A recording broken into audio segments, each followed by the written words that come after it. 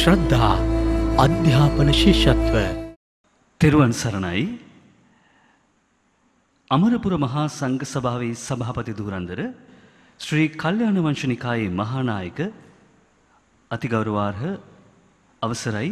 දොඩම් පහළ චන්දසිරි මහනායක ස්වාමීන් වහන්සේ වර ප්‍රමුඛ මහා සංගරුවන ඔබේ අපේ සාධකාරනාද මධ්‍යයේ වැඩම කරනවා. අපි සාධනාදනගමු සුපටිපන්න ගුණ උජුපටිපන්න ගුණ සාමීචිපටිපන්න ගුණ ආදී ඒ සංගුණ අපි සිහිපත් කරමු. සාදු සාදු සාදු. සුපටිපන්නෝ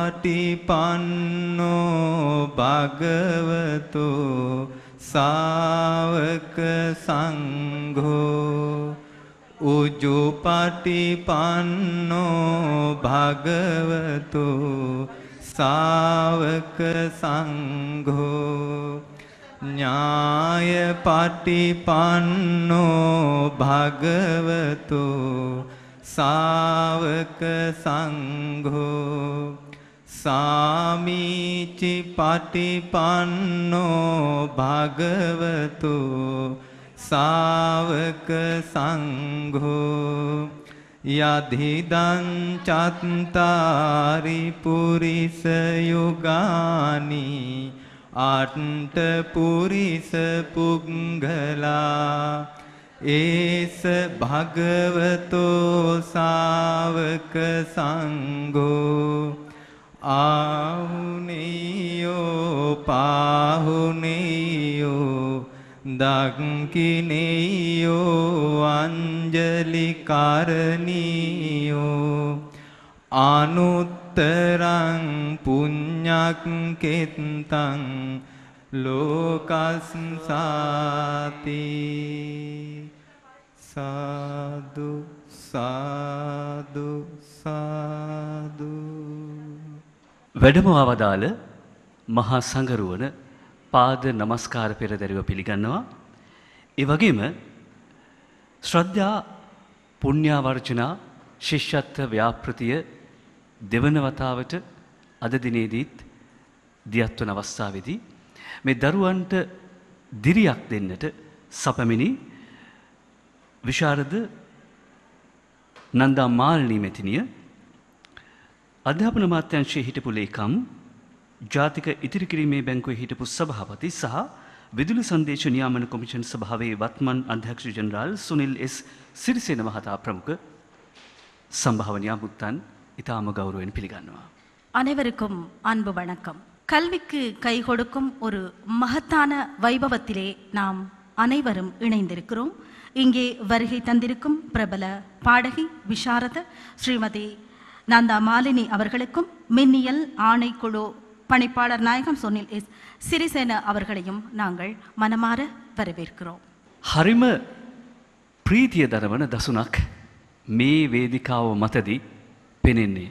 හරියට සුදු නෙළුම්මල් යායක් පිපිලා තියෙනවාගේ.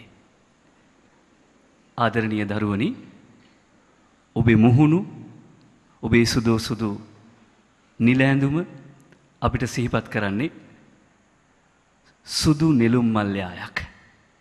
සමහර වෙලාවට ඔබ දැකල ඇති මහා විශාල ජලතලයක එක පුංචි ගල් කැටයකින් රැලිති සිය දහස් ගණනක් නැගෙනවා. එක පුංචි ගල් කැටයකට පුළුවන් මහ විශාල ජලාසයක වුණත් රැලිති සිය දහස් ගානක් නංවන්නට.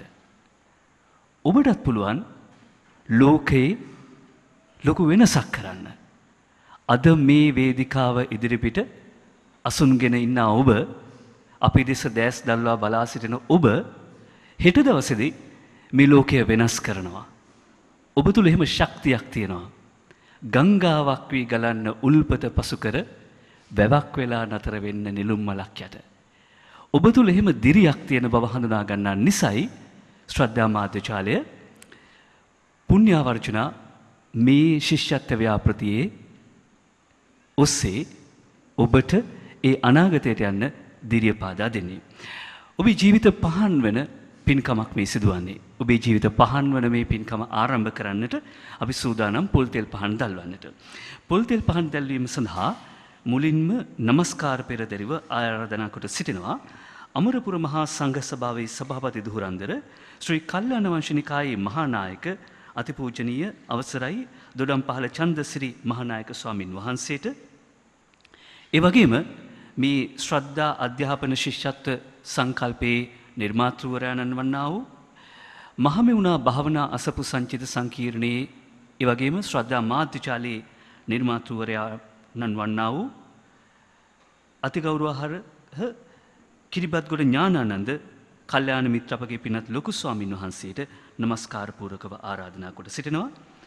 එවගේම කොච්චිකඩේ තිසරණ භාවනා අසපුයේ අනුශාසක පින්වත් හිනිදුම නන්ද ස්වාමින් වහන්සේට ආරාධනා කොට සිටිනවා. බණ්ඩාරවෙල මුදිත පින්නත් ස්වාමින් වහන්සේට ආරාධනා කොට සිටිනවා. පොල්ගහවෙල මහමෙවුණාව භාවනා අසපු මූලස්ථානයේ සංඝෝපස්ථායක ස්වාමින් වහන්සේ වන පින්වත් කැකිරාවේ බෝධිධම්ම ස්වාමින් වහන්සේට නමස්කාර පෙරදරිව ආරාධනා කොට සිටිනවා. එසේම මේ ශිෂ්‍යත්ව ප්‍රදානය කිරීමේ උත්සවයේ පින්කමේ ප්‍රධාන ආරාධිතයා හැටියට සපැමිණි ප්‍රවිණ ගාන ශිල්පිනී විශාරද නන්දා මාල්නී මහත්මියට. එවගේම විදුලි සංදේශ නියාමන කොමිෂන් සභාවේ අධ්‍යක්ෂ ජනරාල් සුනිල් ලෙස් සිරිසේන මහතාට ශ්‍රද්ධා මාධ්‍යචාලයේ සභහපති අධිනීතිඥ සුදත් ජයසුන්දර මහතාට මහමෙවුණාව අසපු සංචිතයට උරදෙන සියලු සැදැහැති දායක දායිකාවන් වෙනුවෙන් තිස්ස ජිනසේන මහතා සහ වෛද්‍ය අශෝකා ගංගොඩවිල මහත්මියට මහමෙවුණාව අනගාරිකා අසපු නියෝජනය කරමින් මානෙල් අයිලප්පිරුම මැතිනියට ශ්‍රද්ධා රූපවාහිනී ශ්‍රද්ධා ගුවන්විදුලි නාලිකා ප්‍රධානී ශ්‍රී තිවංක ජයසිංහ මහතාට කැපකරු මව්පියවරුන් වෙනුවෙන් එක් මවකට ගෞරවනීය එක් පියෙකුට එවැගේම ශිෂ්‍යත්වලාභී දරුවන් දෙදෙනෙක්ට එක නමක් සඳහා මම ආරාධනා කරනවා ඒ ඒ එම් රිද්මි අයෝධ්‍යාදියනීට තවත් ආරාධනාවක් තියෙනවා. තංගවේල් ප්‍රියන්තේයම් නංගල් වරවීර්කරුම්. අපි මෙහෙම පින්කමක් මෙහෙම උලෙලක් මීට අවස්ථා ගණනාවකදීම පවත්වා තිබෙනවා. හැබැයි භාෂා දෙකෙන්ම පූරක කටයුතු කරන්නට අපි අද දවසද තීරණය කරන්නේ මේ ශිෂ්‍යත්ව ලහබී පින්වත් දරුවන් අතරේ එහෙම ජාතියකට ජම්මයකට කුලයකට ගෝත්‍රයකට භාෂාවකට සීමා නොකියන පොදුවේ අපේ දරුවන් අපේ රටේ දරුවන් සිටිනා නිසා මේ පණිවිඩය මුළු රටටම යන්නට උවමනා නිසා අපි භාෂා දෙකෙන්ම මේ කටයුත්ත කරනවා. එහෙම නේද? நிச்சயமாக சகோதரர் தினேஷுக்கு என்னுடைய நன்றி வந்தனத்துக்குரிய தலைமை தேரரை முதன்மைப்படுத்தியபடி குருதேவர் உட்பட மகா சங்கியர்கள் மங்கள விளக்கேற்றி வைத்தார்கள். இந்த கல்வி புலமை பரிசில் வழங்கும் வைபவத்திலே மாணவ மணிகள் குழுமியிருக்கிறீர்கள். ஸ்ரதா கல்வி புலமை பரிசில் செயல் திட்டம். மகாகவி பாரதி கூட சொல்லியிருக்கிறார் உங்கள் எல்லோருக்கும் தெரியும். அன்னசாலைகள் அமைப்பதை விட ஒரு ஏழைக்கு கல்விக்கு உதவி செய்வது மாபெரும் புண்ணியம் என்று. அத்தகு புண்ணிய கருமத்தை தான் இவர்கள் செய்கிறார்கள். மகா மெவுனாவ தியான ஆசிரமமும் அதன் ஊடகப் பிரிவான ஷதா தொலைக்காட்சி நிறுவனமும் இணைந்து ஏற்பாடு செய்துள்ள. இந்த உதவிக்கரம் நீட்டும் வைபவத்திலே உதவி பெறுவதற்காக நீங்கள் எல்லோருமே வந்திருக்கிறீர்கள். உங்கள் எல்லோரையும் நாங்கள் மகிழ்ச்சியோடு வரவேற்கிறோம். எந்தவித பேதமும் இல்லாத மனிதர்கள் தான் மகிழ்ச்சியாக வாழ முடியும் என்பதற்கு நாம் அனைவருமே எடுத்துக்காட்டாக இருக்க வேண்டும் என்பதே எல்லோரதும் விருப்பம் මේ ශිෂ්‍යත්ව ප්‍රධානය කිරීමේ පින්කමේ පුුණ්‍ය ව්‍යාපෘතිය දියත්වෙන මේ මොහොතදී ආරාධිත අමුත්තන් හැටියට ආරාධනා කරන්නට යෙදුනෙත් දූදරුවනි ඔබට වීරයන් විදියට බලාගෙන හැදෙන්න්න පුළුවන් චරිත විශාරධනන්දා මාල්නී මැතිනිය. ගුවන් නුදලියේදී ඉතාම බාල කාලෙදි බුදුසාදූ කියන ගීතය ගායනා කරලා ගායනලවට පිවිසෙනවා. ඉම් පස්සේ විෂය දැනුමෙන් විනයින් මේ සියල්ලෙන් සුපුෂ්පිතව අපිට සුවඳ දෙනවා අපිට මඟ කියනවා සහ ඔබටත් බලාගෙන හැදෙන්න පුළුවන් චරිතයක්. ඒ වගේම සුනිල් එස් සිරිසේන මැතිතුමන් කොහොමද ඉගෙනගෙන ඉහළටම යන්නේ? ඔබට හොඳ ආදර්ශ සපයාවේ. පැමිණ සිටින පින්නත් සියලුම දෙනා පංචශීලයේ පිහිටවීමට සහ කෙටි ධර්මානුශාසනාවක් පැවැත්වීම සඳහා নমස්කාර පෙරදරිව ආරාධනා කොට සිටිනවා. අමරපුර මහා සංඝ සභාවේ සභාපති දුහරන්දර ශ්‍රී කල්යාණ වංශනිකායේ මහානායක අතිගෞරවාර්හ අවසරයි දොඩම්පහළ චන්දසිරි මහනාහිමිපාණන් වහන්සේට. இப்போது சீல அனுட்டாசனம் வழங்குவார் அதிவந்தனைக்குரிய தலைமை தேரர் அவர்கள் සදහැබර පින්වත් හැම දෙනාම තුම් පංචසීල සම්පත්තිය පිහිටන්නට සාධකාරයක් දීලා නමස්කාරය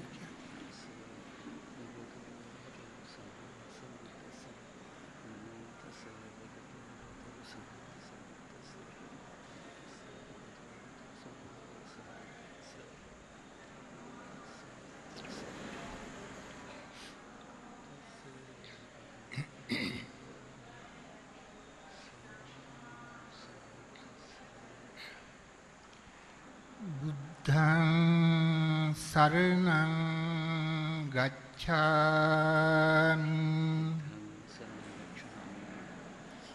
ධම්මං සරණං ගච්ඡාමි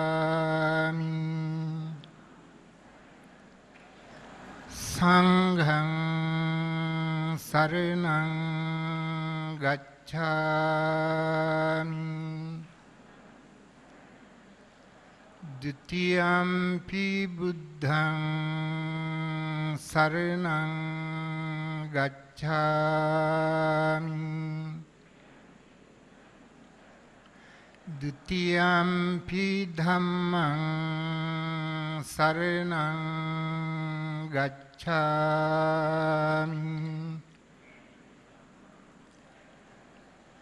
ဒ ුතියම්පි සංඝං සරණං ගච්ඡාමි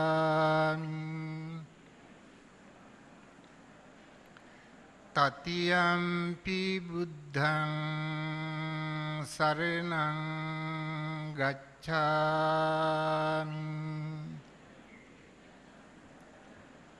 තතියම්පි ධම්මං සරණං ගච්ඡාමි।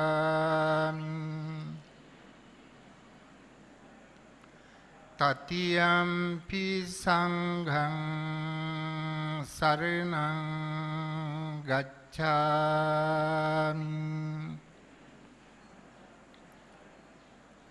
තිසරණ ගමනං සම්පුන්නං පානාති පාතා වේරමණී සික්ඛා පදං සමාදියාමි.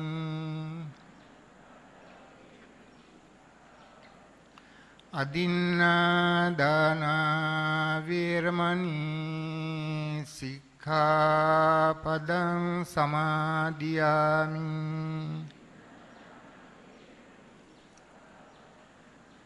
කාමේසු මිච්ඡාචාරා වේරමණී සික්ඛාපදං සමාදියාමි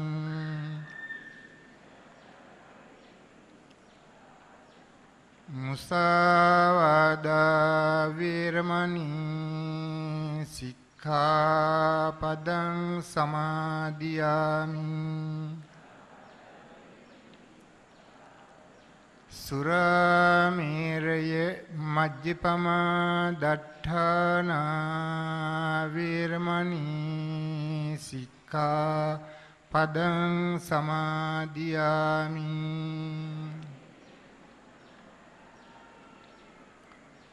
තිසරණේන සද්ධින් පංචශීලං ධම්මං සාදුකං සුරක්ෂිතං කତ୍වා අප්පමාදීන සම්පාදිත.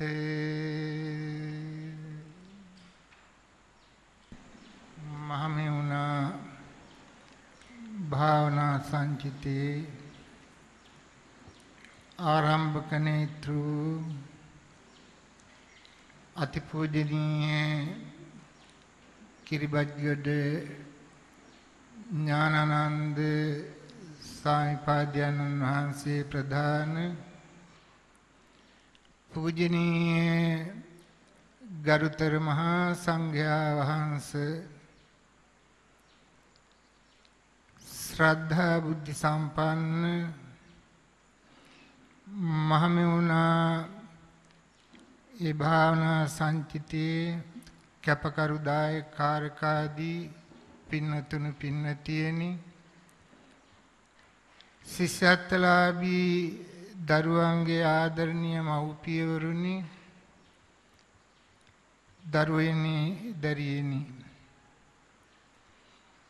මේ හැම දෙනාම අද මේ මහමෙවුනා භාවනා මූලස්ථානයට ඒකරාසී වෙලා ඊටාම උදාරතර පින්කමක් සිදු කරගනු ලබන්නේ. මහමෙවුනා භාවනා අසපු සමූහයේ පිළිබඳව සිහි කරන විට ශ්‍රද්ධාකාමී මහජනතාවට තෝතැන්නක් වශයෙන්ුයි සඳහන් වන්නේ. අපේ අතිපූජනීය කිරිබත්ගොඩ ඥානානන්ද ලොකු සාමීන් වහන්සේ අප්‍රමාණ කරුණාවෙන් යුක්තව මෙත් සිතින් යුක්තව නිතර නිතර ඒ අසරණ දරුවන් පිළිබඳව අසරණ දුගී දුප්පත් අය පිළිබඳව සිහි කරනවා. තමන්ගේ දායකාරකාදීන් ඒ වෙනුවෙන් මෙහෙवला ඒ සෑම අවස්ථාවකදීම ඒ අය වෙනුවෙන් කළ යුතු උපකාරයන් සිදු කරන බව අපි සෑම දෙනාම දන්නා වූ කාරණයක්. පසුගියදා මහා ගංවතුර සමයේදී ඒ කඩුවෙල භාවනාසපුව ජලයෙන් යට වී පැවතියත් ඒ ආයතනයේ පිළිබඳව නොවේ මේ මහ සංගරුවන සිහිපත් කළේ අර අසරණ තත්ත්වයට පත්තියත්තා වූ ජනතාව පිළිබඳව සිහි කරමින් ඒ ජනතාව වෙනුවෙන් කරන්නට පුළුවන් සෑම සංග්‍රහයක්ම සිදු කරමින් ඒ ආහාර පාන ආදියෙන් ඒ වගේම අවශ්‍ය නිවාස පහසුකම් සපයා දෙමින් වස්ත්‍ර ආදිය සපයා දෙමින් ඒ වෙනුවෙන් ඒ අය වෙනුවෙන් ඊටාම උදාරතර උපකාරයන් සිදු කළ ඒ අවස්ථාවේදී. නිතර නිතර ලෞතර භාග්‍යවත් බුදු පියාණන් වහන්සේගේ මහා කරුණා ගුණය පිළිබඳව සිහි කරලා ඒ මහා ප්‍රඥා ගුණය පිළිබඳව සිහිපත් කරමින් ඒ අසරණ අය වෙනුවෙන් කරන්නට පුළුවන් සෑම යුතුයකමක්ම නිරන්තරයෙන් සම්පූර්ණ කරනවා. සකිය දායකාරකාදීන් හැම විටම එවැනියෙන් අප කැපවී ක්‍රියා කරනවා. මෙවැනි සත්කාරයන් සඳහා අයගේ නොමසුරු ආධාරයන් පිරිනැමෙන නිසායි උන්වහන්සේලාට අනුශාසනා පවත්වලා පින්නතුන්ට අනුශාසනා පවත්වලා මෙවැනි උදාරතර කාර්යයන් ඉටු කරන්නට ශක්තිය ලැබෙන්නේ. අද දිනේ පිළිබඳව සිහිපත් කරවන විට ඒ જાතියක් පිළිබඳව සිහි කරන්නේ නැතුව පලාතක් පිළිබඳව සිහි කරන්නේ නැතුව දිවයින පුරාම නොඑක් පලාත් වලින් ඒ අසරණ අය දහසක් පමණ තෝරාගෙන ඒ ඉගෙනීමේ අපහසුකම් තියන අය ඉන්නවා ඒ වගේම නොඑක් විදිහේ අපහසුතාවයන්ගෙන් පීඩා විඳින අය ඒ අයට සහනයක් ලබා දෙන්නට ඕනෑ කියන අදහසින් සිංහල ද්‍රවිඩ ආදී වශයෙන් ඒ දරුදරියන් දහසක් පමණ මේ ස්ථානයට ඒකරාශී කරලා ඒ අය වෙනුවෙන් ශිෂ්‍යත්ව ප්‍රදානය කරමින් එයාගේ මතු දියුණුව සඳහා ක්‍රියාත්මක වෙනවා. මේ ඉන්න දරුදරි කෙනෙක් ඇතැම්මිට අනාගතයේ මේ රටේ ප්‍රධානත්වයට පත්වෙන කෙනෙක් වෙන්නට පුළුවන්. බොහොම පින් තියෙන කෙනෙක් වෙන්නට පුළුවන්. නමුත් ඒ පින මතු කර දීමට කෙනෙක් නැහැ. ඒ නිසා එය හැමදාම අසරණ තත්ත්වයෙන් වාසය කරන්නේ.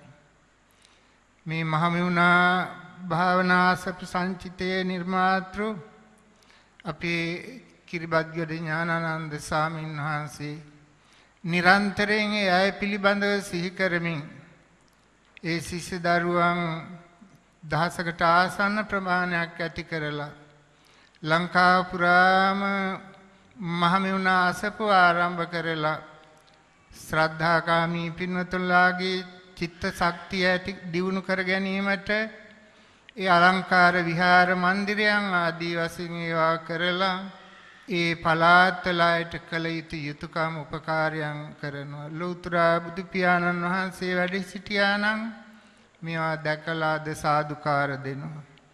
දෙවියෝ මේවා දැකලා බ්‍රහ්මයා මේ මහා බ්‍රහ්ම රාජයා මේවා දැකලා අදානන්ත සැනසෙල්ලටපත් වෙලා මේ කටයුතු පිළිබඳව සාදුකාර දෙනවා ඇති. එවැනි ඊටාම උදාරතර වාසනාවන්ත මහා කුසලයක් අද සම්පූර්ණ කරන්නේ. මෙවැනියෙන් ආධාර කරන කැපකරු මව්පියන්ට ගාක් සතුටු වෙන්නට පුළුවනි. අසරණ කෙනෙක් වෙනුවෙන් අපි උපකාරයන් සිදු කරනවා නොයිද. ඒ අයගේ මතු දියුණුව සඳහා කළ යුතු සහයෝගය අපි ලබා දෙනවා නොයිද කියලා එයටත් හුඟක් සතුටු වෙන්නට පුළුවනි. ඊළඟට මේ දරු දරියන් කල්පනා කරන්නට ඕන මේ කරන සංග්‍රහයන් මේ ශිෂ්‍යත්ව ලබා ගැනීමෙන් මේ බලාපොරොත්තු වන අදහස් අපේ මේ ලොකු ස්වාමීන් ඇතුළු දායකාරකාදීන් බලාපොරොත්තු වන අදහස් මුදුන්පත් කර දෙන්නට මේ දරුවන් සිහියට ගන්නට ඕන දෙමාපියන් සිහියට ගන්නට ඕන. අද ලංකා පුරාම නොඑක් විදිහේ ළමා සිට දූෂිත භාවයට පත්වෙන ක්‍රියාවන් සිදුවන්නේ. දෙමාපියන් ඒවා පිළිබඳව වග බලාගෙන තමන්ගේ දරුවන් ආරක්ෂා කරගෙන ඉදිරි ගමන් මාර්ගයේ දරුවන්ට යහපත සැලසෙන විදියට ක්‍රියා කරන්නට ඕන. දරුවනොත් දෙමාපියන්ට කීකරු වෙලා ඒ හොඳින් අධ්‍යාපනය ලබලා හොඳ පුරවැසියන් බවට පත් වෙලා සමාජයට ශාසනයට සේවාවන් කරන පින්වතුන් දරුවන් බවට පත් වෙන්නට අනාගතයේ වීර කරන්නට ඕන. ඒ කරුණ ටික සිහිපත් කරන අතර මෙවන් මහා පුණ්‍යක්‍රියාවන් සිදු කරන අපේ ඥානানন্দ ලොකු ස්වාමීන් වහන්සේ ප්‍රධාන මහා සංඝරත්නයේට රත්නත්‍රි ආශිර්වාද බලයෙන් සීළු දෙවි රැකවරණින් තව තව මෙවන් ක්‍රියාවන් කරන්නට ශක්තිය ලැබේවා. දායකාරකාදී සෑම දිනාටත් උන්වහන්සේගේ ආවාද අනුශාසනාවන් ලැබලා මෙවැනි සත්ක්‍රියාවන්ට තව තව ආධාර උපකාර කරන්නට ශක්තිය ලැබේවා කියලා අපි ප්‍රාර්ථනා කරන අතර සෑම දිනාට තෙරුවන්ගේ ආශීර්වාදයේ දෙවියන්ගේ දේවාශීර්වාදයන් ප්‍රාර්ථනා කරමින් මගේ වචන සල්පේ අවසන් කරනවා අමරපුර මහා සංඝ සභාවේ සභාපති දුරන්දර ශ්‍රී කල්යාණ වංශනිකාය මහානායක අතිගෞරවාර්හ අවසරයි දොඩම් පහළ චන්දසිරි මහානාහිමිපාණන් වහන්සේට අනුශාසනාත්මක ඕදන් ලබා දීම පිළිබඳව අපි සාදුකාරදී නිදුක් නිරෝගී චිරජීවනය ඒ වගේම උතුම් චතුරාර්ය සත්‍ය ධර්ම අවබෝධය ප්‍රාර්ථනා කරමු. අනුශාසන වළංගිය තලෙමෙයි அதி வந்தனத்துக்குரிய தலைமை தேரருக்கு எங்களுடைய நன்றியை கோரிக்கொள்கிறோம் ஒரு மனிதன் இன்னொரு மனிதனுக்கு உதவி செய்வது என்பது மிகப்பெரிய விடயம். அந்த மனம் எல்லோருக்கும் வராது. ஆனால் எத்தனையோ பிள்ளைகள் கல்வி கற்க வேண்டும் என்கின்ற ஆர்வத்தோடு இருந்தாலும் பொருளாதாரம் பணம் அவர்களுக்கு தடையாக இருக்கிறது.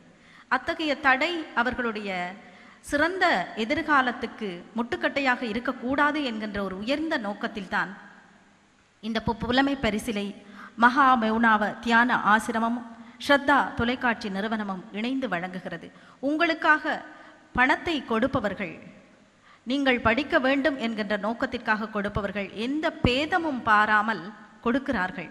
அவர்கள் மிகுந்த செல்வந்தர்கள் மட்டுமல்ல ஏதோ குறைந்த அளவு வருமானம் இருப்பவர்களும் கூட உங்களுக்காக கொடுக்கிறார்கள். அதை நினைவில் இருத்தி நீங்கள் நன்றாக கற்க வேண்டும் என்பது கூட அவருடைய வேண்டுகோளாக இருந்தது. අප ඉදිරියේ මේ අසුන්ගෙන සිටින දහසක් තරම් ආදරණීය දූ දරුවන් අතරේ තමයි ඉන්නේ අපේ අනාගත රාජ්‍ය නායකයන් වෘතිකයන් නව නිපැයුම්කරුවන් අභ්‍යවකාශගාමීන් ගොවි ව්‍යවසායකයන් කලාකරුවන් චින්තකයන් දර්ශනිකයන්. ඔය පුංචි හිත් ඇතුළේ තමයි ඒ සියලුම දෙනා මේ මොහොතේ බලාගෙන ඉන්නේ අනාගතය වෙත පියන ගන්නට. ශ්‍රද්ධා අධ්‍යාපන ශිෂ්‍යත්ව පිරිනමන්නේ මේ රටේ අනාගත රාජ්‍යනායකයන්ට අනාගත වෘතිකයන්ට අනාගත ව්‍යාපාරිකයන්ට අනාගත ක්‍රීඩකයින්ට අනාගත ව්‍යවසායකයින්ට. මේ පුුණ්‍ය සංකල්පය නිර්මාතෘවර මහමිවුණා භාවනා අසපු සංචිතයේ නිර්මාතෘය වගේම ශ්‍රද්ධා මාධ්‍යජාලයේ නිර්මාතෘවර කිරිබත්ගුඩ ඥානානන්ද අපගේ පින්වත් ලොකු ස්වාමීන් වහන්සේට නමස්කාර පෙරදැරිව ආරාධනාකොට සිටිනවා මේ සිටින ආදරණීය පින්වත් දරුවන්ට එවැගේම පැමිණ සිටින සම්භාවනීය අමුත්තන්ට එසේම කැපකරු මාපියවරුන්ට ආශීර්වාදාත්මක සෙත් පැතීම සඳහා இப்போது அதி வந்தனத்துக்குரிய குருதேவரது ஆசி உரை இடம்பெறும் වැඩමවා වදාළ අතිපූජනීය අපගේ මහානායක ස්වාමීන්ද්‍රයන් වහන්සේ ප්‍රධාන මහා සංඝරත්නයන් අවසරයි. සම්භාවනීය පින්වත්නි කැපකරු මව්පියවරුනි සදහවත් දෙමාපියනි ආදරණීය දරුවෙනි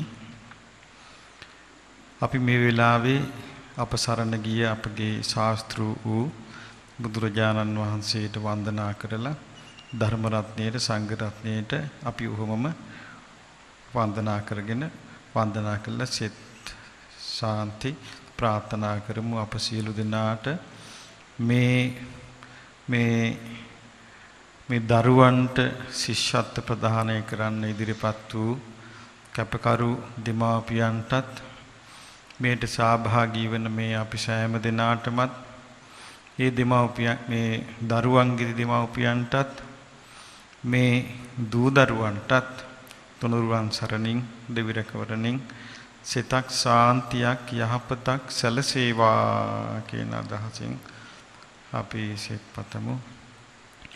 නමෝ තස් භගවතු අරහතු සම්මා සම්බුද්දස්ස.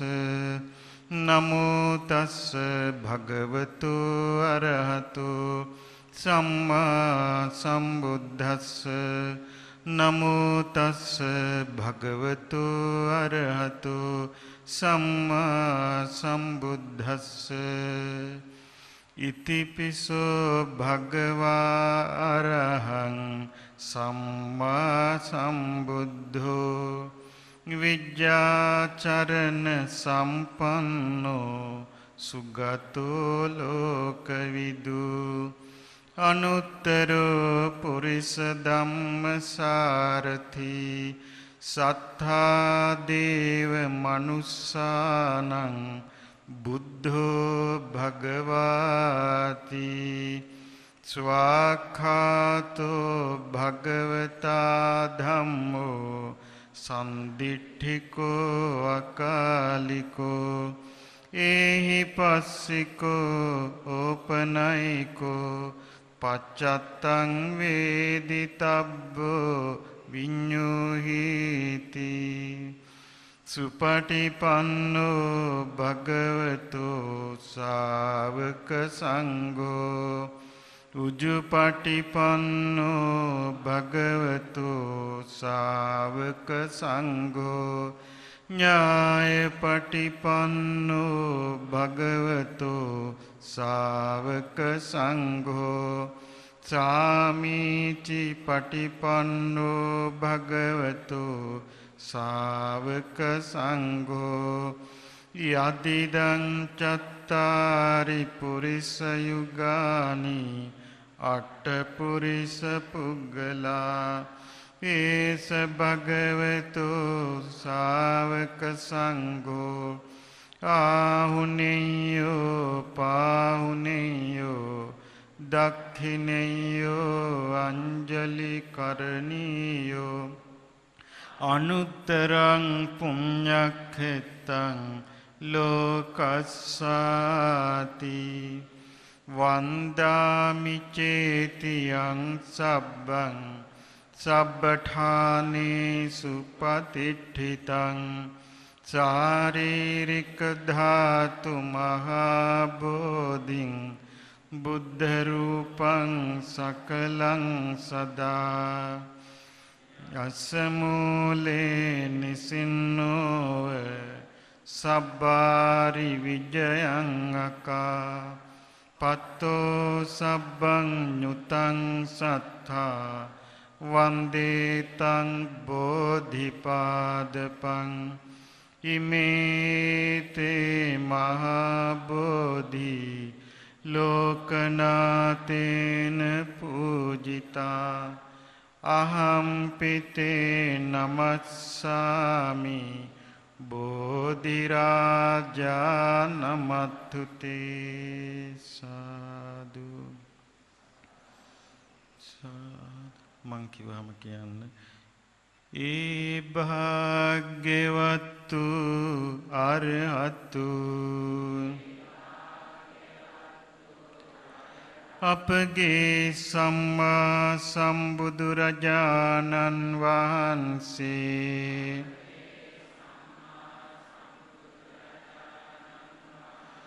උතුම් සම්බුදු බව ලබන මොහොතේදී සෙවන සලසාලු. ජයශ්‍රී මහාබෝධීන් වහන්සේගේ ආනුභාව බලයෙන්ද බුදුරජාණන් වහන්සේගේ ද්‍රෝණයක් ධාතුන් වහන්සේලා වැඩ සිටින.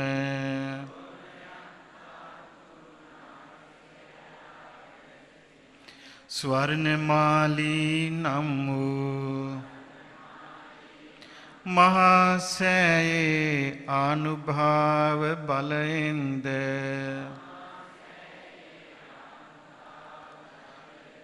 ශ්‍රී දළදා වහන්සේලාගේ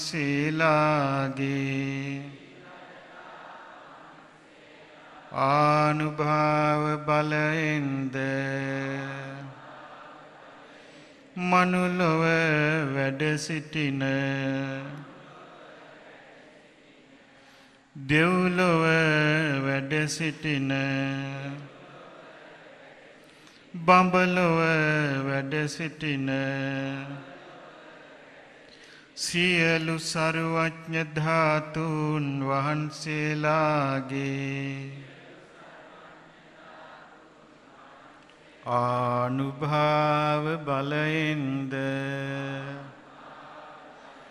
බුදුරජාණන් වහන්සේ විසින් මధుර මනෝහර කොට දේශනා කොට වදාරන ලද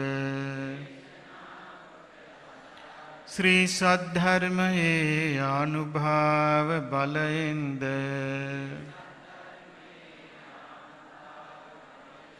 බුදුරජාණන් වහන්සේගේ උත්තම ශ්‍රාවක වූ සාරිපුත්ත මහරහතන් වහන්සේ. මහාමුගල්ලාන මහරහතන් වහන්සේ. මහාකස්සප මහරහතන් වහන්සේ ආදී. ආරි මහා සංඝරත්නයේ ආනුභාව බලයෙන්ද ගෞතම බුදුසසුන කෙරෙහි පහන් සිතැති දෙවියන්ගේ දේවානුභාවයෙන්ද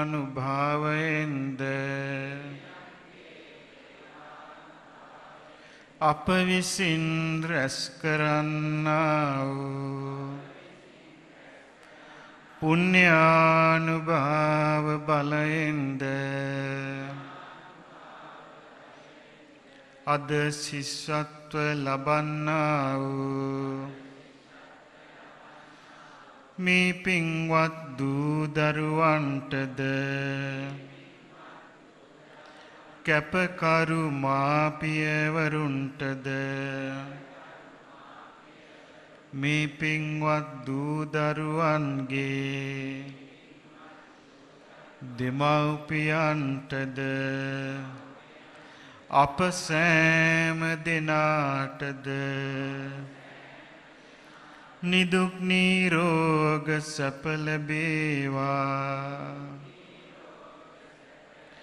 අප සියලු දෙනාගේ සියලු ජීවිත අනතුරුවලින් දුරුවේවා නිරතුරුවම ආරක්ෂාව සැලසේවා. යහපත් ගුණ ධර්ම දියුණුවේවා උත්සාහයද වීරියයද අධිෂ්ඨානයද ඇතිවේවා ඉතා සත්පුරුස මිනිසුන් ලෙස ගුණගරුක මිනිසුන් ලෙස දුකෙහිදී උනුවෙන අනුකම්පාසිත් ඇති දයාවන්ත මිනිසුන් ලෙස අපගේ ජීවිතය ගත කරන්නට වාසනාව ලැබේවා. අපගේ මෙලොව ජීවිත සනසිලිදායක වේවා. සැපවත් වේවා. අප සෑම දෙනාටම මේ උතුම් බුදු සසුනේ චතුරාර්ය සත්‍ය ධර්මය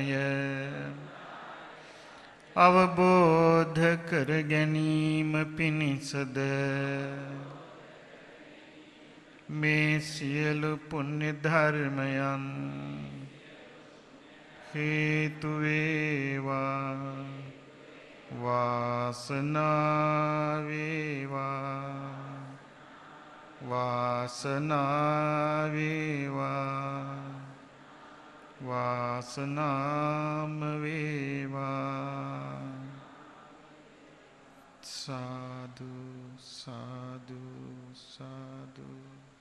ශ්‍රද්ධා අධ්‍යාපන ශිෂ්‍යත්ව සංකල්පයේ නිර්මාතෘවර හැම විටම දහමෙහි සහ අර්ථයෙහි මාවත අපට පෙන්වා වදාරන මහමෙවුනා භාවනා අසපු සංචිත සංකීර්ණයේ නිර්මාතෘවර ශ්‍රද්ධා මාධ්‍යජාලයේ නිර්මාතෘවර කිරිබත්ගොඩ ඥානානන්ද පින්වත් ලොකු ස්වාමීන් වහන්සේට උතුම් වූ චතුරාර්ය සත්‍ය ධර්මය අවබෝධ වන්නට මේ පිනත් හේතු වේවා වාසනාව වේවා කියා අපි සාදු සිතින් ප්‍රාර්ථනා කරමු.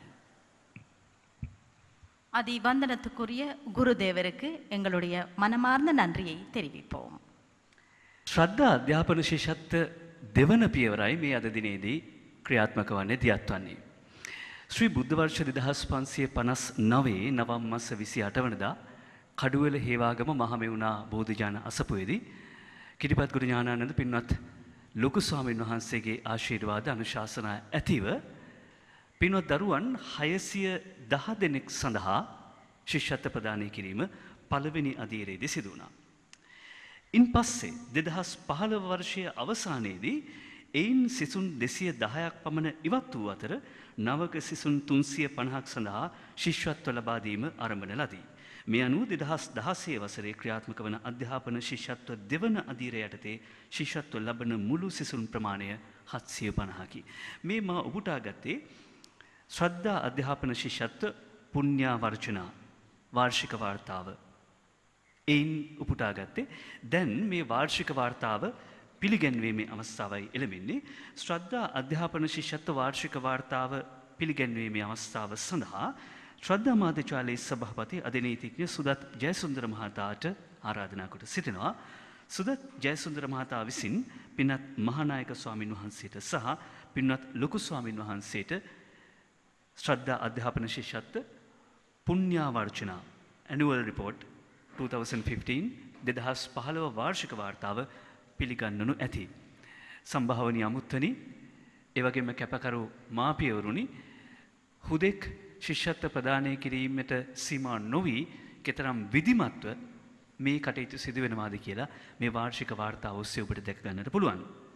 ඒ වගේම මිට සමගාමීව ශ්‍රද්ධා නාලිකාවේ අධ්‍යක්ෂ මණ්ඩලයේ මහත්ම මහත්මීන් විසින් වැඩම වදාළ මහා සංඝරත්නයට සහ සියලු ආරාධිතයන්ට මේ වාර්ෂික වාර්තාව පිළිගන්නනු ඇති. ஸ்ரதா புலமை பரிசில் செயல் திட்ட வருடாந்த அறிக்கையை ஸ்ரதா ஊடக பிரிவு தலைவர் சட்டத்தரணி சுதத் ஜெயசுந்தர அவர்கள் அதி வந்தனத்துக்குரிய தலைமை தேரரிடம் இப்போது கையளித்தார் නන්දා මාල්ලි මැතිනියනි සුනිල් එස් සිරිසේන මැතිතුමනි මා කැමති ඔබතුමන්ලාගේ ඔබතුමියගේ අවධානය යොමු කරන්න මේ පොතේ තියෙන මේ වාර්ෂික වාර්තාවේ තියෙන සමහර උපුටනයන්. මේ අතර තියෙනවා මේ ශිෂ්‍යත්වලාබී දරුවන් ආදරණය කැපකරු මාපියවරුන්ට යොපු ලිපි. අප්සරා දියණිය ලියනවා ඉතා සතුටින් ලියමි. දෙමාපියනි ඔබලා විසින් දෙනු ලබන ශිෂ්‍යාධාර මුදල් වලින් මාගේ අධ්‍යාපන කටයුතු ඉතා සාර්ථකව කරගෙන යමි. ඔබලා ඉතා සතුටින් මාහට දෙනු ලබන ශිෂ්‍යාධාර මුදල ලැබීමට පෙර මා සතියකට දින තුනක් පාසල් ගිය අතර කලින්ගේ සතියට දවස් තුනයි. දැන් මම දිනපතා පාසල් ගොස් ඉගෙනීමෙහි නිරත වන්නෙමි. ආදරණී දෙමාපියනි සෑම මසකම පවත්වන විශේධාර ඇගීම් වලින් පෙරදීමම ලකුණු 60ත් 80ත් අතර ලබා ගත්තෙමි. දැන් ඔබලාට පින් සිදුවන්නට ලකුණු 80ත් 95ත් අතර ප්‍රමාණයක් ලබන්නෙමි. මේ උපුටා ගත්තේ අප්සරා දියණිය තමන්ගේ කැපකරු මාපියවරුන්ට යොපු ලිපියෙන්. අධ්‍යක්ෂ මණ්ඩලයේ පින්වත් මහතුරුන් විසින් වාර්ෂික වාර්තාව පිළිගන්නන අතරතුරේදී මා කැමති තවත් කරුණක් සීපත් කරන්න. ඒ තමයි මේ ශිෂ්‍යත්ව මුදල කොහොමද විය පැහැදම් කරන්න කියලා පූර්ව අවබෝධයක් මේ දරුවන්ට ලබා දෙනවා. එහිදී තමන්ගේ අධ්‍යාපන කටයුතු ඒ වගේම පින්කම් සඳහා මේ මුදල් කැප කළ යුතුයි. ඒ පිළිබඳව ප්‍රතිපෝෂණයක් ෆීඩ්බැක් එකක් බලන්න පුළුවන්. ඒ මේ ලිපි හරහා. මේ එක ලිපියක ජී හිරුෂි දියණිය ලියනවා මාගේ කැපකරු දෙමව්පියන් විසින් මැයි මස 30 වන දින මාහට ලබා දුන් ශිෂ්‍යාධාර මුදල ඊට භක්තියෙන් හා අරපිරිමැස්මින් මා වේදම් කළ අයුරු මිසය. තමන්ට ලැබෙන මුදල කොහොමද අරපිරිමැස්මෙන් පාවිච්චි කරන්නේ? දරුවන් මේ පාඩමත් ඉගෙන ගන්නවා. නිල් පෑන් දෙකයි, කළු පෑන් දෙකයි, පැන්සල් එකයි, මකන එකයි, රතු පෑන් එකයි ඔය ආදී විදියට විද්‍යාපන්තියට ගාස්තු රුපියල් 350යි පාසලේ පුස්තකාලයට පොතක් රුපියල් 160යි. තමන්ට ලැබෙන මුදල තවත් ප්‍රජා කටයුත්තකට ප්‍රජාසේවකටත් ඔවුන් යොමු කළා. අප ප්‍රදේශයේ පිටුම්පේ පන්සලේ ආවාසගේ සෑදීමට ආධාරය රුපියල් 75යි. නංගිටද පැන්සල් දෙකක් රුපියල් 30යි. තාත්තාට රැකියාවට යෑමට මුදල් නොමැති දිනක බස් වේදම සඳහා රුපියල් 50ක් ලබා දුන්නෙමි. හැඟීම් බරයි සංවේදී අනික් පැත්තෙන් මේ දරුවන් පිළිබඳව ආඩම්බර හිතෙනවා. ඔවුන් තමන්ට ලැබෙන මුදල අර්ථ සම්පන්න වේදම් කරන හැටිගෙනගෙන.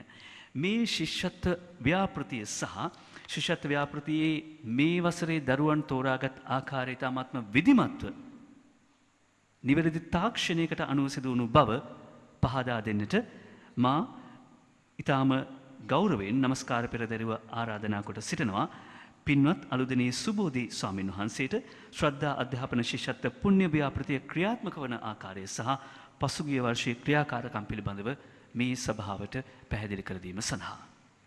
ஸ்ரதா புலமை பரிசில் தொடர்பான விளக்க உரையை இப்போது ஆசிரமத்தைச் சேர்ந்த வந்தனத்துக்குரிய தேரர் வழங்குவார் නමෝ බුද්ධාය අමරපුර සංඝ සභාවේ සභාපති දුරන්දර අමරපුර ශ්‍රී කල්යාණි වංශ නිකායේ මහානායක දුරන්දර අපගේ මහෝපාධ්‍යාය මහානායක මාහිමිපාණන් වහන්සේ ගෙන්ද අපගේ ගුරු දේවෝත්තම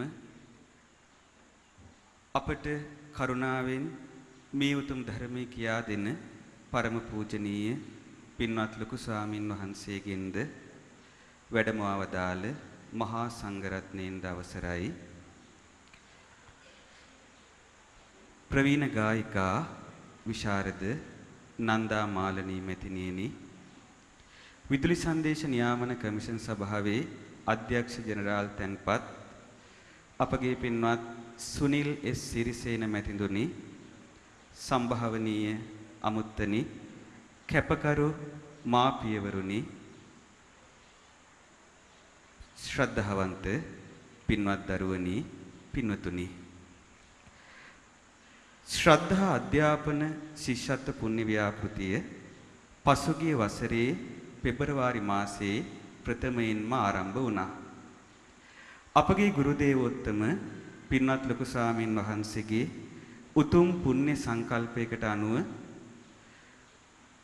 දිවයිනේ නොයෙක් ප්‍රදේශවල දැඩිව ආර්ථිකව අභියෝගයට ලක් වී අපහසුවෙන් නමුත් Tamanගේ ජීවිත ගොඩනගා ගන්නට වෙර වීරිය දරන ඒ Tamanගේ අධ්‍යාපන කටයුම් කඩයිම් හමුවේ ඒ කඩයිම් ජය ගන්න ධෛර්යයෙන් කටයුතු කරන දරුවන් 610 දෙනෙකු දෙසා පසුගිය වර්ෂයේදී අධ්‍යාපන ශිෂ්‍යත්ව ලබා දෙන්නට මේ උතුම් පුණ්‍ය ව්‍යාපෘතියට හැකි වුණා. ඔබේ අතට ලැබිලා තියෙන ඒ පුණ්‍යාවර්ජනා 2015 වාර්ෂික වාර්තාව තුල මූලිකව කෙටියෙන් නමුත් පසුගිය වසර පුරාවට අධ්‍යාපන ශිෂ්‍යත්ව පුණ්‍ය ව්‍යාපෘතියේ ක්‍රියාත්මක වූ ආකාරය ගැන කරුණු සඳහන් වෙනවා.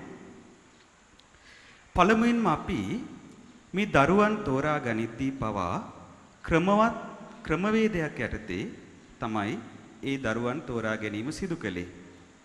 අධ්‍යාපන අමාත්‍යාංශය වෙත ව්‍යාපෘති වාර්තාව ඉදිරිපත් කරලා ඒ ඔස්සේ පළාත් සභා සහ රජයේ මධ්‍යම රජය මගින් පාලනය වන පාසල්වල තොරතුරු ලබාගෙන ඒ පාසල්වල විදුහල්පතිවරුන්ට පළමුවෙන් අපි මේ පුණ්‍ය ව්‍යාපෘතිය පිළිබඳව දැනුම් දුන්නා. ඒ විදුහල්පතිවරුන් හරහා දිවයිනේ පාසල් විශාල ප්‍රමාණයක දරුවන් මේ පුණ්‍ය ව්‍යාපෘතිය පිළිබඳව දැනුවත් වුණා. ඉතින් ඒ ඔස්සේ අපිට ප්‍රථමයෙන්ම අයදුම්පත් 15000කට අධික ප්‍රමාණයක් ලැබුණා. ඒ අයදුම්පත් තියන්න තැනක්වත් නැති වෙන මට්ටමට අයදුම්පත් ලැබුණා. ඉතින් ඒ අයදුම්පත් අතුරෙන් තමයි අපි ප්‍රථම පියවර සඳහා දරුවන් 610ක් තෝරා ගැනීමේ බාහිර දූර කටයුතු සිදු කළේ. ඉතින් විශේෂයෙන්ම අපි එහිදී ඒ දරුවන් විසින් යොමු කළ ලිපි පිළිබඳව සැලකිලිමත් වුණා. ඒ වගේම මේ දරුවන් පිළිබඳව නොඑක් අයුරින් සොයලා බලලා විශේෂ විද්වත් මඩුල්ලක් විසින් තමයි මේ ශිෂ්‍යත්ව ලැබීමට වඩාත්ම සුදුසු දරුවන්ව තෝරා ගැනීම සිදු කළේ. ඉතින් ඒ ආකාරයට තෝරගත්ත දරුවන් 610 දෙනෙකුට පසුගිය වර්ෂයේ පුරාවට අධ්‍යාපන ශිෂ්‍යත්වයේ ලැබුණා. මේ වර්ෂය අවසන් වෙනවත් එක්කම අපි ඒ දරුවන්ව විශේෂ ඇගීමකට ලක් කළා. මොකද ඒ දරුවන් තෝරා ගනිද්දී අපි ඒ සඳහා ක්‍රමවේදයන් කිහිපයක් අනුගමනය කළා. එක ක්‍රමවේදයක් තමයි අපි මූලිකවම දරුවන්ගේ අධ්‍යාපන හැකියාවත් ඒ වගේම ආර්ථිකව කොතරම් අභියෝගයට ලක් වෙලා තියෙනවාද කියන කරුණු දෙකම සලකලා දරුවන් යම් ප්‍රමාණයක් තෝරගත්තා. ඊට පස්සේ අපි සානුකම්පිත පදනම මතත් දරුවන් යම් ප්‍රමාණයක් තෝරගත්ත විශේෂයෙන්ම අ, පියා ජීවතුන් අතර නැති, මව ජීවතුන් අතර නැති, අ, ඒ වගේම තවත් නොඑක් හේතු සානුකම්පිත හේතු සලකලා බලලා දරුවන් යම් ප්‍රමාණයක් මේ වැඩපිළිවෙලට ඇතුළත් කරගත්තා. ඉතින් ඒ ඔස්සේ වර්ෂයක් ගත වෙද්දී ඒ දරුවන්ගේ ප්‍රගතිය පිළිබඳව විශේෂ අ, අවධානයක් යොමු කරමින් මේ දරුවන්ගේ ශක්්‍යතා අධ්‍යයන සම්මුඛ පරීක්ෂණයක් අපි පසුගිය මාස කිහිපය පුරාවට සිදු කළා. එහිදී අපි විශේෂයෙන්ම සලකලා බැලුවේ වාර විභාගවලදී දරුවෝ ලබාගත් ලකුණු ඒ වගේම විෂය පරිබාහිර ක්‍රියාකාරකම් වලදී දැක් වූ දක්ෂතා ඒ වගේම ඒ ඒ දරුවන්ගේ පවුල්වල ආර්ථික తত্ত্বය ඒ වගේම මේ ශිෂ්‍යත්ව ව්‍යාපෘතිය තුළ ව්‍යාපෘතිය ඉදිරියට ගෙනියන්න දරුවන්ගෙන් සිදුවිය යුතු වැඩ කොටසක් තියෙනවා. ඒ තමයි මේ ශිෂ්‍යත්ව ව්‍යාපෘතියේ තුලින් ලබා දීලා තියෙන මූලික මඟ පෙන්වීම වලට අනුව කටයුතු කිරීම. ඒ විදිහට කටයුතු නොකරන දරුවනුත් අපි අ, යම් ප්‍රමාණයක් ඒ ශක්්‍යතා අධ්‍යයන සම්මුඛ පරීක්ෂණය තුලදී අ, තෝ හොයාගත්තා. ඒ වගේම ඊට අමතරව අ, විශේෂයෙන්ම වාර විභාගවලදී අඩු ලකුණු අඩු ලකුණු ලබාගත් දරුවන්ට උපදේශන සේවා සැපයීමත් ඒ වගේම ඉගෙනුම් ක්‍රමවේද සහ මතක තබා ගන්නා ක්‍රමවේද හඳුන්වා දීමත් මූලිකව මේ ශක්්‍යතා අධ්‍යයනය තුළ මේ සම්මුඛ පරීක්ෂණවලදී සිදු කෙරුණා. මෙහිදී මහමෙවුනාව භාවනා අසපු සංචිතයේ වැඩවසන අ, පින්වත් ස්වාමින් වහන්සේලාගේ ඒ වගේම අධ්‍යාපන වේදීන්ගේ සහභාගීත්වයෙන් තමයි මේ සම්මුඛ පරීක්ෂණ සිදු වුණේ. එහිදී අපි මූලිකව මේ දරුවන් කාණ්ඩ හතරකට වෙන් කළා. ඒ කාණ්ඩ හතර තමයි ප්‍රාථමික කාණ්ඩයේ වශයෙන් ශිෂ්‍යත්ව විභාගය දක්වා එක වසරේ ඉඳලා ශිෂ්‍යත්ව විභාගය දක්වා අධ්‍යාපනය ලබන දරුවනුත් ඒ වගේම කනිෂ්ඨ කාණ්ඩයේ වශයෙන් 6 වසර සිට 9 වසර දක්වා අධ්‍යාපනය ලබන දරුවනුත් අ, ද්විතීක කාණ්ඩයේ වශයෙන් ඒ 10 11 වසරවල සාමාන්‍ය පෙළ විභාගයට ඍජුවම පුහුණු වන දරුවනුත් ඒ වගේම තෘතීක කාණ්ඩයේ වශයෙන් උසස් පෙළ සහ උසස් අධ්‍යාපනය හදාරන දරුවනුත් අපි කොටස් හතරකට බෙදුවා. කොටස් හතරකට බෙදලා මේ දරුවන්ට විශේෂ කඩයිම් අපි හඳුන්වලා දුන්නා. මොකද අපි මේ ශිෂ්‍යත්ව ව්‍යාපෘතිය තුල ශිෂ්‍යත්වේ ලබා දෙද්දී ඊට අදාළව මේ දරුවන්ගේ යම් ප්‍රගතියක් තියෙන්න ඕනේ. ඒ විදිහට අපි අපේක්ෂා කරන විදිහට ආධ්‍යාත්මික වශයෙන්ුත් ඒ වගේම අධ්‍යාපනික කටයුතු වල වලනුත් ඒ අ, අදාළ ප්‍රගතිය ලබා ගන්නේ නැති දරුවෝ අපට යම් අවස්ථාවකදී මේ ශිෂ්‍යත්ව ව්‍යාපෘතිය නිවත් කරන්න සිද්ධ වෙනවා. ඉතින් ඒ තුලින් මේ දරුවන් තුල විශේෂයෙන්ම අ, යම් පෙළඹවීමක් ඇති වෙනවා. වඩාත් හොඳට අධ්‍යාපන කටයුතු කරමින් මේ ශිෂ්‍යත්වයේ ඉදිරියට රැක ගන්න. ඉතින් එහිදී ප්‍රාථමික කාණ්ඩය සඳහා අපි කඩයිම වශයෙන් ගත්තේ ශිෂ්‍යත්ව විභාගයේ අවම ලකුණු ප්‍රමාණය සම්පූර්ණ කිරීමයි. ඒ වගේම කනිෂ්ඨ කාණ්ඩය සඳහා ඔවුන්ගේ අධ්‍යාපනික කඩයිමක් වශයෙන් අපි තෝරගත්තේ 9 වසර වාර විභාගයෙන් ලකුණු 70ක සාමාන්‍ය අගයක් පවත්වා ගැනීම. ඒ වගේම ද්විතීක කාණ්ඩය සඳහා කඩයිම් විභාගයේ විදිහට අපි සැලකුවේ සාමාන්‍ය පෙළ විභාගයෙන් අවම ඒ සාමාර්ථ 6ක් හෝ ඒ සාමාර්ථ 4ක් සහ බී සාමාර්ථ දෙකක් ලබා ගැනීම. තෘතීය කාණ්ඩයේදී අ, ඒ දරුවන්ගේ කඩයිම වෙන්නේ උසස් පෙළ විභාගයේ එහිදී විශ්වවිද්‍යාලයට ඇතුළත් වීම සඳහා ඒ දරුවෝ සුදුසුකම් ලබලා තියෙන්න ඕනේ. ඒතර මේ කඩයිමට මේ අධ්‍යාපන ශිෂ්‍යත්ව ලබන දරුවන් මුහුණ දෙද්දී ඒ කඩයිමෙන් ඒ සුදුසුකම් සම්පූර්ණ කරන දරුවන්ට පමණයි ඊළඟ කණ්ඩායමට ඇතුළත් වීමේ අවස්ථාව ලැබෙන්නේ. ඉතින් එතනදී යම් දරුවන් ප්‍රමාණයක් අඩු වුණොත් ඒ අඩුවන දරුවන් ප්‍රමාණයට ආර්ථිකව අභියෝගයට ලක් වූ ඒ වගේම අධ්‍යාපනික අ, අධ්‍යාපනයේ දස්කම් දක්වන තවත් අලුත් දරුවන්ට මේ ශිෂ්‍යත්ව ව්‍යාපෘතියට ඇතුළු වෙන්න අ, අවස්ථාව ලැබෙනවා. ඉතින් එහිදී මේ ශක්්‍යතා අධ්‍යයනයෙන් පස්සේ අපි ඊළඟ පියවර සඳහා දරුවන් 429ක් තෝරගත්තා. ඒ කියන්නේ මේ වසරේදීත් අකණ්ඩව ශිෂ්‍යත්වයේ ක්‍රියාත්මක කරන්න ප්‍රාථමික ක්‍රාන්- කාණ්ඩයෙන් දරුවන් 32 දෙනෙක් ඒ සඳහා සුදුසුකම් ලැබුවා. ඒ වගේම කනිෂ්ඨ කාණ්ඩයෙන් දරුවන් 259 දෙනෙක් ඒ සඳහා සුදුසුකම් ලැබුවා. ඒ වගේම ද්විතීක කාණ්ඩයෙන් දරුවන් 125 දෙනෙක් ඒ සඳහා සුදුසුකම් ලැබුවා. තෘතීක කාණ්ඩයෙන් දරුවන් 13 දෙනෙක් සුදුසුකම් ලැබුවා අ, ඉදිරියටත් ඒ ශිෂ්‍යත්වයේ පවත්වාගෙන යන්න. මෙහිදී විශේෂයෙන්ම අපි සඳහන් කරන්න ඕනේ බලංගොඩ මහමෙවුනාව භවනාසපුව, මොනරාගල මහමෙවුනාව භවනාසපුව, කුණ්ඩසාලේ මහමෙවුනාව භවනාසපුව, ගාල්ල මහමෙවුනාව භවනාසපුව සහ කඩුවෙල මහමෙවුනා බෝධිඥාන භවනාසපුව කියන මහමෙවුනාව භවනාසපු ශාඛා මධ්‍යස්ථානවලදී තමයි ඒ අ, ශක්්‍යතා අධ්‍යයන සම්මුඛ පරීක්ෂණ සිදු කළේ. ඒ වගේම අපි පළාත් අණුව බැලුවොත් අ, ඒ පළාත් අණුවත් විසිරී යන විදිහට අපට දරුවන්ට මේ ශිෂ්‍යත්ව ව්‍යාපෘතියේ ප්‍රථම අධීරයේදී පසුගිය වසරේදී ශිෂ්‍යත්ව ලබා දීමට හැකියාව ලැබිලා තියෙනවා.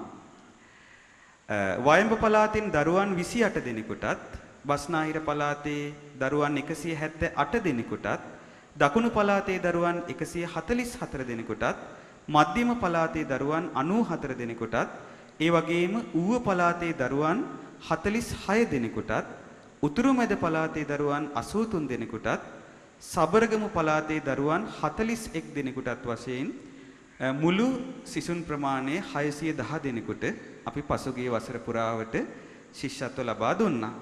ඉතින් මෙහිදී දැන් මේ ශිෂ්‍යත්ව අලුතෙන් ලබන දරුවන් සහ Tamanගේ ශිෂ්‍යත්වය ඊළඟ වසර සඳහා ආරක්ෂා කරගත් දරුවන් මේ Tamanට ලැබෙන මුදල් යම්කිසි නිසි ක්‍රමවේදයක් ඔස්සේ තමයි වියදම් කළ යුතු වෙන්නේ. අපි ඒ උපදෙස් කලින් වසරේදීත් ඒ දරුවන්ට ලබා දුන්නා. එහිදී මූලිකව උසස් පෙළ සිසුන් සඳහා රුපියල් 2000ක් වටින ශිෂ්‍යත්වයක් තමයි මේ පුණ්‍ය ව්‍යාපෘතියෙන් ලබා දෙන්නේ. එහිදී ගමන් වියදම්, පාසල් උපකරණ සහ අධ්‍යාපනික අවශ්‍යතා සඳහා ඒ මුදලෙන් රුපියල් 1300ක් ඒ දරුවන් වියදම් කරනු ලබනවා. ඒ වගේම විශේෂයෙන්ම අපි ඒ දරුවන්ට දැනුම් දීලා තියෙනවා Taman කැමති පිනක් කරන්න රුපියල් 200ක් යොමු කරන්න කියලා. එතකොට පුංචි කාලේ ඉඳලම පුංචි නමුත් පිනක් කරන්න දරුවෝ පුංචි කාලේ ඉඳලම පුරුදු වෙනවා.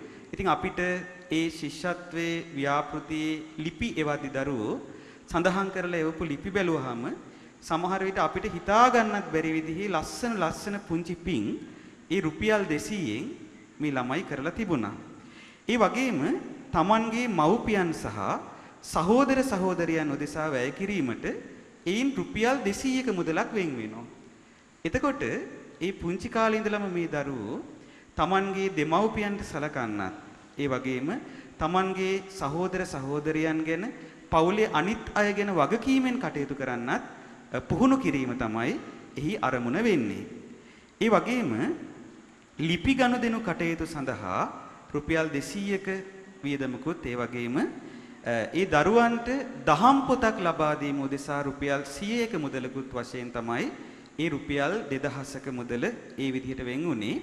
ඉතින් මේ පුණ්‍ය ව්‍යාපෘතියෙන් අ, බලාපොරොත්තු වෙනවා මේ දරුවන්ට හුදෙක් අධ්‍යාපනයෙන් දියුණු වීම පමණක් නොවේ මේ දරුවන් ආධ්‍යාත්මික වශයෙන්වත් පෝෂණය වෙලා ಗುಣධර්ම අඳුනන සාර ධර්මයන්ගෙන් පෝෂණය වෙච්ච දරුවන් බවට අ, පත් කිරීම මේ පුණ්‍ය ව්‍යාපෘතියේ තවත් එක් අරමුණක්.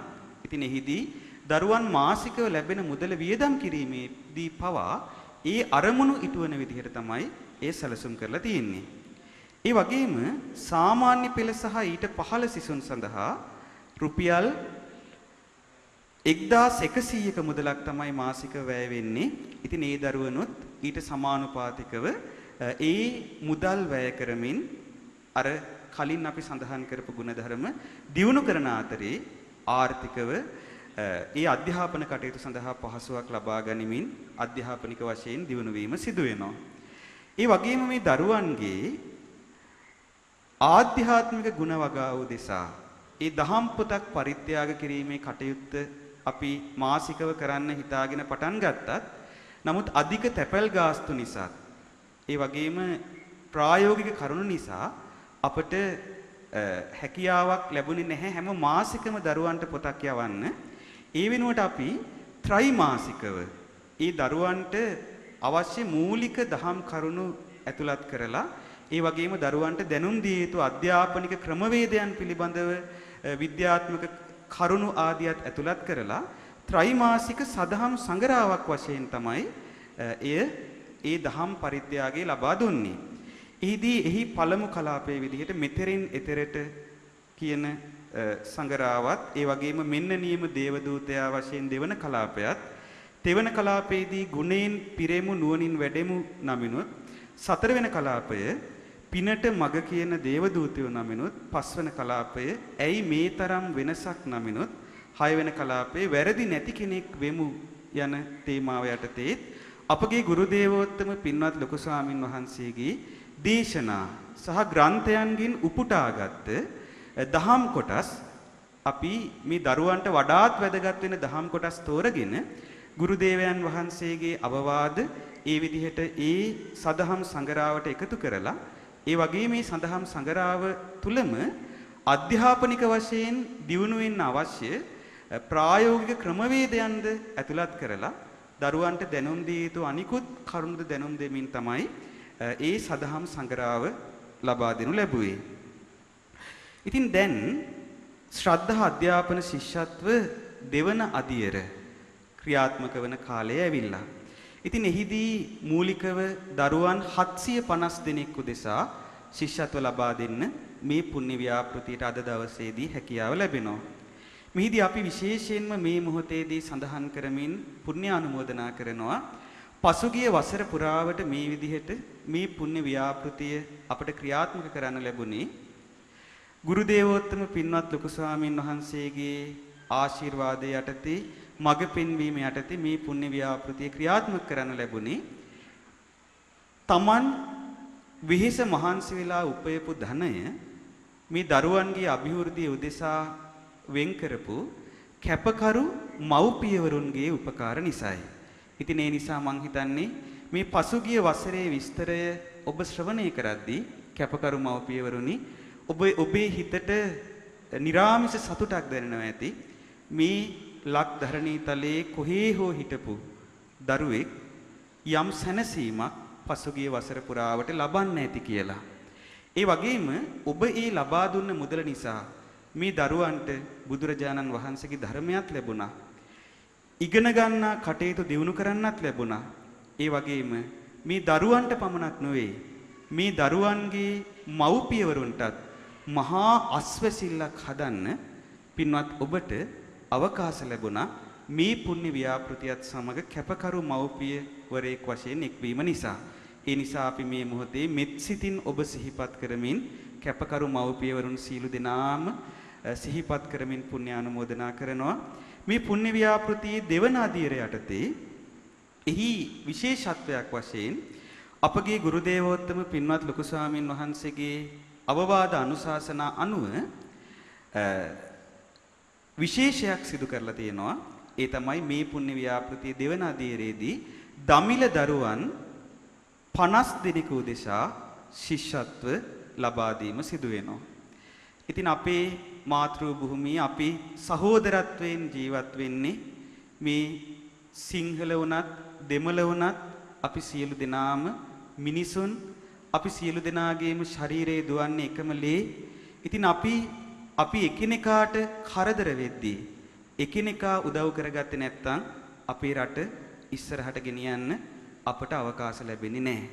ඉතින් ඒ නිසා එකිනෙකා ගැන යම් අනවබෝධයන් තිබුණා නම් මේ දක්වා ඒ අනවබෝධයන් සියල්ල දුරු කරලා සහෝදරත්වයේ බැම්මෙන් බැඳිලා අපි පොදුවේ මිනිස්්‍ය වර්ගයා විදිහට අත්වැල් බැඳගෙන අපගේ මාතෘ භූමියට සේවා සදන්නට එක්ුණොත් මං හිතන්නේ අපේ රටේ අනාගතය බොහෝම ලස්සන වේවි.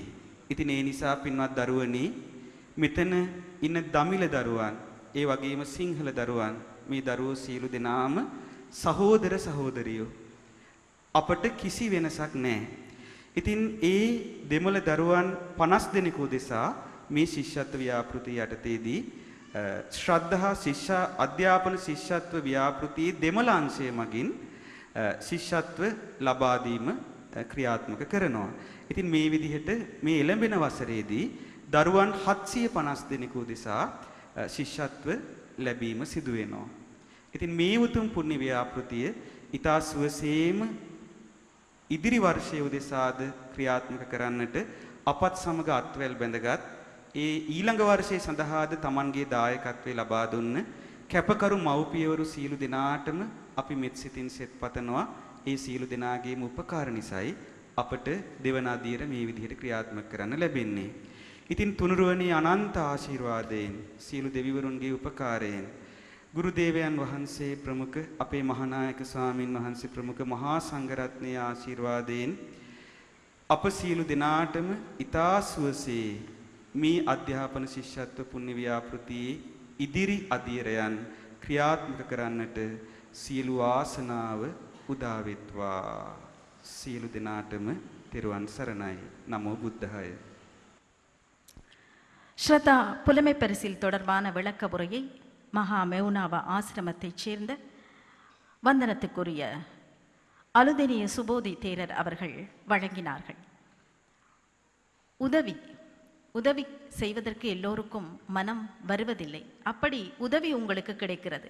இந்த உதவியை நீங்கள் பெற்றுக்கொண்டு அதனை பயனுள்ள வகையில் செலவழிக்க வேண்டும் என்பதுதான் அவர்களுடைய வேண்டுகோளாக இருக்கிறது. இரண்டாயிரத்து பதினைந்தாம் ஆண்டிலே அறுநூற்று பத்து மாணவர்களுக்கு இந்த புலமை பரிசில் உதவியை தொகையை வழங்கி இருக்கிறார்கள் ஸ்ரதா புலமை பரிசில் செயல் திட்டத்தினூடாக இப்போது இரண்டாயிரத்து பதினாறாம் ஆண்டு எழுநூற்று ஐம்பது மாணவர்களில் ஐம்பது தமிழ் மாணவர்களை அவர்கள் தெரிவு செய்திருக்கிறார்கள். இது மிக மிக வரவேற்கத்தக்க ஒரு விடயம் என்றுதான் கூற வேண்டும். ஏனென்றால் தனிப்பட்ட ரீதியில் உதவி செய்யும் போது அவர்கள் தங்களுடைய இனத்தையோ அல்லது தங்களுடைய மதத்தையோ சார்ந்ததாகத்தான் பெரும்பாலாக உதவி செய்வதை நாங்கள் கண்டிருக்கிறோம். ஆனால் இவர்கள் பெருமனதோடு தமிழ் மாணவர்கள் ஐம்பது பேருக்கு புலமை பரிசிலை வழங்குகிறார்கள். இது வரவேற்கத்தக்க விடயம். நீங்கள் என்றும் அவர்களுக்கு நன்றிக்குரியவர்களாக இருக்க வேண்டும். அது மட்டுமல்ல நீங்கள் பெறுகின்ற இந்த பணத்தை உங்களுக்காக உங்களை ஒரு பெற்றோர் தத்தெடுத்திருக்கிறார்கள். அவர்கள்தான் உங்களுக்கு இந்த பணத்தை வழங்குகிறார்கள். அவர்கள் தரும் இந்த பணத்தை நீங்கள் நல்ல விதமாக செலவு செய்ய வேண்டும். என்ன விதமாக நீங்கள் செலவு செய்கிறீர்கள் என்பதை மட்டுமல்ல அவர்களுக்கு நன்றி கூறும் கடிதத்தை கூட நீங்கள் அவர்களுக்கு மாதா மாதம் அனுப்பி வைக்க வேண்டும். ஏற்கனவே சகோதரர் குறிப்பிட்டார் ஒரு மாணவி தான் இரண்டு பேனாக்கள் வாங்கியது அளிரப்பர் வாங்கியது தந்தையுடைய வேலைக்கு செல்வதற்காக அவருக்கு பஸ் பயணத்துக்காக ஐம்பது ரூபாய் கொடுத்ததெல்லாம் அவர்கள் நியாயமாக எழுதி அனுப்பியிருக்கிறார்கள் இதை போல நீங்கள் உங்களுக்கு நீங்கள் பெற்றுக்கொண்ட உதவிக்கு நன்றியாக கைமாறாக நேர்மையாக இருக்க வேண்டும் என்பதுதான் எல்லோருடைய வேண்டுகோளாகவும் இருக்கிறது දැන් ශ්‍රද්ධා අධ්‍යාපන ශිෂ්‍යත්ව පිළිබඳව රූපාවලියක් නැරබීම සඳහා ඔබට ආරාධනා කරන්නට. கல்வி புலமை பரிசில் தொடர்பான ஒரு காணொளியை இப்போது நீங்கள் பார்க்கலாம்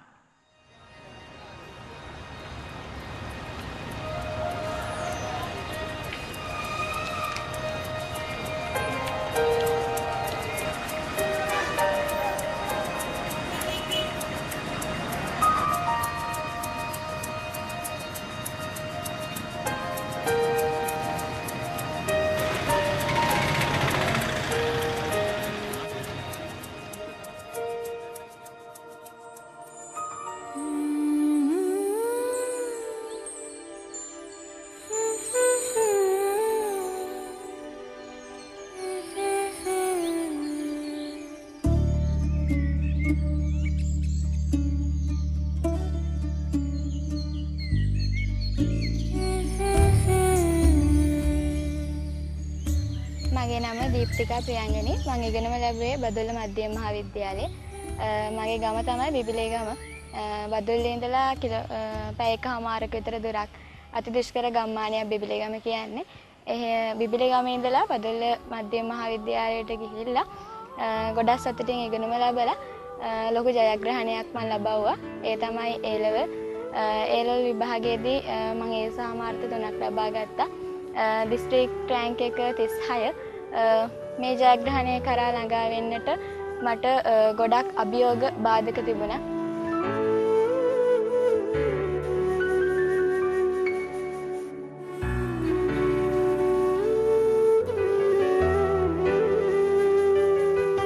මගේ දරුවා එක වසරක බාර දුන්නේ බිබිලි ගමේ මහාවිද්‍යාලෙට. ඒ කියන්නේ මේ ගමෙන් තිබ්බ හොඳම ඉස්කෝලක්. ඒකට දාන්න සෑහෙන්න වියදම් යනවා. ඒ වෙලාවේ හැටියට රුපියල් 500ක් වුණත් මට දැන් ලක්ෂයක් තරම් වටිනවා ඒ තරම් මං ගොඩාක්ම මේ ආසරණ වෙලා හිටපෙර මේ සල්ලියක් මුදලක් හම්බ කරන්නේ නැති කාලේ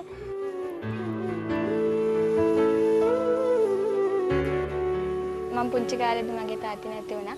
එදා ඉඳන් මට ශක්තියක් වුණේ මගේ අම්මි. අම්මි තමයි මට මේ වෙනකම් ගණන්න ගොඩක් මහන්සි වුණේ. ඉස්කෝලේ ගිහිල්ලා ඕ ලෙවල් කරන්න මම මුහුණ දෙනකොට අපේ අම්මිට ලොකු බලාපොරොත්තුවක් තිබුණා අනිවාර්යෙන් මං ඉගෙන ගනී කියලා. ඒ නිසා ඇය කිසියම් මොහොතකවත් කඩා හැලුන්නේ ගොඩක් ශක්තිමත් වුණා. මං එයාට මට කොච්චර නැති බැරිකම් තිබුණත් මම ළමයාට අඩුපාඩුවක් කරේ නෑ. කන්න බොන්න වුණත් අඳින්න පළඳින්න වුණත් කිසිම දෙයක් නෑ. ගුරුවරයෙකුටවත් මං විඳින දුක මේ ළමයාගෙන් දැනෙන්න ඉඩ තිබුණේ නෑ.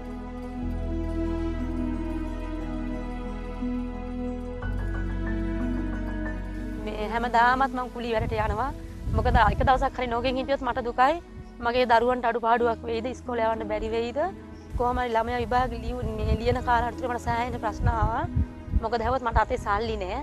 සමෘද්ධියෙන් ගත්ත මැෂින් එකකින් තමයි මම දැන් කීයක් හරි වැඩිපුර රුපියල් ගන්නෙ.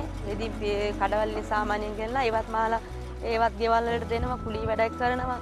මේ හවසට ගෙදර ආපු රැයට සමහරක් විට කුලී වැඩ කරලා පහය වෙනවා. ඒ ඇවිල්ලා උයනවා.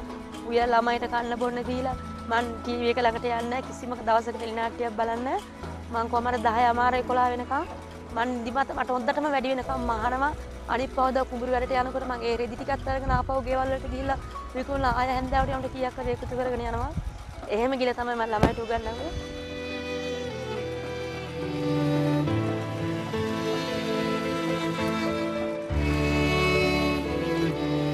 මට හිතෙනවා මට බෑ මේ ගෙදරත් එක්ක මට කොහොමදත් බෑ ඉගෙන ගන්න. ගෙදර ප්‍රශ්නත් එක්ක. ඊට පස්සේ මම මගදී හැරෙන්න ගියා. හැරෙන්න ගිහිල්ලා මගේ බලාපොරොත්තු වෙන මොකක් හරි රස්සාවක් කවන්නේ දැනට පුළුවන් විදියෙන් කරනවා. එහෙම කියලා. ඊට පස්සේ මං කරපු වැඩේ ගියා ජොබ් වැකන්සියක් බලන්න. කඩේකට. ඇත්තට මට හිතුණ ඒ දේ මට සුදුසුයි කියලා. ඒත් කරන්න යනකොට චූටි මාමා මට බැන්න. ඔය දේවල් කරලා කවදාකවත් ජීවිතේ හදාගන්න බෑ. තවත් දුක් විඳින්න වෙන්නේ. ඒ හින්දා ඉස්සෙල්ලා ඉගෙන ගන්න කියලා. ඊට පස්සේ තමයි මං නැවතත් ආ ඉස්කෝලේට ගියා. ඇත්තටම එදා මගේ පෙන්වීමක් තිබුණ නැත්තම් මගේ තීරණයට අනුව මං වැඩ කරා නම් අද මේ වගේ ප්‍රතිඵලයක් ලැබලා මගේ අම්මික බලාපොරොත්තු මට ඉෂ්ට කරන්න බැරි වෙනවා. ඔව් ඇත්තට දැන් මට හරි සතුටුයි. ඒ කියන්නේ මොකද ඇහුවොත් ළමයා කොහොම හරි ප්‍රශ්න බැඳ හරි විභාගෙ ලිව්වා. විභාගෙ ලියලා මාස හතරක් ගෙදර ඉන්න කාල අතරතුරදී අම්මි මම මොනවා හරි වැඩක් කරන්න කියලා මම ඔය එපා තව මාස හතරක් ඔය හතර නිදහස් ඉන්නකෝ කිව්වා. ඊට පස්සේ දැන් ප්‍රතිඵල එනවා කිව්වා. දෙසැම්බර් මාසේ 31 31 එනවා කියලා දැන් මම හොඳට බලාපොරොත්තු තියාගෙන හිටියා. දැන් මට දැන් රෑ කන්නවත් හිතුණා. ඊට පස්සේ කොහොම හරි මෙයා අපේ ගෙදර ඔක්කොමලා නිදිය ගත්තා. මට රෑ 12 වෙනකම් නිින්ද ගියේ නැහැ මං ඊට පස්සේ කොහොමද උඩ ප්‍රතිඵල නිකුත් කරනවනේ තා. ඉඳිපු චුට්ටක්. ඒ අපි මොනවා බලන්න උදේට බලමු අම්මී කිව්වා.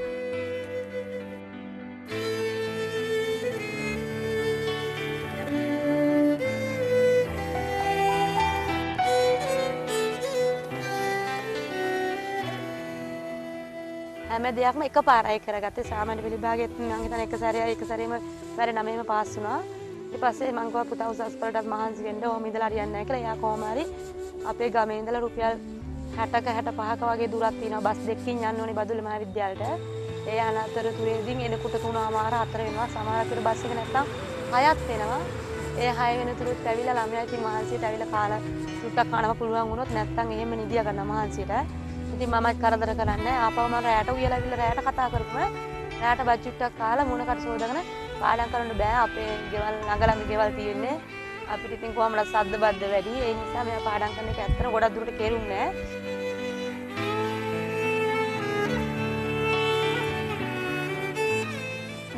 පොට්ටික මට පොට්ටික අතර ගත්තා මේ ශබ්දය ඇහෙනකොට. අ, මගේ ජීවිතේම කඩා වැටෙනවා වගේ දැනෙනවා මං ඒ වෙලාවට හිතනවා මට මේ අභියෝගය ජය ගන්න බැරි වෙයි. මට මේ කඩවීම නැමැති අ, පාලම පනින්න පසු කරන්න ගොඩක් අමාරු වෙයි කියලා හිතෙනවා. ඒ වෙලාවට මම පොට්ටික පැත්තක දාලා කල්පනා කර කර මම අඬනවා සමහරකට මං අඬපු අවස්ථා තියෙනවා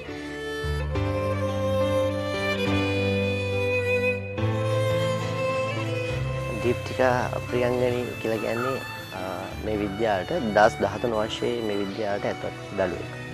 ඉති මේ දියනිය ඇතරම බිබිල පස්සර බිබිලේ ගම කියන දුෂ්කර ගම්මානය තමයි මේ දැති මේ විද්‍යාවට ඇතුළත් වනේ. ඉතිං අ, ඇතරම මම මේ විද්‍ය මේ දීනකේ දැක විශේෂත්වය තමයි මේ දීනය අ, ඒ තුනක් ලබාගෙන කලාන්සේ මේ තිස් හයවනි ස්ථානය තමයි දිස්ත්‍රික්කේ දිස්ත්‍රික් කුසල්තාව ලබල තියෙන්නේ ඉතින් මේ දියනික ඇත්තම ජීවිතය ගත්තොත් මම දන්න විදිහට මම හිතන්නේ තාමත් දුෂ්කර ජීවිතයක් තමයි ගත කරන්න මම හිතන්නේ අම්මා තාත්තාගේ ආදායම් තත්ත්වය නම් තාමත් පහළ මට්ටමක ඉන්නේ. මොකද මේ මේ දරුවා ගත්තොත් මේ විද්‍යාලයේ සෑම බාහිර ක්‍රියාකාරකම කලාංශයේ ක්‍රියා බාහිර ක්‍රියාකාරකමට විශේෂ අතිවිශිෂ්ට විදිහට කලාංශයට සහාය දැක්වූ දරුවෙක්. දීප්ති ගොඩක් දුෂ්කර පළාත්තිකින් බදුල් මහාවිද්‍යාලයට ආවේ. ම්, ඉතින් එයා ගොඩක් මහන්සි වෙලා ම්, ගුරුවරුන් අතර කැපිපෙන්නලා ල- ළමයින් අතරත් හොඳින් කැපිපෙන්නලා අ, කොහොම හරි විභාගයේ ම්, කොහොම හරි ඒ තුනක් කරා අ, දිස්ත්‍රික්කයෙන්ම 36 වෙනියා ගත්තා. අ, ඉතින් අපේ පාසලටත් අපිටත් ගොඩක් ආඩම්බරයි.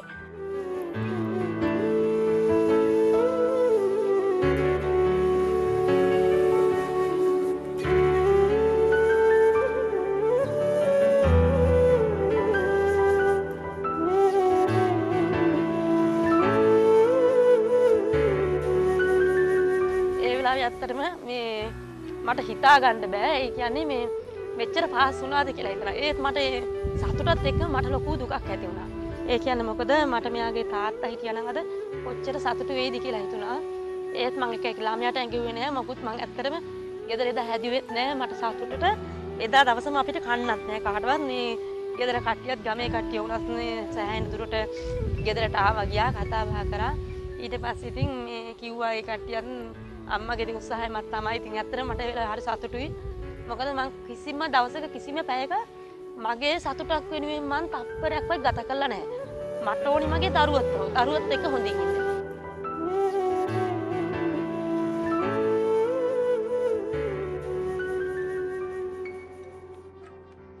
මම බස් එකේ යනකොට පැය එකහමාරක් විතර දුරක් ගමන් කරන්න බෑ. ඉතින් මම මේ වෙලාව තුල බස් එකේදී නිදාගෙනවත් එහෙම නැත්නම් කතා කර කාත් එක්ක හරි කතා කර කර යන එකෙමුත් මට ප්‍රයෝජනයක් නැහැ කියලා මම දැනන් හිටියා. ඒ හින්දා මම අනිවාර්යෙන් බෑග් එකට ෂෝට් නෝට් එකක් දාගෙන යන්නේ. ඒ ෂෝට් නෝට් එක බලනවා. දැන් දේශපාලන විද්‍යාව ගත්තොත් දේශපාලන විද්‍යාවේ අ, ප්‍රතිසංස්කරණයක් අතේ නෝට් කරගන්නවා. මගේ පෑනේ දෙන්දේ ඉවරුනේ අතරම කියලා මට වෙලාවට හිතෙනවා. ඒ තරම් මං අතේ ලිව්වා.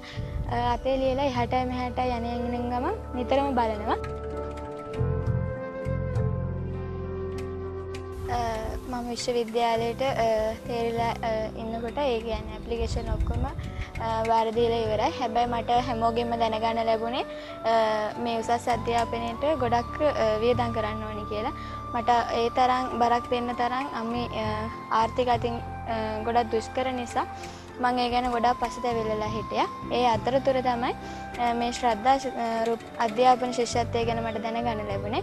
ඉතින් අ, මම ඒ සඳහා අ, පෙනී සි- අ, ඇප්ලිකේෂන් යවලා අ, පෙනී සිටියා. ඒ වෙලාවේ මට කිව්වා මෙහෙමයි අ, මං වැඩි බලාපොරොත්තු තියන් හිතුනේ මට හිතුන්නේ මට ලැබේ එහෙම කියලා. ඊට පස්සේ මට කාලයත් එක්කම මගේ වාසනාවට වගේ අ, මේ ආයතනයෙන් කතා කරලා කිව්වා මේ ශිෂ්‍යත්වය ලබා දෙන්න අ, කටයුතු කරනවා කියලා.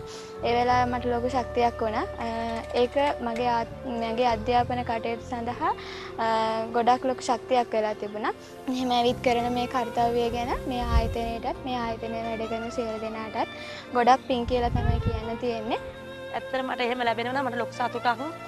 මේ මං හිතනවා මගේ දරුවා වුණත් රටට නායක ඇති. දරුවාට මේ කීයක් හරි උදව් කරන්න පුළුවන් නම් ඒ ආයතන වලටත් ඒ වැඩ කරන සර්ලටත් ඇත්තටම හදවතින් මං ගොඩාක් ස්තුතිවන්ත වෙනවා. විශේෂයෙන් ස්තුතිවන්ත වෙන්න ඕනේ මේ ශ්‍රද්ධා ගුවන්විදුලි නාලිකාව ටීවී. නාලිකාව මේ වගේ දරුවන් මේ විමිල් ලංකාවේ මේ වගේ දරුවන් හොයලා බලලා මේ දරුවන්ට කරන්න පුළුවන් සෑම උපකාරයක්ම කිරීම. ඉතින් මම හිතන්නේ ඒ වගේම පුණ්‍ය කටයුත්තක් කිරීම විශේෂ ස්තුතිවන්ත වෙන ඔබතුමන්ලාට. මේ වගේ දරුවන්ගේ දිරිමත් කරන්න මේ විශ්වවිද්‍යාලයට ගිහිල්ලා ඒ දරුවගේ අධ්‍යාපන දියුණුව වැඩි කරන්න ඔබ දක්වන මේ ඇක්ප- කැපවීම පිළිබඳව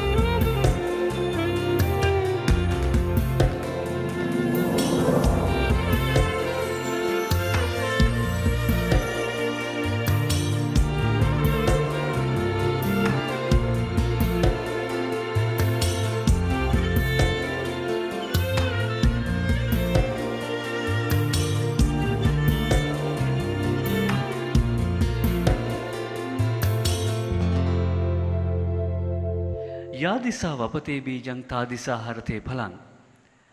සාර්ථකත්වයේ අස්වැන්න පසුගිය පළවෙනි පියවරේදී වැපරූ බවට නිදසුන් සාක්ෂි සපයන්නට අප සූදානම්. ශ්‍රද්ධා අධ්‍යාපන ශිෂ්‍යත්වලාබී දරුවන් දැරියන් අතරින් බොහෝ දෙනෙක් පසුගිය වසරේ උසස් පෙළ විභාගයේදී ඉහළම ප්‍රතිඵල ඉහළම සාමාර්ථ ලැබුවා. අපි ඒ දරු දැරියන් සඳහා රනින් සම්මාන පලඳවන්නට සූදානම්. ඉතාම කුළුණු සිතින් යුතුව මේ දරුවන්ට ආශිර්වාද කරමින් රන් පදක්කම් ප්‍රදානය කරන හැටියට මේ පුණ්‍ය ව්‍යාපෘති සංකල්පයේ නිර්මාතෘවරයාණන් පින්වත් ලොකු ස්වාමීන් වහන්සේට අපි ආයාචනාත්මකව ආරාධනා කොට සිටිනවා.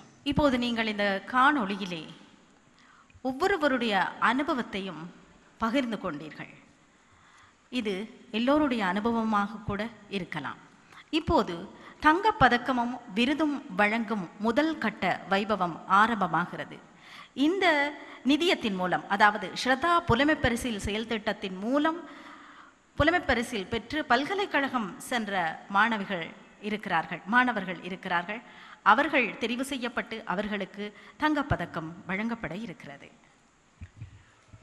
මුලින්ම අපි ආරාධනා කර සිටිනවා වාණිජංශයෙන් අධ්‍යාපනය හදාරා ඒ සාමාර්ථ තුනක් ලබා ගනිමින් විශ්වවිද්‍යාල ප්‍රවේශය ලද මදුරන් කුලිය ආදර්ශ මහාවිද්‍යාලයේ WM දිලිප් උදාර මදුශංක පුතනුවන්ට පිනත් ලොකු ස්වාමීන් වහන්සේ වෙතින් රන් පදක්කම ලබා ගන්නට.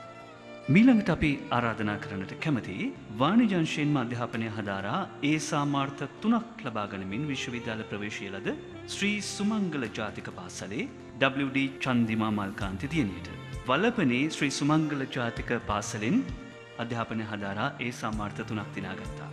ඒ වගේම කොකාවල මධ්‍ය මහාවිද්‍යාලයේ දියණියකට අපි ආරාධනා කරන්න කැමති තාක්ෂණ අංශයෙන් අධ්‍යාපනය හදරා විශ්වවිද්‍යාල ප්‍රවේශය ලද කොකාවල මධ්‍ය මහාවිද්‍යාලයේ කේ විශ්මි අනුත්තරාදියණියට මීළඟ රන් පදක්කම පින්නත් ලොකු ස්වාමීන් වහන්සේ වෙතින් ලබා ගැනීම සඳහා අපි ආරාධනා කොට සිටිනවා. சிறப்பான சித்தியை எய்தி மூன்று ஏ பெற்று பல்கலைக்கழகத்துக்கு தெரிவானவர்களில் இவர்கள் தெரிவு செய்யப்பட்டு தங்கப்பதக்கம் வழங்கப்படுகிறது இதுபோல் நீங்களும் தங்கப்பதக்கம் பெறுவதற்கு தகுதியுடையவர்களாக வேண்டும் என்பதே எங்களுடைய விருப்பமும் கூட ඒ අක්කල අයියල මේ නංගිලාට මල්ලිලාට දුන්නේ හොඳ ආදර්ශයක්. මේ ශිෂ්‍යත්වර මුදල පලදාය විදියට පාවිච්චි කරලා විශ්වවිද්‍යාලයට යන්න ඔවුන් සමත් වෙලා. දැන් මේ දෙවන පියවරේ ශිෂ්‍යත්ව ලාබීන් සඳහා ශිෂ්‍යතලාබී දරුවන් දැරියන් හත්සිය පනස් දෙනෙක් සඳහා ශිෂත ප්‍රධානය කරනවා. මුලින්ම ශිෂ්වත්ත ලබා ගැනීම සඳහා මාතර W අශයෙන් සඳරු තිලක්ෂණ පුතුට ආරාධනා කර සිටිනවා. அடுத்ததாக மட்டக்களப்பு பரமநாதன் அருள் காந்தியை நாங்கள் அழைக்கிறோம் ඊළඟට මහනුවර ආරයම් නිශාදී දනුෂිකා දියනියට ආරාධනා කළ ஆம் யாழ்ப்பாணம் திலக்ஷனா ரவீந்திரன் திலக்ஷனா ரவீந்திரனை நாங்கள் அழைக்கிறோம் කුරුණෑගල PM සමිත් දිල්ශාන් ගුණවර්ධන පුරත් එන්න ශිෂ්‍යත්වය ලබන්න පිනත් ලොකු ස්වාමීන් වහන්සේ අතින්. අපි ආරාධනා කරනවා නුවර එලියේ හසිත පුෂ්පරාජ් පුතාට.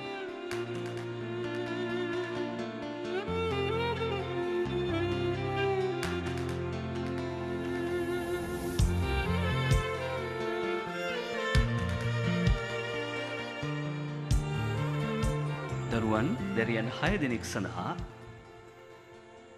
ශ්‍රද්ධාධ්‍යාපන ශිෂ්‍යත්ව ප්‍රදානය කරන්නට යෙදුනා පින්වත් ලොකු ස්වාමීන් වහන්සේට අපි නමස්කාරපුරකව පුුණ්‍යානුමෝදනා කරනවා දරුවන් සඳහා රන් පදක්කම් එවගේම ශිෂ්‍යත්ව ලබාදීමෙන් ආශිර්වාදය පල කිරීම පිළිබඳව. මට නන්දාමාලනී මහත්මිය ගායනා කරන ගීතයක් මතක් වුණා. පිපුුණු මලේරුව එමලදනීදෝ සමාවෙන්න බුදුම ඉස්සරහ මෙහෙම ගැව්වාට ඔබට සිහිපත් කරන්න කැමති ඒ අත්දැකීම අම්ම කෙනෙක් ගෙදර තියෙන වීදුරු කැඩපත කන්නාඩිය බිදිනවා. ඇයි පාලු කරට නුඹේ අත නොගැටෙන්නයි වීදුරු කැඩපත බිම දැම්මේ. දුව තරුණ වයසින්නේ ඕගුලොන්ගේ වයසේ. එතකොට කරේ මාලයක් නැති එක ගැන දූට පුංචි දුකක් තියෙනවා ආසයි කරේ මාලයක් පලඳන්න. ඒ නිසා දුව වීදුරු කැඩපති ඉස්රහට ගිල්ලා කැඩපති දිහා බලාගෙන කර අතගානවා පාලු කරට නුබේ අත නොගැට එන්නයි වීදුරු කැඩපත බිඳ දැම්මේ. නොතලන් සිතමා ආදර දියනියනේ. මේ සම්මාන ලබන දියනිවරුන්ගේ මේ රන් පදක්කම් ලබන දියනිවරුන්ගේ අම්මාවරුන්ටත් එහෙම හිතවිලි පහළ නොවනාද. මීළඟට රන් පදක්කම් සහ දරුවන්ට ශිෂ්‍යත්වය ප්‍රදානය කිරීම සඳහා කුළුණු සිතින් නිතුව ආශිර්වාද සහිතව මේ ශිෂ්‍යත්ව ප්‍රදානය කිරීම සඳහා අපි ආයාචනා කොට සිටින්නේ පින්වත් මහානායක ස්වාමින් වහන්සේට. මහානායක ස්වාමින් වහන්සේ අතින් මුලින්ම රන් පදක්කම් ලබන්නේ වාණිජංශයෙන් අධ්‍යාපනය හදාරා ඒ සමාර්ථ තුනක් ලබා ගනිමින් විශ්වවිද්‍යාල ප්‍රවේශය ලද ඇලයායපත්තුව මහාවිද්‍යාලයේ UL දිනේශා නුවන්ති පෙරේරා දියණිය. පින්නත් මහානායක ස්වාමින් වහන්සේ අතින් රන් පදක්කම ලබාගන්නේ. මීළඟට වාණිජංශයෙන් අධ්‍යාපනය හදාරා ඒ සාමාර්ථ තුනක් ලබා ගනිමින් විශ්වවිද්‍යාල ප්‍රවේශය ලද කලවාන ජාතික පාසලේ WA නයනි මදුමාලි සේනාරත්න දියණියට. එවගේම කලා අංශයෙන් අධ්‍යාපනය හදාරා ඒ සාමාර්ථ දෙකක් හා B සාමාර්ථයක් ලබා ගනිමින් විශ්වවිද්‍යාල ප්‍රවේශය ලද කුලියාපිටිය මධ්‍ය මහාවිද්‍යාලයේ කලා අංශයේ BM හංසනී ශ්‍රීමාලි බාලසූරිය දියණියට ආරාධනා කොට සිටිනවා පින්වත් මහානායක ස්වාමින් වහන්සේ වෙතින් රන් පදක්කම ලබා ගන්නට. ඊළඟට දරුවන් සඳහා ශිෂ්‍යත ප්‍රදානය කිරීමට සූදානම් මුලින්ම අපි ආරාධනා කරන්නේ ත්‍රිකුණාමලේ MP ශශිකලා නෙත්මිනී දියණියට ශිෂ්‍යත්වය ලබා ගන්නට පින්නත් මහානායක ස්වාමින් වහන්සේ වෙතින් කිල්ලොච්චේ පුතෙක්කින් නොහිට පස්සේ. கிளிநொச்சியைச் சேர்ந்த சந்திரகுமார் நிலவனையும் நாங்கள் அன்போடு மேடைக்கு அழைக்கிறோம் මීළඟට පුත්තලම දිස්ත්‍රිකයේ HA සසලක හේෂාන් ප්‍රනාන්දු. නුවරලි දිස්ත්‍රික්කයේ සුරේෂ් අභිෂේක් පුතත් දෙදහස් දහස්සේ වසරේ ශ්‍රද්ධා අධ්‍යාපන ශිෂත්ත ලබනවා. එවගේම මොනරාගල දිස්ත්‍රික්කයේ HM එරංග ඒශාන් පුතත් ශිෂ්‍රත්වය ලබාගැනීම සඳහා වේදිකාවට එන්න මඩකල්ලපුය පුතෙක්ට අපි ආරාධනා කරමු ඊළඟට. මටකඩපු විශ්වලිංගම් මයූරාජ්. විශ්වලිංගම් මයුරාජ්පුතා මඩකලපුයි. කුළුණු සිතින් යුතුව දරුවන් සඳහා රන් පදක්කම් එවගේම ශිෂ්‍යත්ව ප්‍රදානය කළ මහනායක ස්වාමින් වහන්සේට අපි පුණ්‍යානුමෝදනා කර සිටිනවා මහත් වූ භක්තියෙන් යුතුව. කුමාරතුංග මුනිදාසයන් කියනවා අකුරට දැන් වන්න දාස අකුර පසුව වේය දාස කියලා. ඉස්කෝලන කාලේ අපි අකුර වැඩකාරයෙක් බවට පත්වෙනවා. අපි දාසයෙක් වගේ මෙහිකරුවෙක් වගේ අකුරට වැඩකාරයෙක් වෙනවා. අකුරට වැඩකාරයෙක් වෙනවා කියලා කියන්නේ හරියට සේවකයෙක් එහෙම නැත්නම් මෙහිකරුවෙක් මහන්සි වෙනවා වගේ ඉගෙන ගන්න මහන්සි වෙන්න ඕනේ. අකුරට දැන් වන්න දාස අකුර පසුව වේ දාස. එහෙම ඉගෙන ගත්තයින් පස්සේ Tamanට අධ්‍යාපනයේ දාසයෙක් බවට පත් වෙනවා. අධ්‍යාපනය හරහා බොහෝ දේවල් කරගන්නට පුළුවන්. විදුලි සංදේශ නියාමන කොමිෂන් සභාවේ අධ්‍යක්ෂ ජෙනරාල් සුනිල් එන් සිරිසේන මැතිතුමන් පිළිබඳව කල්පනා කරාමත් මට හිතෙන්නේ ඒක එහෙමයි කියලා. එතුමන් මුලින් අකුරට දාසයෙක් වන්නට ඇති. දැන් අකුර දාසයෙක් බවට පත් කරගෙන. එතුමා කලක් අධ්‍යාපන අමාත්‍යංශයේ ලේකම්වරයාව හිටියා. අමාත්‍යංශ ගණනාවක අතිරේක ලේකම්වරයෙක් වශයෙන් හිටියා. ආරක්ෂක අමාත්‍යංශය බඳු ඒ වගේම ජාතික ඉතිරි කිරීමේ බැංකුව වැනි බැංකුවක සභාපතිවරයෙක් පැටියට කටයුතු කළා.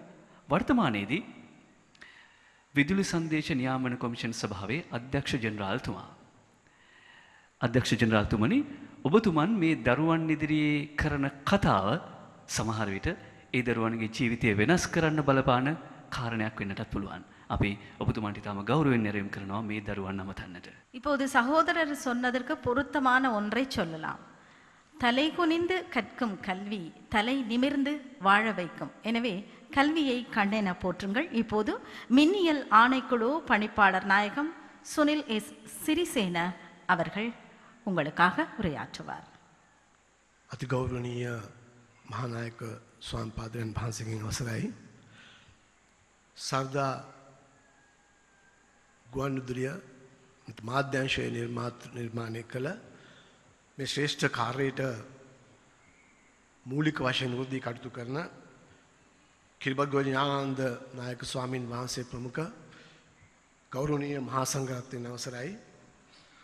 අද මෙහි පැමිණ සිටින විශාරද නන්දාමාලනී මැතිනියනි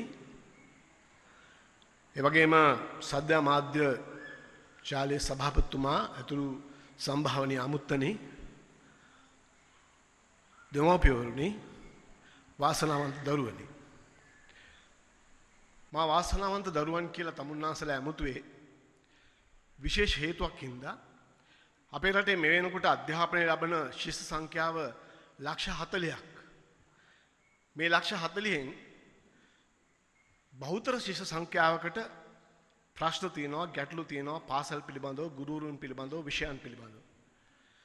නමුත් ඒ සියලුම ශිෂ්‍යයන්ට ආධාර උපකාර කරන්න තියෙන සංවිධාන ප්‍රමාණය අඩුයි. එනිසා මේ වගේ සුවිශේෂී ශිෂ්‍යත්ව ප්‍රධානයක් ලබන්න තරම් වාසනාවන්ත වීම පිළිබඳව තමුන්නාන්සේලාට කිසියම් ආකාරයක හැඟීමක් තියෙනවා නම් ඒ නිසා තමයි මම මේ දරුවන් ඇමතීම සඳහා වාසනාවන්ත දරුවනි කියන විශේෂණය පාවිච්චි කරේ.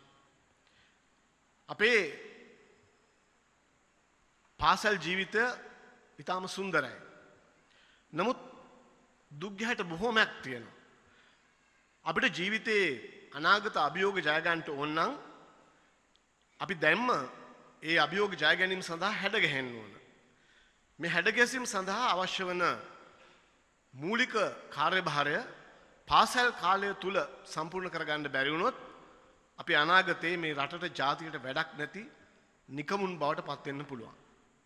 ඉතිං මේ වගේ ශිෂ්‍යත්වයක් ලැබෙන දරුවෙක් තමන්ට ලැබෙන මේ ශිෂ්‍යත්වය හරහා අපේ අනාගතය සරු කරගන්න කිසියම් ආකාරක අධිෂ්ඨාන පූර්වකව ගමනක් යන්න හිතා ගන්නවා නම් මං හිතනවා ඒක තමයි මේ වෙලාවේ මේ කාර්යභාරය කරන මේ ගෞතම ස්වාමීන් වහන්සේලා ඇතුළු සමස්ත සංවිධායකයන්ට කරන්න පුළුවන් ලොකුම ගෞරවය. ඉතින් මම විශ්වාස කරන එක දෙයක් තියෙනවා තමන්ට තියෙන අර්බූද නැත්තං අභියෝගවලට ජයග්‍රහණය කළ යුත්තේ තමාමයි. එකට මඟ පෙන්වන්න පුළුවන් දෙමව්පියන්ට ගුරුවරුන්ට. නමුත් ඒ අභියෝගේ තමාගේ එනිසා තමන් ජයගත යුතුයි. මං පුංචි උදාහරණයක් කියන්න තමුන්නාන්සලාට එක්දස් අටසිය හතලිස් තුනේ ඇමරිකාවේ ඔහියෝ ප්‍රාන්තයේ මිලාන් නගරේ දරුවෙක් ඉපදුනා මේ දරුව උත්පත්තියෙන්ම කං ඇහෙන්නේ 125යි. 175ක්ම මේ දරුවගේ කං ඇහෙන්නේ නැහැ. ඉතින් දරුවා පුංචි කාලෙම ඒ දරුවගේ තාත්තව රටින් පිටුහල් කරා දේශපාලන හේතුවක් හින්දා. අම්මා තමයි මේ දරුවා බලාගත්තේ. දරුවා ඉස්කෝලේට ගියා. නිසි නිසි වයස ආවට පස්සේ මේ පාසල් අධ්‍යාපනය ලැබනකොට මේ දරුවාට මේ කන්නැහිමේ ප්‍රශ්නය ලොකු ප්‍රශ්නයක් වුණා. නමුත් මේ දරුවා පන්තියේ පිටිපස්සම කෙළවරේ තමයි වාඩි වුණේ. ඒ නිසා ගුරුවරු කියන කිසිම දෙයක් මේ දරුවට ඇහුන්නේ නැහැ. ඒ නිසා කිසිම පාඩමක් ඔහුට තේරුණෙත් නැහැ. කිසිම ප්‍රශ්නයකට ඔහුට උත්තර දෙන්න පුළුවන් කමකුත් නැහැ. මොකද කියන දේවල් තේරෙන්නෙත් නැහැ, ඇහෙන්නෙත් නැහැ, ඉගෙන ගන්නෙත් නැහැ. නමුත් ඔහුගෙන් ප්‍රශ්නයක් ආපුවම ගුරුවරිය නැත්තම් ගුරුතුමා ඔහු හැම වෙලේම අහන්නේ මොකක් හරි ප්‍රශ්නයක් අහන්න ඕනද කියලා අහපම ඔහු කියනවා ඔව්. මේ වලාකුළු කොහොමද අහසේ රැඳිලා තියෙන්නේ? මේ කුරුල්ල කොහොමද පියාඹන්නේ? මේ මල්වල කොහොමද මේ වගේ පාට පාට ඇති වෙන්නේ? මෙන්න මේ වගේ ප්‍රශ්න තමයි අහන්නේ. ඉතින් අර විෂය උගන්වන ගුරු මහත්තුරුන්ට මේක බරපතල ප්‍රශ්නයක් වුණා. මේ ළමයාගේ මේ ප්‍රශ්න හැල්ලයි මේ ළමයා පාඩමට අහුම්කම් දෙන්නේ නැති එකයි මේ ළමයාගේ දුර්වලකමයි. එක දවසක් මේ දරුවා ලියුමක් කරන් එනවා ගෙදර අම්මට දෙනවා. අම්මා මේ ලියුම කියනකොට අම්මට ඇඬුණා. පස්සේ මේ දරුවා අහන අයියා අඬන්නේ. අම්මා කියනවා නෑ පුතේ මේ අපේ ඔබේ පන්ති ගුරුතුමිය කියනවා ඔබ තරම් විශිෂ්ට දරුවෙක් නෑ මේ පන්තියේ ඔබ ඒ තරම් බුද්ධිමත් ඔබගේ බුද්ධිය කොච්චරද කියනවා නම් අනිත් ළමයින්ට මට උගන්වන්න බෑ මෙයා පන්තියේ ඉන්නකොට ඒ තරමට එයාට විශිෂ්ට බුද්ධියක් තියෙනවා ඒ නිසා හොඳම වැඩේ මෙයාව ගෙදර තියාගෙන උගන්වන්න පාසලට එවන්න එපා කියලා. ඉතින් එහෙම කියලා අම්මා මේ දරුවට උගන්වන්න පටන් ගත්තා. ඊටාම ධෛර්ය සම්පන්න අම්ම කෙනෙක්. අර අපි දැන් මොහොතකට පෙර දැක්කපු ඒ වගේ අම්ම කෙනෙක්. ඒ කියන්නේ තමන්ගේ දරුවෝ ගැන ඊටාම දැඩි කැපවීමක් තියෙන අම්ම කෙනෙක්. මේ අම්මා ගෙදරට කියන එළවලු වල නැත්නම් පළතුරු වලින් තමයි ගණන් හදන්න ඉගැන්වුවේ ළමයට. ඒ වගේම සියලුම දේවල් තාත්තගේ හොඳ පුස්තකාලයක් තිබ්බා. මේ පුස්තකාලේ පරිහරණය කරන්න මේ දරුවාට කියලා දුන්නා. මේ වගේ සියලුම Taman දන්න සියලුම දේවල් මේ එතුමේ ගුරුවරයෙක් නෙමෙයි ඒ මව. නමුත් ඇයට හැකි ප්‍රමාණයෙන් ඇය උදව් කරා මේ දරුවාට ඉගෙන ගන්න. ගෙදර තියාගෙන මේ දරුවට සියලුම දේවල් කියලා දීලා කියලා දීලා ලියන්න කියවන්න පුළුවන් මට්ටමට මේ දරුවව ගෙනාවා. ඒ කාල සීමාවේ මේ දරුවා කරපු එක දෙයක් තමයි තාත්තගේ පුස්තකාලේ තිබ්බ සියලුම පොත් මේ දරුවා කියවුවා. ඉතින් මෙහෙම මේ දරුවා ඉගෙන ගත්තට පස්සේ අවුරුදු 13 දී ඔහු යනවා දුම්රිපලට දුම්රිපලේ ගිහිල්ලා ඔහු පත්තර විකුණන්න පටන් ගන්නවා. ඒ පත්තර විකුණන ගමන් ලැබෙන මුදල් ඔහු පාවිච්චි කරේ නොයෙකුත් උපකරණ ගන්න. ඔහුට ඔළුවේ හැම වෙලේම වැඩ කරපු දෙයක් තමයි මම මොන හරි දෙයක් අලුතෙන් හොයා ගන්න ඕන. අලුතෙන් පරිශීලනයක් කරන්න ඕන. ඒක මොකද්ද කියලා ඔහු දැනගෙන හිටියේ නෑ. නමුත් ඔහුගේ කුඩා හිතට ඒක තදින්ම වැදිලා ඒක වද දෙන්න පටන් ගත්ත නිසා ඔහු හිතුවා මොන හරි දෙයක් මම අලුතෙන් හොයනවායි කියලා. ඉතින් එතන හිටපු අය එතන පෝටර්වරු වගේ අය උදව් කරලා නතර කළ තිබ්බ දුම්රිය කාමරයක් මේ ළමයා පාවිච්චි කරා දවසක් කිසියම් ආකාරයක පරීක්ෂණයක් කරන්න ගිහිල්ලා මේක පිපුරුවා. ඒ නිසා දුම්රිය ස්ථානාධිපතිතුමා කිව්වා වහම මෙතනින් අයින් වෙන්න මෙතන මේ ළමයා හිටියොත් එම් දැන් මහ විනාශයක් වෙන්න පුළුවන් කියලා. පස්සේ මේ දරුවා තමන්ගේ කාර්ය අතහැරියේ නෑ පත්තරත් විකුණුවා. දවසක් ඔහු දුම්රිය මාර්ගයේ ඇවිදින යනකොට දැක්කා පුංචි දරුවෙක් මාර්ගයේ මැදින් එනවා. දැන් දුම්රියකුත් එනවා. මේ දරුවා දුම්රියට යට වෙන්න යනවා. ඔහු වහාම දුවගෙන ගිහලා මේ දරුවා බේරගත්තා. ඒ දරුවා අර දුම්රිය ස්ථානාධිපතිගේ කුඩා දරුවා. ඒ නිසා දුම්රිය ස්ථානාධිපති ඔහුට කතා කරලා කිව්වා අපිට මේකට කීයක් ඕනද? මම ටැග් එකක් දෙන්න ඕන මොකක්ද ඕනද කියන්න කියලා. ඊට පස්සේ ඔහු කිසිම දෙයක් කිව්වේ නෑ. ඔහු කිව්වා මට මෝස් කෝඩ් ක්‍රමය කියලා දෙන්න කියලා. අර දුම්රියව කාර්යාලයට ගියා නම් තමුන්නාසල පේන තාමත් ඒක පාවිච්චි කරනවද කියලා මම දන්නේ නෑ. ඉස්සර අර තට්ටු කිරීමේ ක්‍රමයක් තිබ්බා. ඒකෙන් තමයි දුම්රිය එන පිළිවෙල පිළිබඳව පණිවිඩය යවන්නේ. පහු පසු කාලෙකදී ඔහු දුම්රියේ ඒ මෝස්කෝඩ් උපදේශකවරයෙක් වශයෙන් කටයුතු කරා. නමුත් ඔහුගේ අධ්‍යාපනය ඉතින් නතර වුණේ නැහැ. ඔහු කිසිම දවසක පාසල් අධ්‍යාපනය සම්පූර්ණ කරපු කෙනෙක් නෙමෙයි. විශ්වවිද්‍යාලයට කවදාවත් ගිහිල්ලා නැහැ.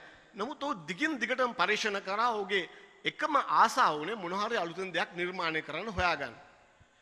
මේ දරුවා පසුගිය පසු කාලයක නොයෙකුත් දේවල් නොයෙකුත් නිර්මාණ කරමින් රටේ සුප්‍රසිද්ධ පුද්ගලෙක් බවට පත් වෙනවා. ඔහු ඇලෙක්සැන්ඩර් ග්‍රෑම් බෙල් කියන ටෙලිෆෝනය හොයාගත්ත පුද්ගලයාට ටෙලිෆෝන් රිසීවරය හොයාගන්න උදව් කරේ ඔහු. ඒ වගේම සිමෙන්ති භාවිතා කිරීම හොයාගත්තේ ඔහු. ඒ වගේම රබර් පාවිච්චි කිරීම හොයාගත්තේ ඔහු. මේ පුද්ගලයා මොනතරම් දේවල් අලුතෙන් හොයාගත්තද කියනවා නම් ඇමරිකාවේ විතරක් නව නිර්මාණ එක්දස් අනු තුනක් මේ පුද්ගලයාගේ නමට අදත් පෙටන් බලපත්‍රයක් තියෙනවා. කවුද මේ පුද්ගලයා? ඔහු හොයාගත්ත සුවිශේෂී දේ තමයි විදුලි බල්බය. ඔහු මේක හොයාගෙන අල්ලපු ගෙදරවල් ටිකට විතරක් විදුලිය සපයලා මේක පත්තු කරපුවම මිනිස්සු හිතුවා මෙන්න අපේ ගමට විශ්වකර්මයෙක් ඇවිල්ලා ඉන්නවායි කියලා. ඒ තරමට මිනිස්සු පුදුමයටපත් වුණා. නමුත් තෝමස් අල්වා එඩිසන් කියන මේ කං ඇහෙන්නේ නැති, ඉස්කෝලේ ගිහිල්ලා නැති, විශ්වවිද්‍යාලයට ගිහිල්ලා නැති මේ දරුවගේ එකම ශක්තිය තමයි ඔහුගේ තිබ්බ බලාපොරොත්තු සහ අධිෂ්ඨාන ශක්තිය. ඉතින් මේ දරුව පස්සේ කාලෙක අවුරුදු 60ක් පමණ වයස වෙනකොට ඔහු ඊටාම් සුප්‍රසිද්ධ පුද්ගලයෙක් බවට පත් වෙලා මුළු රටම පිළිගන්නවා මුළු ලෝකෙම පිළිගන්නවා. ඔහු ගෙදර යනවා. තමන්ගේ අම්මා හිටපු ගෙදර. ගිහිල්ලා අර පුස්තකාලේ පොත් අදිනකොට හදිස්සියම ඔහු දකිනවා එන්ලොප් එන්ලොප් එකක් නැත්නම් ලියුම් කවරයක් සහිත ලිපියක් බිම වැටෙනවා. ඒ තමයි අර පළවෙනි දවසේ ගුරුවරිය දුන්න ලිපිය. ඔහු දිගාරලා බලනවා. ඒකේ ගුරුවරිය ලියලා තියෙන්නේ මොකද්ද? මේ ළමයා හරි කරදරයි. කිසි දෙයක් ඉගෙන ගන්නෙත් නැහැ. මේ අනිත් ළමයිත් එක්ක සම්බන්ධකම් පවත්වන්නෙත් නැහැ. මේ ළමයා හින්දා කිසිම ළමයෙකුට ඉගෙන ගන්න බෑ. ඒ නිසා කරුණාකරලා මෙයාව ඉස්කෝලේට එවන්න එපා කියලා. නමුත් ඔහු එදා තමයි තේරුම් ගන්නේ අම්මා මොනතරම් වටිනා සේවයක්ද ඔහුට කළේ කියලා.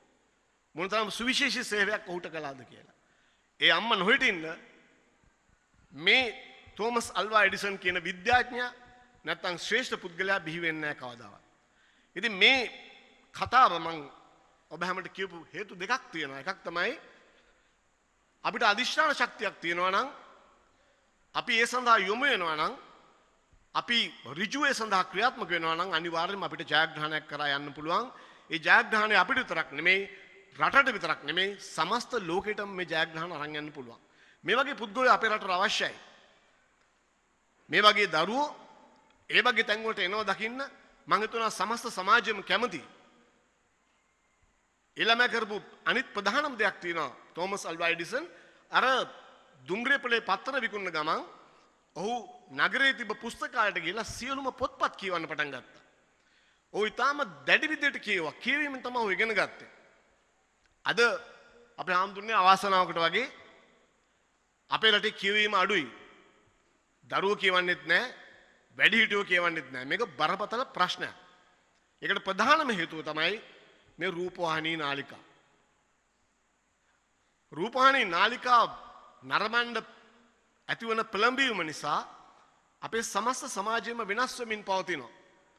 ඒ නිසා මම ඇත්තටම ගරු කරනවා මේ සර්දා මාධ්‍ය ජාලයේ සර්දා රූපවාහිනී ජාලය වගේ රූපවාහිනී නාලිකා බිහි වෙනවට. මොකද්ද මේ රූපවාහිනියෙන් කරන්නේ? ඉස්සර අපේ ගෙවල් වල පොඩි සංස්කෘතියක් තිබ්බා. මොකද්ද? හැන්දෑවට ගෙදර අම්මලා තාත්තලා ඔක්කොම එකට කනවා. කනවා බොනවා. එතකොට අම්මලා තාත්තලා අහනවා දරුවන්ගෙන් මොනවද අද ඉස්කෝලේ කරේ? මොනවද ගෙදර මොන හරි කාගෙන් හරි අහගන්න දෙයක් තියනවද? නැත්නම් පාඩමක් බැරි වුණාද? මේ වගේ පුංචි පුංචි ප්‍රශ්න අහන්න දරුවන්ට අවස්ථාවක් තිබ්බා. දෙමව්පියන්ට අවස්ථාවක් තිබ්බා. නමුත් අවාසනාවකට වගේ අද රෑ කෑම කන්නේ බොහෝ වෙලාවට අපි සාලේ වාඩි වෙලා දරුවනුයි අම්මලයි තාත්තලයි ඔක්කොම අර රූප පෙට්ටිය දිහා බලන් ඉන්නවා. පස්පව් ඔක්කොම පෙන්නනවා. සියලුම දූෂණ ක්‍රියා පෙන්න්නනවා. දරුවන්ගේ විතරක් නෙමේ වැඩිහිටියන්ගෙත් මොළ කුරුවල වෙන දේවල් පෙන්න්නනවා. ඉතින් මේක දිහා බලන් හිටපුවාම පිඟානේ අන්තිමට අපි අර කරපිංචා නැටිව පැත්තකින් තියෙනවානේ. අන්තිමට පිඟානේ බලපුවම මොනවත් ඉතුරුලා නැහැ. මොකද ඔක්කොම කාලා. හේතුව අපි ඒ තරම් මොලේ විකෘත කරගෙන අර්ග දිහා බලන් ඉන්නවා. පෙන්වන්නෙත් ඒ වගේමනේ. අපේ මොළවල් විකෘත කරන අපේ සමාජාර්ථික වටිනාකම් විනාශ කරන අපේ සංස්කෘතිය නැති කරන දේවල් තමයි මේ රූපවාහිනිය හරහා පෙන්වන්න දැන් පටන් අරන් තියෙන්නේ. ඒ නිසා මම අම්මලා තාත්තලාගෙන් විශේෂ ඉල්ලීමක් කරනවා අඩු තරමින් දවසකට විනාඩි 15ක් නැත්නම් විනාඩි 20ක් දරුවොත් එක්ක ගත කරන්න. මොනවද ඉස්කෝලේ ඉගෙන ගත්ත කියලා අහන්න. මොනවද අද තියෙන ප්‍රශ්න කියලා අහන්න. ඒ විනාඩි 15 හෝ 20 හැමදාම දරුවන් වෙනුවෙන් ගත කරන්න හැම අම්ම කෙනෙකුටම පුළුවන්. මොනතරම් මහන්සියෙන් ආවත් මොනතරම් කරදර තිබ්බත් ඔය ප්‍රශ්නේ අහලා ළමයින්ගේ අධ්‍යාපනයේ අධ්‍යාපනය පිළිබඳ මගේ ඔළුවේ තියෙන ප්‍රශ්නයක් මේ පුතාලා දුවලා ලොකු මිනිස්සු වෙනවා දකින්න අපිත් කැමතියි කියලා අම්මලා තාත්තලාගේ හැඟීම් දරුවන්ගේ හෘද ස්වාස්ථ්‍ය ඇතුළට නැත්නම් හදවත ඇතුළට ඇතුළත් වෙනකොට දරුවෝ ශක්තිමත් වෙනවා. දරුවන්ට ඒකේ වටිනාකම තේරෙනවා. ඒ නිසා මා විශ්වාස කරනවා අඩුතරමින් මේ ශිෂ්‍යත්වලාභී තමුන්නාන්සලා විශ්වවිද්‍යාලයට යනකම් මේ රූපවාහිනිය නරඹන එක මම කියන්නේ මේ සරදා ගුවන්විදුලිය සරදා රූපවාහිනිය වගේව නෙමෙයි නතර කරන්න. කමක් නැහැ මුකුත් වෙන්නේ නැහැ. කිසිම හානියක් වෙන්නේ නැහැ. විශ්වවිද්‍යාලයට ගියන් පස්සේ වැඩිහිටියන් වෙනින්ද කමක් නැහැ. Tamanට තේරුම් බේරුම් කරගන්න පුළුවන්. නමුත් අම්මලා තාත්තාගේ ආශිර්වාදය ඇතුව රූපවාහිනියක් ගෙදර තියෙනවා නම් බලන්න නැතුව ඒ වෙලාවේ පාඩම් කරන්න මම හිතනවා අනිවාර්යයෙන්ම අර ඒ තුනක් ගත්ත දරුවෝ වගේ තමුන්නාසලට ඒ තුනක් ගන්න පුළුවන්. ඒ නමයක් ගන්න පුළුවන් සාමාන්‍ය පෙළ. පහේ ශිෂ්‍යත්ව විභාගේ පාස් වෙන්න පුළුවන්. එතකොට අර 40 ලක්ෂයක් මං කිව්වේ 4 ලක්ෂයක් ඉන්න ලක්ෂ 40ක් වෙන දරුවන්ගෙන් සුවිශේෂී කණ්ඩායමක් බවට මේ ශිෂ්‍යත්වලාභී දරුවන්ට පත් වෙන්න පුළුවන්. අපි විශේෂ දෙයක් අවධානය යොමු කරන්න ඕන. අපි අතර ඉන්නවා තමුන්නාසලා දන්නවා අපි කොටස් දෙකක් කාණ්ඩ දෙකකට බෙදෙනවා රටේ මිනිස්සු නැත්නම් ලෝකයේ මිනිස්සු. අපි කොටසකට කියනවා මේ මලත් නොමල මිනිස්සු කියලා. තව කොටසක් ඉන්නවා නොමලත් මල මිනිස්සු කියලා. ඒ නොමලත් මල මිනිස්සු කියන්නේ මේ ජීවතුන් අතර ඉන්නවා. හැබැයි මැරිලා වගේ. කිසිම වැඩක් නැහැ. ඉන්නවට ඉන්නවා. කනවා බොනවා ඔහෙ ඉන්නවා. කරන වැඩකුත් නැහැ, නොකරන වැඩකුත් නැහැ, රටට වැඩකුත් නැහැ, Tamanට වැඩකුත් නැහැ, පවුලට වැඩකුත් නැහැ. නමුත් මලත් නොමල මිනිස්සු කියන වර්ගය සුවිශේෂී කාණ්ඩයක්. මම ඒ කිව්ව එක්කෙනෙක් ගැන, තෝමස් අල්වා එඩිසන් ගැන. අපේ රටෙත් ඉන්නවා.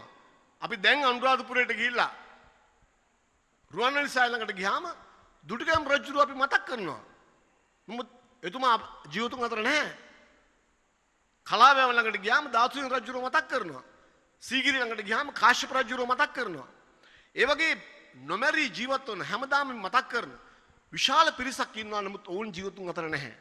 එහෙනම් මේ දරුව තුල ශක්තියක් ඇතිව කරගන්න ඕන නම් අපි හැමෝම හිතන්න ඕන අපි කවදා හරි මැරුණත් නොමල මිනිහෙක් වෙන්න පුළුවන් නම් අපිට ඒ තරම් ඒ තමයි මේ ජාතියට මේ රටට මේ ආගමට කරන්න පුළුවන් අති විශිෂ්ට සේවාව තමුන්නාන්සලාට. ඉතින් මේ සඳහා මේ දවුරුවන් සියලු දෙනාටම මම සුබ ප්‍රාර්ථනා කරනවා විශේෂම ශිෂ්‍ය මම කිව්වා වගේ කතාව ආරම්භ කරනකොට ශිෂ්‍යත්ව ලබා ගන්න හැම කෙනෙකුටම බෑ. අතිවිශාල ශිෂ්‍ය ආයුධම්පත් ප්‍රමාණයකින් 15000ක විතර ප්‍රමාණයකින් තමයි තමුන්නාසලාව තෝරාගෙන තියෙන්නේ. මේ 750 තෝරනවා කියන එක අමාරු වැඩක්. මම සතුටු වෙනවා ද්‍රවිඩ ශිෂ්‍යයන් ශිෂ්‍යාවන් මෙතන ඉන්නෙක් ගැන. ඉතින් මේ ව්‍යාපාරයට අපි අතහිත දෙන්න ඕන විශේෂ මේ කැපකරු මාපියන් පිළිබඳව මම විශේෂයෙන්ම ස්තුතිවන්ත වෙනවා. මේ කාර්යභාරයට උරුදුන්න තමුන්නාසලා කවදා හරි ඉතිහාසයේ රන් අකුරෙන් ලියවෙනවා මේ දරුවන්ට විශේෂයෙන්ම උගන්වන්න උපකාර කරාට. මොකද අධ්‍යාපනය කියන්නේ මේ රටක ආත්මය, රටක ශක්තිය. මේ දරුවෝ නැතුව මේ රටක් පවතින විදියක් නැහැ. නමුත් දරුවෝ රටකට ශක්තියක් ධෛර්යයක් වෙන්න නම් ඒ දරුවෝ ඊටාම උතුම් දරුවන් බවට පත් වෙන්න ඕන. ශ්‍රේෂ්ඨ දරුවන් බවට පත් වෙන්න ඕන. එමනම් මේ යන පාර පාර ඊටාම නිවැරදි. මේ දරුවෝ හැමෝටම මම හිතනවා මම විශ්වාස කරනවා ඒ වගේ උතුම් ප්‍රාර්ථනාව සහිත දරුවන් වේවා කියලා අද මේ පුන් පින්බිමේ ඉඳන් ඒ තමුන්නාසල සියලු දෙනාටම උතුම් සිතුවිලි පහළ වේවා කියන ප්‍රාර්ථනාව ඇතුව මම නිහඬ වෙනවා බොහොම ස්තුතියි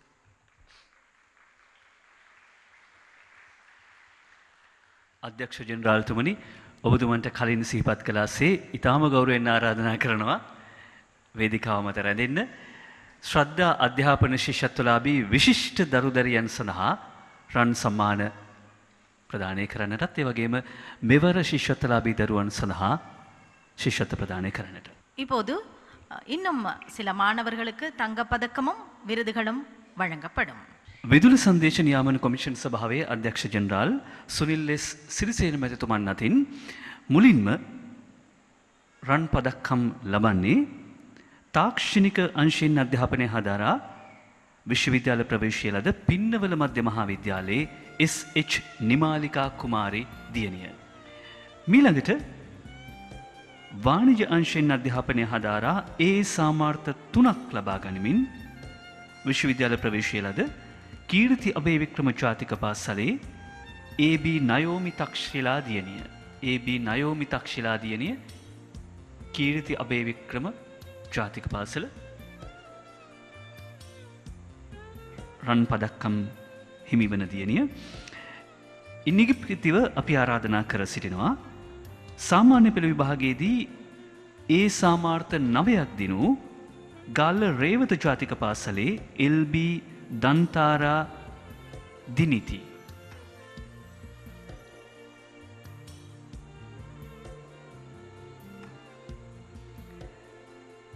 සාමාන්‍ය පිළිභාගින් ඒ සාමාර්ථ නවයක් ලැබූ ගාල්ල රේවත ජාතික පාසලේ එල්බ දන්තාරා දිනිති.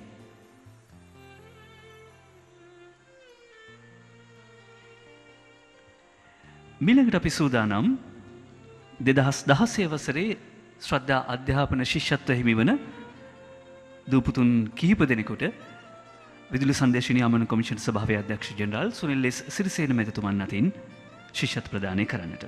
මුලින්ම කළුතර දිස්ත්‍රික්කයේ ඒ.එම්. රිද්මි අයෝධ්‍යා දියණිය. ඊට පස්සේ නුවරඑළියේ දියණියක් ඉන්නවා.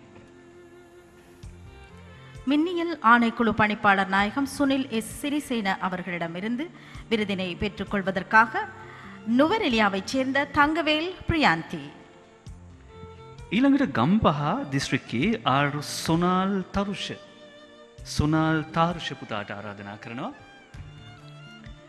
කිලිනොච්චේ දිස්ත්‍රික්කයේ දුවක් ඉන්නවා. கிளிநொச்சியைச் சேர்ந்த கலைச்செல்வன் தயாளினி පොළොන්නරුව දිස්ත්‍රික්කයේ ආර්ජී මහේෂිකා මනෝහාරී ධර්මතිලක දියණිය සහ මඩකලපුව දිස්ත්‍රික්කයේ තවත් පුතෙක් ඉන්නවා. සංගවී සිවකුමාර් මටකඩපු සංගවී සිවකුමාර්.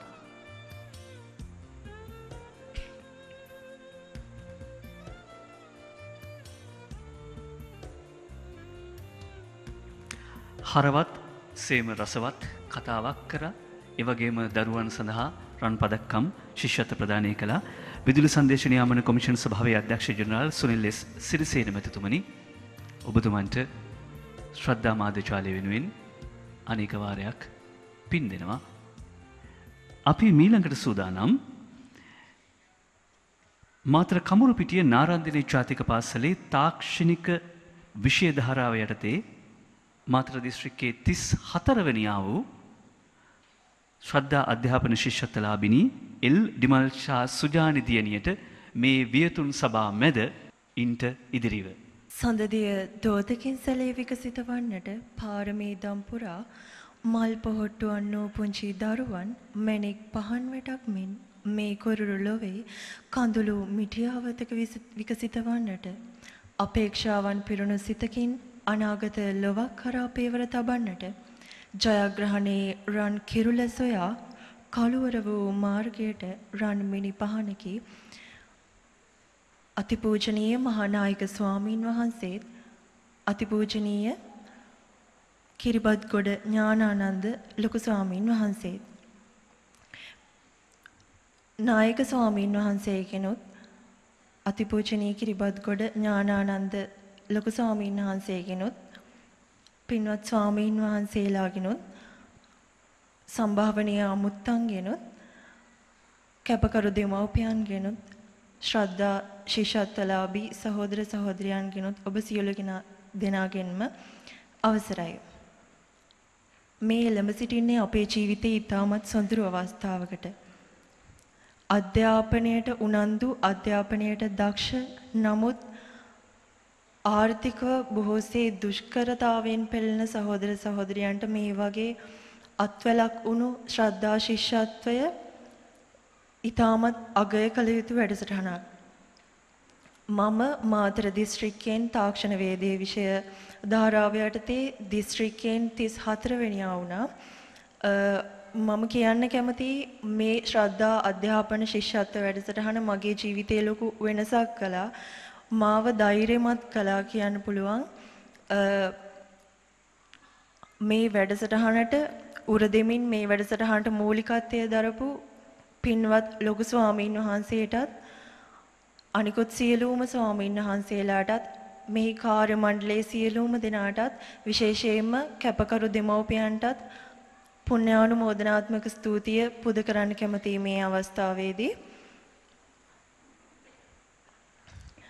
ඒ වගේම මම කියන්න කැමතියි මගේ අ, ප්‍රාර්ථනාව වෙන්නේ මම අද ශිෂ්- මේ ශිෂ්‍යත්වය ලබාගෙන මගේ ජීවිතයේ ලොකු ජයග්‍රහණයක් ලබා ගත්තා වගේම අනාගතයේදී සරසවි සිහිනේ සැබෑ කරගත්තා වගේ අධ්‍යාපනය ලබලා හො- මේ ලෝකයේ හොඳ තැනකට ගිහිල්ලා මේ සමාජයේ හොඳ පුරවැසියෙක් වෙලා යම් දවසක අද මම හිටපු තත්ත්වයේ වගේම අනාගතයේදී දුෂ් අනා- අධ්‍යාපනයට දක්ෂ නමුත් දුෂ්- අ, ආර්ථික දුෂ්කරතාවයෙන් සිටින සහෝදර දුවදරුවෙකුට අ, මම රැකියාවක් කරන කාලයකදී ඔවුන්ට අ, අත්වැලක් සපයන්න මම මේන් ඉගෙනගත්තු ලොකු පාඩමක් වෙනවා.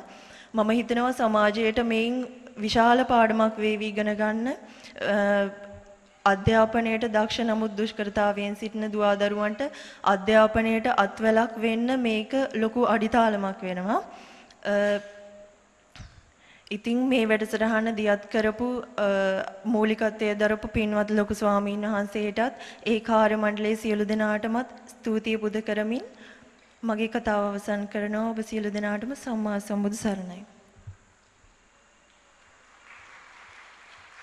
அடுத்ததாக இந்த புலமை பரிசிலுக்கு தெரிவு செய்யப்பட்ட மற்றுமொரு மாணவி நுவரெலியா மாவட்டத்தைச் சேர்ந்த வட்டகொட தமிழ் மகா வித்தியாலயத்தில் கல்வி கற்கும் தங்கவேல் பிரியாந்தியை நாங்கள் மேடைக்கு அழைக்கிறோம்.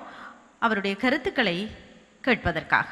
அதிவந்தனத்திற்குரிய தேரர்களுக்கும் பெரியவர்களுக்கும் சக மாணவ மாணவிகளுக்கும் இங்கு வருகை தந்திருக்க எல்லோருக்கும் எனது மனமார்ந்த வணக்கத்தினை தெரிவித்துக் கொள்கின்றேன்.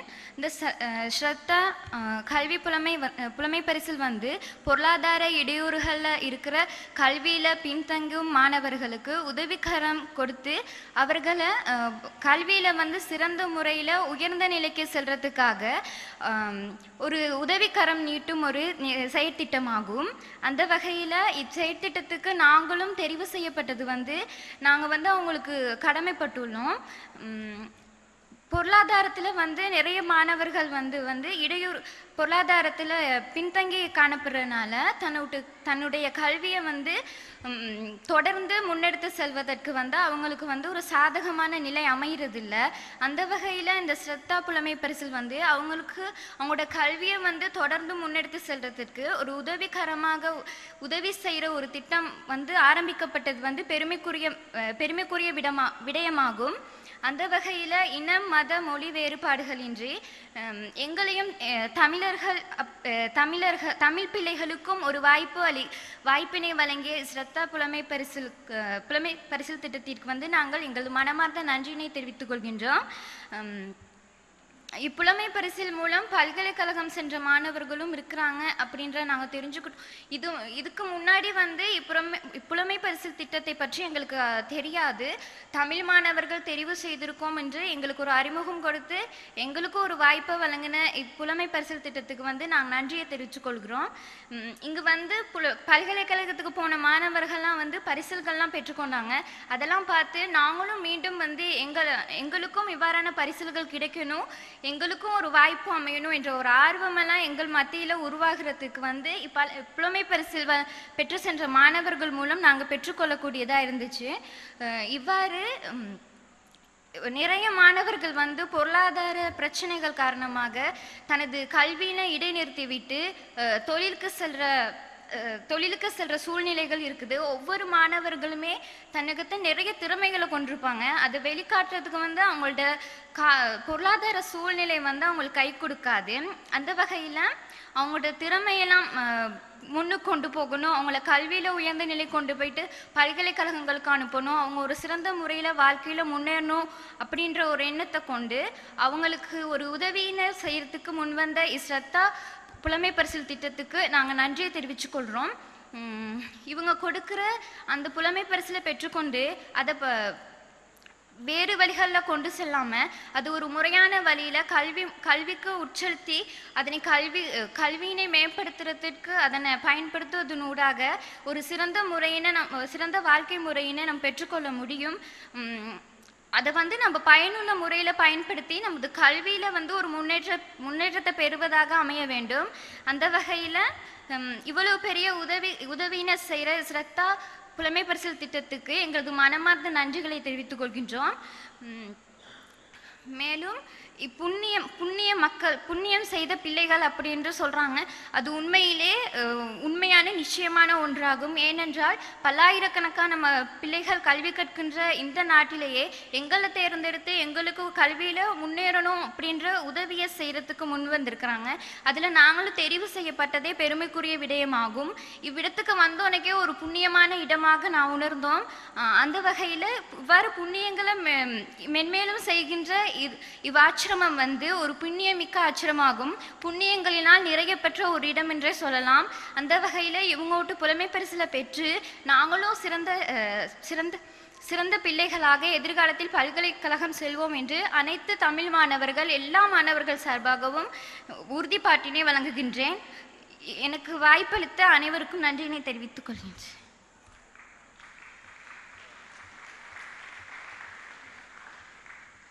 அபி ඒ කතාව තිබුණේ මොකක්ද කියලා බොහොම හැඟුම්බරව හදවතේ ගැඹුරෙන්ම කරපු කතාවක් බව තේරුණා.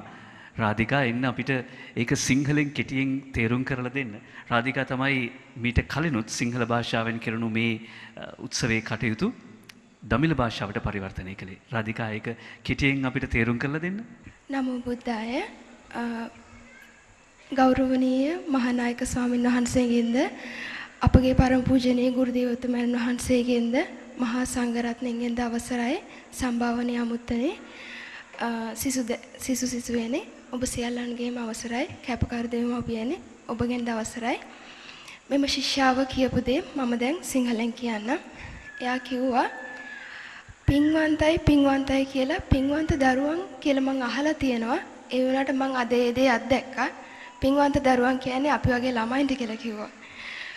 අ, ඒ වගේම මේ ආශ්‍රමයට එයාලා කිව්වා ආශ්‍රමය කියලා. මේ අසපොට ආපු වෙලාවේ මම දැනගත්තා මේ ආශ්‍රම මේ අසපුව කියන්නේ පින්වන්ත තැනක් කියලා. ම- අපිට ඒක දැනුණා. අ, මේක හරිම පින්වන්ත තැනක් කියලා කියලා කිව්වා.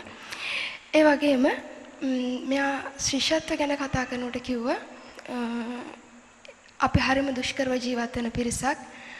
අපි බොහොම දුෂ්කරව ජීවත් වෙනවා. නමුත් අපගේ අධ්‍යාපනය අපි නොකඩවා කරගෙන යන්න බොහොම වෙර මහන්සි වෙනවා. අ, අපේ පළාතවල ජීවත් වෙන ගොඩක් සිසු සිසුවියෝ තමන්ගේ අධ්‍යාපනය දිගටම කරගෙන යන්න බැරි කමට ඒ කියන්නේ ආර්ථික දුෂ්කරතා නිසා මගදී අත්- මගදීම ඒ ටික අත්හැරලා තරුණයන්න් ඔවුන් රැකියාවන් කරා යොමු වෙනවා තරුණයන්න් ඔවුන් විවාහ ජීවිතයකට ඇතුළත් වෙනවා ඒ වගේ අවාසනාවන්ත සිදුවීම් මෙයාලගේ ජීවිතේ ලැබ- නොලැබෙන එක ගැන හිතලා එයාලා සතුටු වෙනවා කියලා කිව්වා ඒ වගේම අ, මේ ශ්‍රද්ධා ශිෂ්‍යත්ව මුදල අ, ඉතාමත් ක්‍රමානුකූලව භාවිත කර ගැනීමට උපදෙස් ලැබෙන එක ගැන එයාලා ගොඩක් සතුටු වෙනවා කියලා කිව්වා. දැන් වෙන ශිෂ්‍යත්ව වලට ඇවිල්ලා මුදල් දුන්නම මුදල් වලට ඒ ළමයි අරගෙන ඕන දෙයක් කරන්න පුළුවන්. නමුත් මේ මුදල් අ, භාවිත කරන ක්‍රමවේදයක් තියෙනවා. දැන් මුලින් මම සඳහන් කරා වගේ ඒ ඊටාම ක්‍රමානුකූලව තමයි භාවිත කරන්න ඕනේ. ඒ ගැන අපි ගොඩක් සතුටු වෙනවා කියලා කියලා තිබුණා. ඒ වගේම අධ්‍යාපනයේ විතරක් නොවේ තමන්ගේ ಗುಣධර්මත් අ, වැඩි දියුණු කරගන්නට මේ ශිෂ්‍යත්වය එයාලට ඉවහල් වෙනවා කියලා ඒ ගැන ගොඩක් සතුටු වුණා. ඒකට උපකාර කරන ශ්‍රද්ධා මාධ්‍යජාලයටත් අපගේ මහා සංඝරත්නයටත් ගොඩක් ස්තුතිය පුද කරනවා කියලා කියා සිටියා. ස්තුතියි.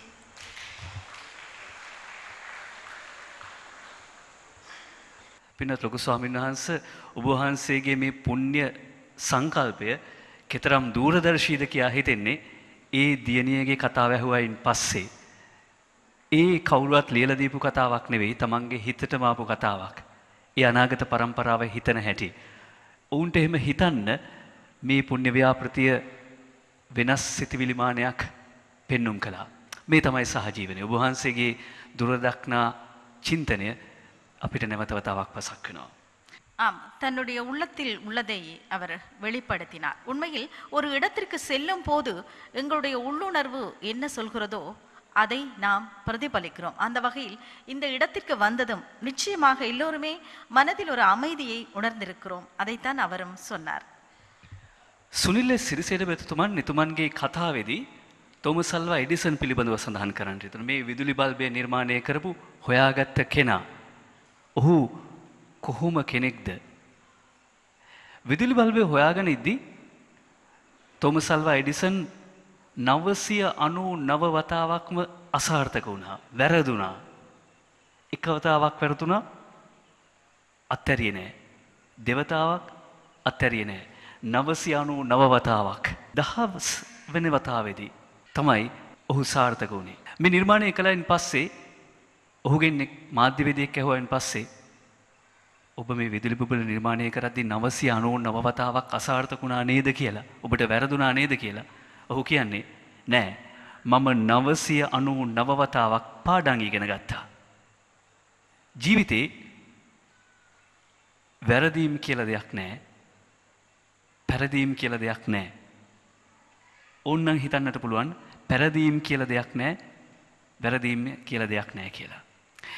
මෙහෙම වැරදීම් පැරදීම් නෑ කියලා හිතන්න ඔබට ආත්ම ශක්තිය වර්ධනය කරගන්න ධර්මය මඟ පෙන්නනවා. ඒවගේම ලෝකේ අපට සමකාලීනව අපිත් එක්ක ජීවත් වෙච්ච සහ අපිට මදක් පෙර ජීවත් වෙච්ච අතීතයේ ජීවත් වෙච්ච විවිධ චරිත අපිට මඟ පෙන්වනවා කොහොමද අපේ ජීවිත ඉලක්ක ගොඩනගා ගන්නේ. ඒ සඳහා ආරම්භක ධාතු, නික්කම ධාතු, පරක්කම ධාතු සහිතව ඒ ඉලක්ක කරා යන්නේ. ඊට ලෝකේ නිදසුන් එමට දෙන්න පුළුවන්. ඇමරිකාවේ වර්තමාන ජනාධිපති බැරැක් ඔබාමට හරියට අම්ම කෙනෙක් තාත්ත කෙනෙක් හිටියේ නෑ. හැදුනේ වැඩුනේ අනුන් ළඟ.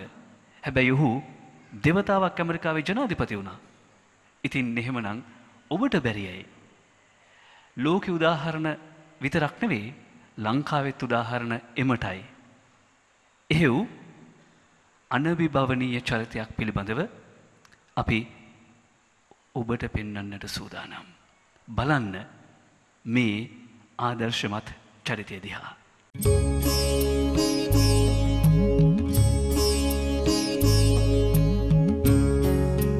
එක්දස් නවසේ හතලිස් තුනේ අගොස්තු විසි තුන්වන දින මෙලොව එළියදුටු ඇය ඇගේ ප්‍රතිභාවත් මනුරම්ය වූ ගායන කෞශල්‍යත් නොපසුබට වීරයත් නිසා ශ්‍රී ලාංකීය සංගීත ශේෂත්‍රී තුළ අසාහය ගායිකාව බවට පත්විය.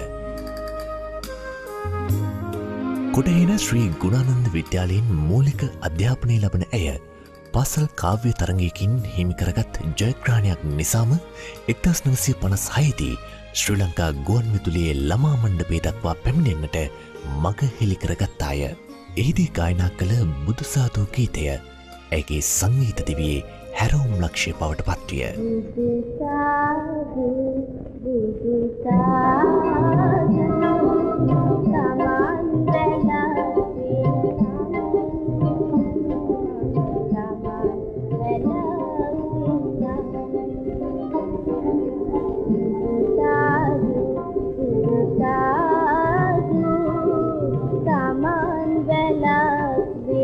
එක්දස් නවසය හැටකේදී ශ්‍රී ලංකාවේ තිරගත වූ ප්‍රථම වර්ණ චිත්‍රපටය වන්නේ රන්මුතුදුවයි. එම චිත්‍රපටේ ගලන ගඟකි ජීවිතය ගීතය නරත දිසසේකරයන් සමගින් ගායනා කරන්නට තරම් ඇය වාසනාවන්ත වූවාය. ගලන ගඟකි ජීවිතේ දයාලු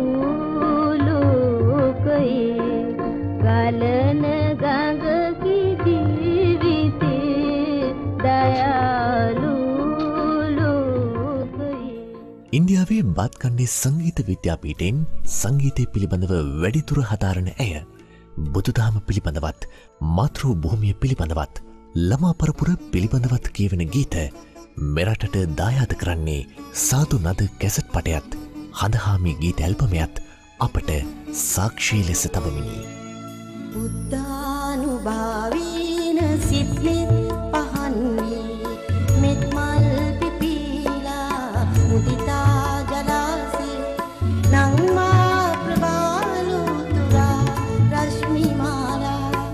හෙළදෙරන ජන ජයතු ජය මංගලානි හෙළදෙරන ජන ජයතු ජය මංගලානි ඇයට උරුම වූ මාතූරිය හඬින් ලොවක් සනසාලූ ඇය හොඳම හා ජනප්‍රියතම ගායිකාව ලෙස සරසවි සම්මාන ධාතුනක් සහ ජනාධිපති සම්මාන එකුළහක් ඇයගේ නමින් සතු කරගෙන ඇත.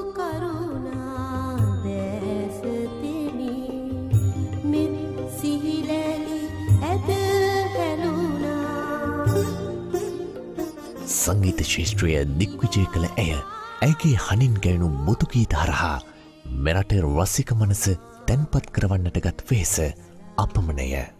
සංගීත ශාස්ත්‍රය පිළිබඳව සහ ජීවිතය ගැන බොහෝ පාඩම් ඇය අපට කියා දෙන්නේ සුකී ජීවන අත්තකින් ආදර්ශයට ගනිමිනි. බොහෝ දුක්කම් කටළු මැද අප්‍රතිහත ධෛරයකින් ජීවිතය ජයගත් දිරිය කාන්තාවක් ලෙසද. ආත්‍රණීය දරුවන්ට යුතුකම් ඉටු කළ මවක් ලෙසද තම මව් රටට ණය නැති පින්වත් දියණියක ලෙසද අද අපට හමුවන ඇය විශාරද නන්දා මාලනිය නම් වන්නේය.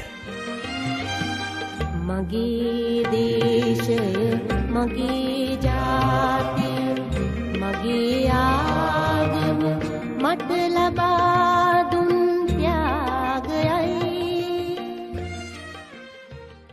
විශාරද නන්දාමාලනය මැතිනියනි ඔබතුමී අපිට වැදගත් වන්නේ හුදෙක් සංගීත විශාරදවරයක් ගායන විශාරදවරයක් වීම නිසාම නොවෙයි.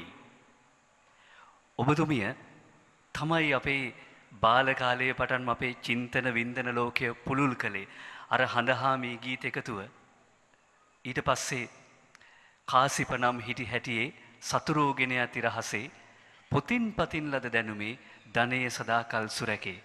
අපිට ජීවිතය ගැන හිතන්න විවිධ වයස්වලදී බාලකාලයේදී බාල මනසට ගැලපෙන විදියට තරුණවියේදී විප්ලවීය විදියට ඔය ආදී විදියට ඒ ඒ වයසට අනුරූප විදියට අපිට හිතන්නට සිතුවිලි ලෝකයක් ඔබතුමිය නිර්මාණය කරලා දුන්නා.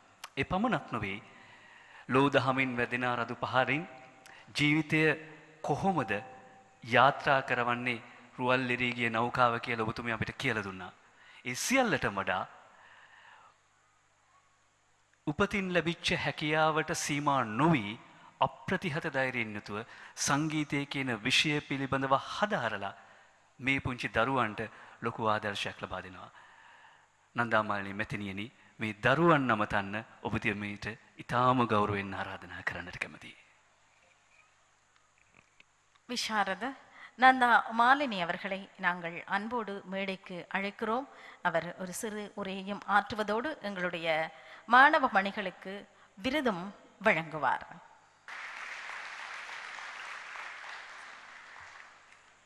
නායක ස්වාමින් වහන්සේගෙන්ද අපගේ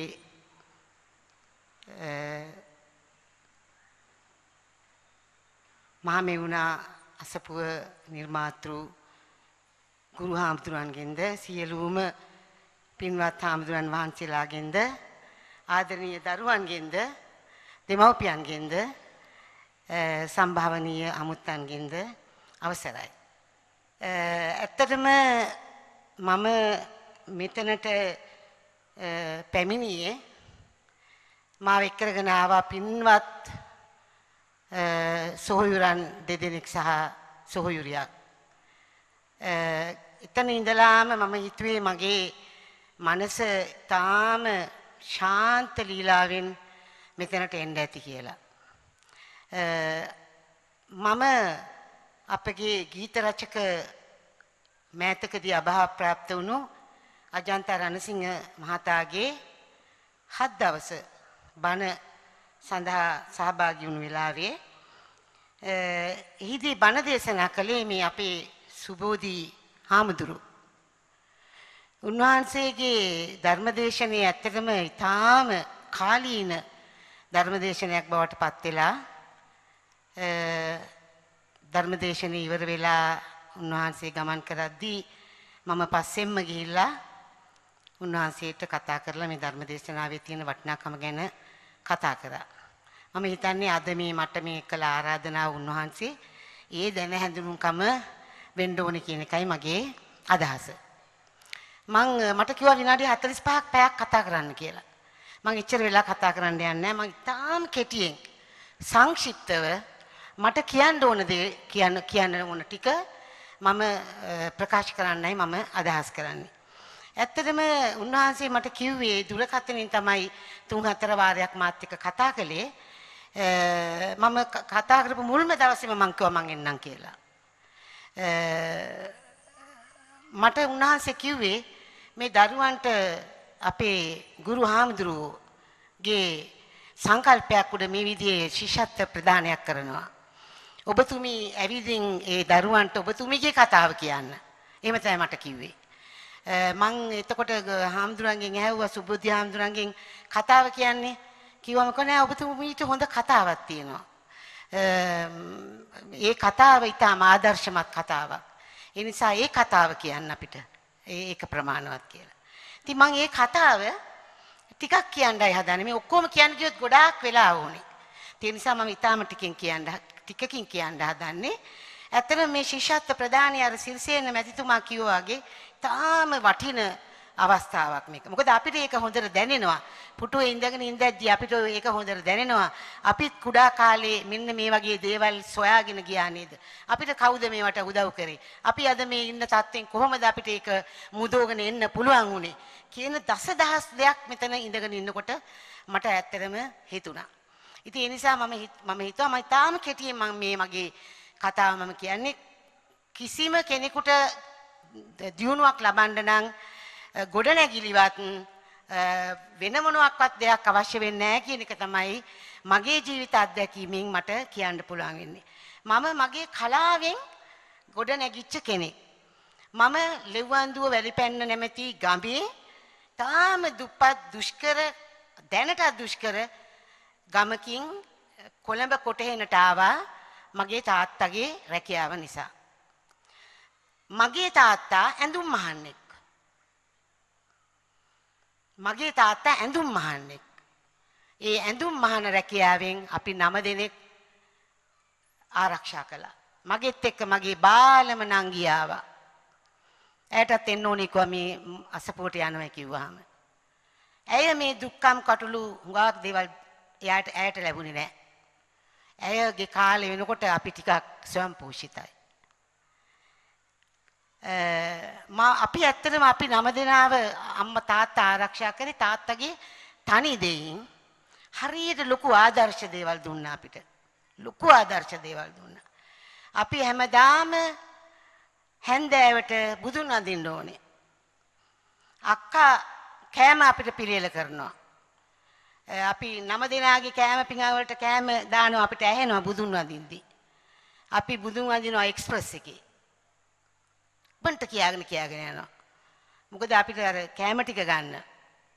ඉතින් ගිහිල්ලා තා අම්මටයි තාත්තටයි වැඳුන වැඳාම තාත්තා අපිට කියන්නේ ඔගොල්ලෝ අද හොඳ නෑ මේ බුදුන් වැඳා.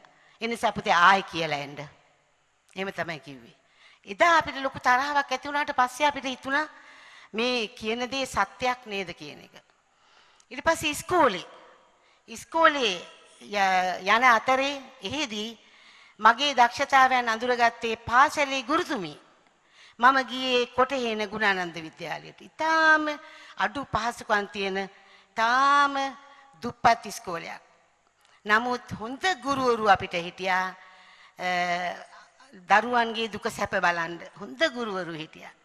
ඉතින් මං වගේ දුප්පත් දරුවෙකුගේ දක්ෂතාවය දැක්කේ පාසලේ ගුරුතුමී. පාසලේ ගුරුතුමී තමයි යම්කිසි මේ ළමයාට ගායන හැකියාවක් තියෙනවා කියලා මාව අඳුනගත්තේ. ඒ අඳුනගෙන දැන් අර මේ තිරේ කිව්වා වගේ 1956 මාව එක්කරගෙන ගියා ගුරුතුමී කරුණාරත්න අබේසේකර කියන අයගේ ළමා මණ්ඩපයට. ගිහිල්ලා ටිකක් කල් අවුරුද්දක් විතර ඉඳද්දී තමයි මට ගීයක් කියන්න හම්බුනේ බුදුසාදු ගීය. ඔබගේ පාමුල සඳුන් ගසක් වී සුවඳ මලින් සැරසෙන්නම්. බුදුසාදු බුදු සාදු. සඳුන් ගසක් වෙන්නම් මම. සමන් වැලක් වෙන්නම් දැන් අවුරුදු 60ක් විතර ඇති. තාම මිනිස්සුන්ට මතකයි. තාම රසිකයා ආදරේ. ඊට පස්සේ මට මං ඔහොම ඉන්නකොට ගුවන් විදුලියේ අමරදේවසව හම්බුණා මට. ලොකු පිරිසක් හම්බුණා. අමරදේවස මං ගැන හොඳ අවබෝධකින් හිටියා කියන එකයි මගේ අදහස. එතුමාගේ ගොඩාක් වැඩසටහන් වලට මං සම්බන්ධ වුණා. එහෙම ඉඳද්දී සරල ගී කියන පරීක්ෂණයක් පැවැත්වුණා ගුවන් විදුලියේ. අමරදේවස කිව්වා මේ පරීක්ෂණයට ලියුමක් දාන්න කියලා. ඒ ගමනේ පරීක්ෂණයට ලියුමක් දැම්මහම ලියුමේ ආව උත්තරයක් පරීක්ෂණය සඳහා එන්න කියලා. මේ 950 නමේ 60 වගේ කාලේ. මට එච්චර කාලේ මතක නෑ. ඒ ගමන මේ සඳහා ආවේ රතනජාංකර් පඬිතුමා ඉන්දියාවෙන්. මට හොඳට මතකයි මං එතනදි ගායනා කළ සින්දුව. වඳීමු සුගත සාක්‍ය සිංහ සසර දිනු බුදු පියා රමණීයමන් දාර කුසුම් රමණීයමන් දාර කුසුම් කරමින පූජා බැතියෙන මේ ගීගයා සුන්දර නිවනා වදිමු අමා සම්පතා ඔන්නෝක තමයි කිව්වේ ලියුමක් ආවා මාස 3කින් 4කින් ඔබ විශිෂ්ට ශ්‍රේණියේ ශිල්පිනියක් හැටියට සමත් වී ඇත කියලා. අදත් විශිෂ්ට ශ්‍රේණියේ ශිල්පීන් ඉන්නේ 14 දෙනායි ශ්‍රී ලංකාවේ. අමරදේවස, වික්ටර් රත්නායක, සනත් නන්දසිරි මෙන්න මේ වගේ කීප දෙනෙක් ඉන්නේ. ඉතින් ලොකු සතුටක් දැනුණා. බෞද්ධ අධ්‍යාපනය, දහම් පාසල් අධ්‍යාපනය මෙවෙන් තමයි අපේ ජීවිත හැඩ ගැවුණේ. ඊට පස්සේ අමරදේවස කරා චිත්‍රපටියක්. දැන් මේ මේකේ පෙන්වුවේ තිරේ රන්මුතු දුව. පළවෙනි වර්ණ චිත්‍රපටිය. අමරදේවසයට ලැබුණු පළවෙනි චිත්‍රපටිය. මම මේ පුංචි ආධුනික මට්ටමේ නිකන් පොඩි කෙල්ලෙක් මං.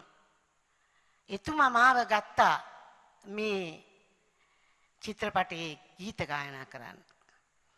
හරිම අහිංසක තාත්තා කෙනෙක් මගේ තාත්තා. තාම ධෛර්යවන්ත තාත්තා. අමරදේවස මගේ පුංචි ගෙදර කොටේහේන කාශෙට්ටිවත්ත කියන පුංචි ගෙදරට අමරදේවස ආවා මාව මේ චිත්‍රපටියේ ගීතයක් ගායනා කරන්න ගන්නවා කියලා කියන්න. ඇවිල්ලා අපි තාත්තට කිව්වා මහත්තයා අපි මේ ඔබතුමාගේ මේ ළමයාව මේ චිත්‍රපටියට ගන්නවා කියලා කිව්වා. මට හොඳට මතකයි 962 තාත්තට කතා කරගන්න බැරුව ගියා. ඇස්වල කඳුළු පිරුණා. බලාගෙන හිටියා. පස්සේ අහවල් වෙලාවට එන්න ඔක්කොම කියලා අමරදේවස ගියාට පස්සේ තාත්තා මට කිව්වේ බලපංකෝ පුතේ. උන්වහන්සේ මට මහත්යා කිව්වනේ. එයාට ලොකු ආසාවක් මහත්යා කියලා තාත්තට කියලා කිව්වේ. එච්චරට සතුටක් දැනුණා. ඉතින් මම රන්මුතු දුව චිත්‍රපටියට සින්දු කියන්න ගිහිල්ලත් ඇත්තටම මේ තිරේ දැම්මත් ජනතාව දැනගෙන තිබුණත් මම ඉස්සෙල්ලම කිව්වේ ගලන ගංගේ ජීවිතේ නෙමෙයි. ගලන ගංගකේ ජීවිතේ දයාලු ලෝකයේ මිහිර පතා ආදරේ ලපලු නටයි ගං තෙරේ ඕක නෙමෙයි කිව්වේ? මම කිව්වේ ඔයගලන්ට මතක ඇතිනේ චිත්‍රපටියේ තියෙනවා වෙසක් උත්සවයක්. සනරාමර ගුරුලෝක ශිවංකර බුද්ධ දිවාකරයානු ඔන්න ඔය කෑල්ල කිවිම සනරාමර ගුරුලෝක ශිවංකර බුද්ධ දිවාකරයානු මං ගෙදර ඇවිල්ලා හරි සතුටු වුණා එකට. මට ඉස්සෙල්ලම කියන්න මුනි මේ සින්දු කෑල්ල. අපි දහම් පාසල් අධ්‍යාපනයේ අපිට කොටේන දීපදුත්තාරාමයේ මම දහම් පාසල් ගියේ. දැන් මේ වගේ අපේ ඥානানন্দ හාමුදුරුවෝ වගේ හරියට උදව් කරා හාමුදුරුවෝ අපිට. ඒ හිටියේ දහම් පාසලේ ඔක්කොම හිටියේ කොටේනේ යවට දුප්පත් වේලක්වත් කන්න නැති තාම අසරණ ළමයි. පන්සලෙන් කෑම වේලක් දුන්නා. කෙටි කෑම ටිකක් දුන්නා දවල්ට. තේ කෝප්පයක් දුන්නා. පස්සේ මට මොලේ දැනුවත් වුණාම මට තේරුම් ගියා අපි දහම් පාසලට ඉගෙන ගන්න යනවට වඩා වේලක් කන්න පුළුවන් නේද කියන තැනක් නේද එතන කියන එක පස්සේ මට තේරුම් ගියා. ඇත්තම මොන තරම් කටුක ජීවිත ගොඩනගාගෙන අපිට එන්න පුළුවන්ද? අපේ ජීවිතේ ශක්තිමත් කරගන්න අපිට මොන හැකියාවකින් හරි පුළුවන් වෙනවා. ඊට පස්සේ සරලගී වැඩසටහනක් හම්බුණා මට. මම දන්නේ මට ඔක්කොම මේ බුදුදහමත් එක්ක සියලු දේ සිද්ධ වුණා කියන එක තමයි මගේ අදහස. ඉස්සෙල්ලාම සරලගී වැඩසටහන. බුද්ධානුභාවීන සිත්නිත් පහන් වී මෙත්මල් පිපීලා මුදිතා ජලාසේ නංවා ප්‍රභාලුතුරා රශ්මිමාලා හෙළදිරන ජන ජයතු ජයමංගලානී හෙළදිරන ජන ජය ජයමංගලානී ඔන්න හම්බුණ සින්දුවක් කියන්න. ඊට පස්සේ මම එකින් එක කියනුවත් මම එකයි කිව්වේ ලොකු කතාවක් මම ඊටාම සංක්ෂිප්ත කරලා මේ කියන්නේ. ඊට පස්සේ මේ මට එන්න කියලා තිබුණා ඒ කාලේ භක්ති ගීත තිබුණා එක එක ආයතනවල. දවස ආයතනෙන් තමයි භක්ති ගීත වැඩසටහන කළේ. මට හම්බුණා පුදුම ලස්සන සින්දුවක්. පළවෙනි මගේ භක්ති ගීත වැඩසටහන. ඔබට මතක ඇති. ප්‍රඥා ප්‍රදීප දල්වා මෝහාන්ධකාර වනසා ප්‍රඥා ප්‍රදීප දල්වා මතකයි නේද? ඔන්න ඔහමයි ඒ සින්දු ඔක්කොම කිව්වේ. ඇත්තට මම හිතනවා අපි අපේ විශේෂයෙන් යම් කිසි අවබෝධයක් ලබනකොට මම ඇත්තටම හිතුවා අපි මේක මේ නිකම්ම නිකං විනෝදය සඳහාම මේ ගීතය පාවිච්චි කිරීම නෙමෙයි තියෙන ප්‍රබල අවිය කියන එක. ඒ අනුව තමයි මම ඇත්තටම සියලු පැති ගැන හුඟක් දුරට හිතන්න ගත්තා.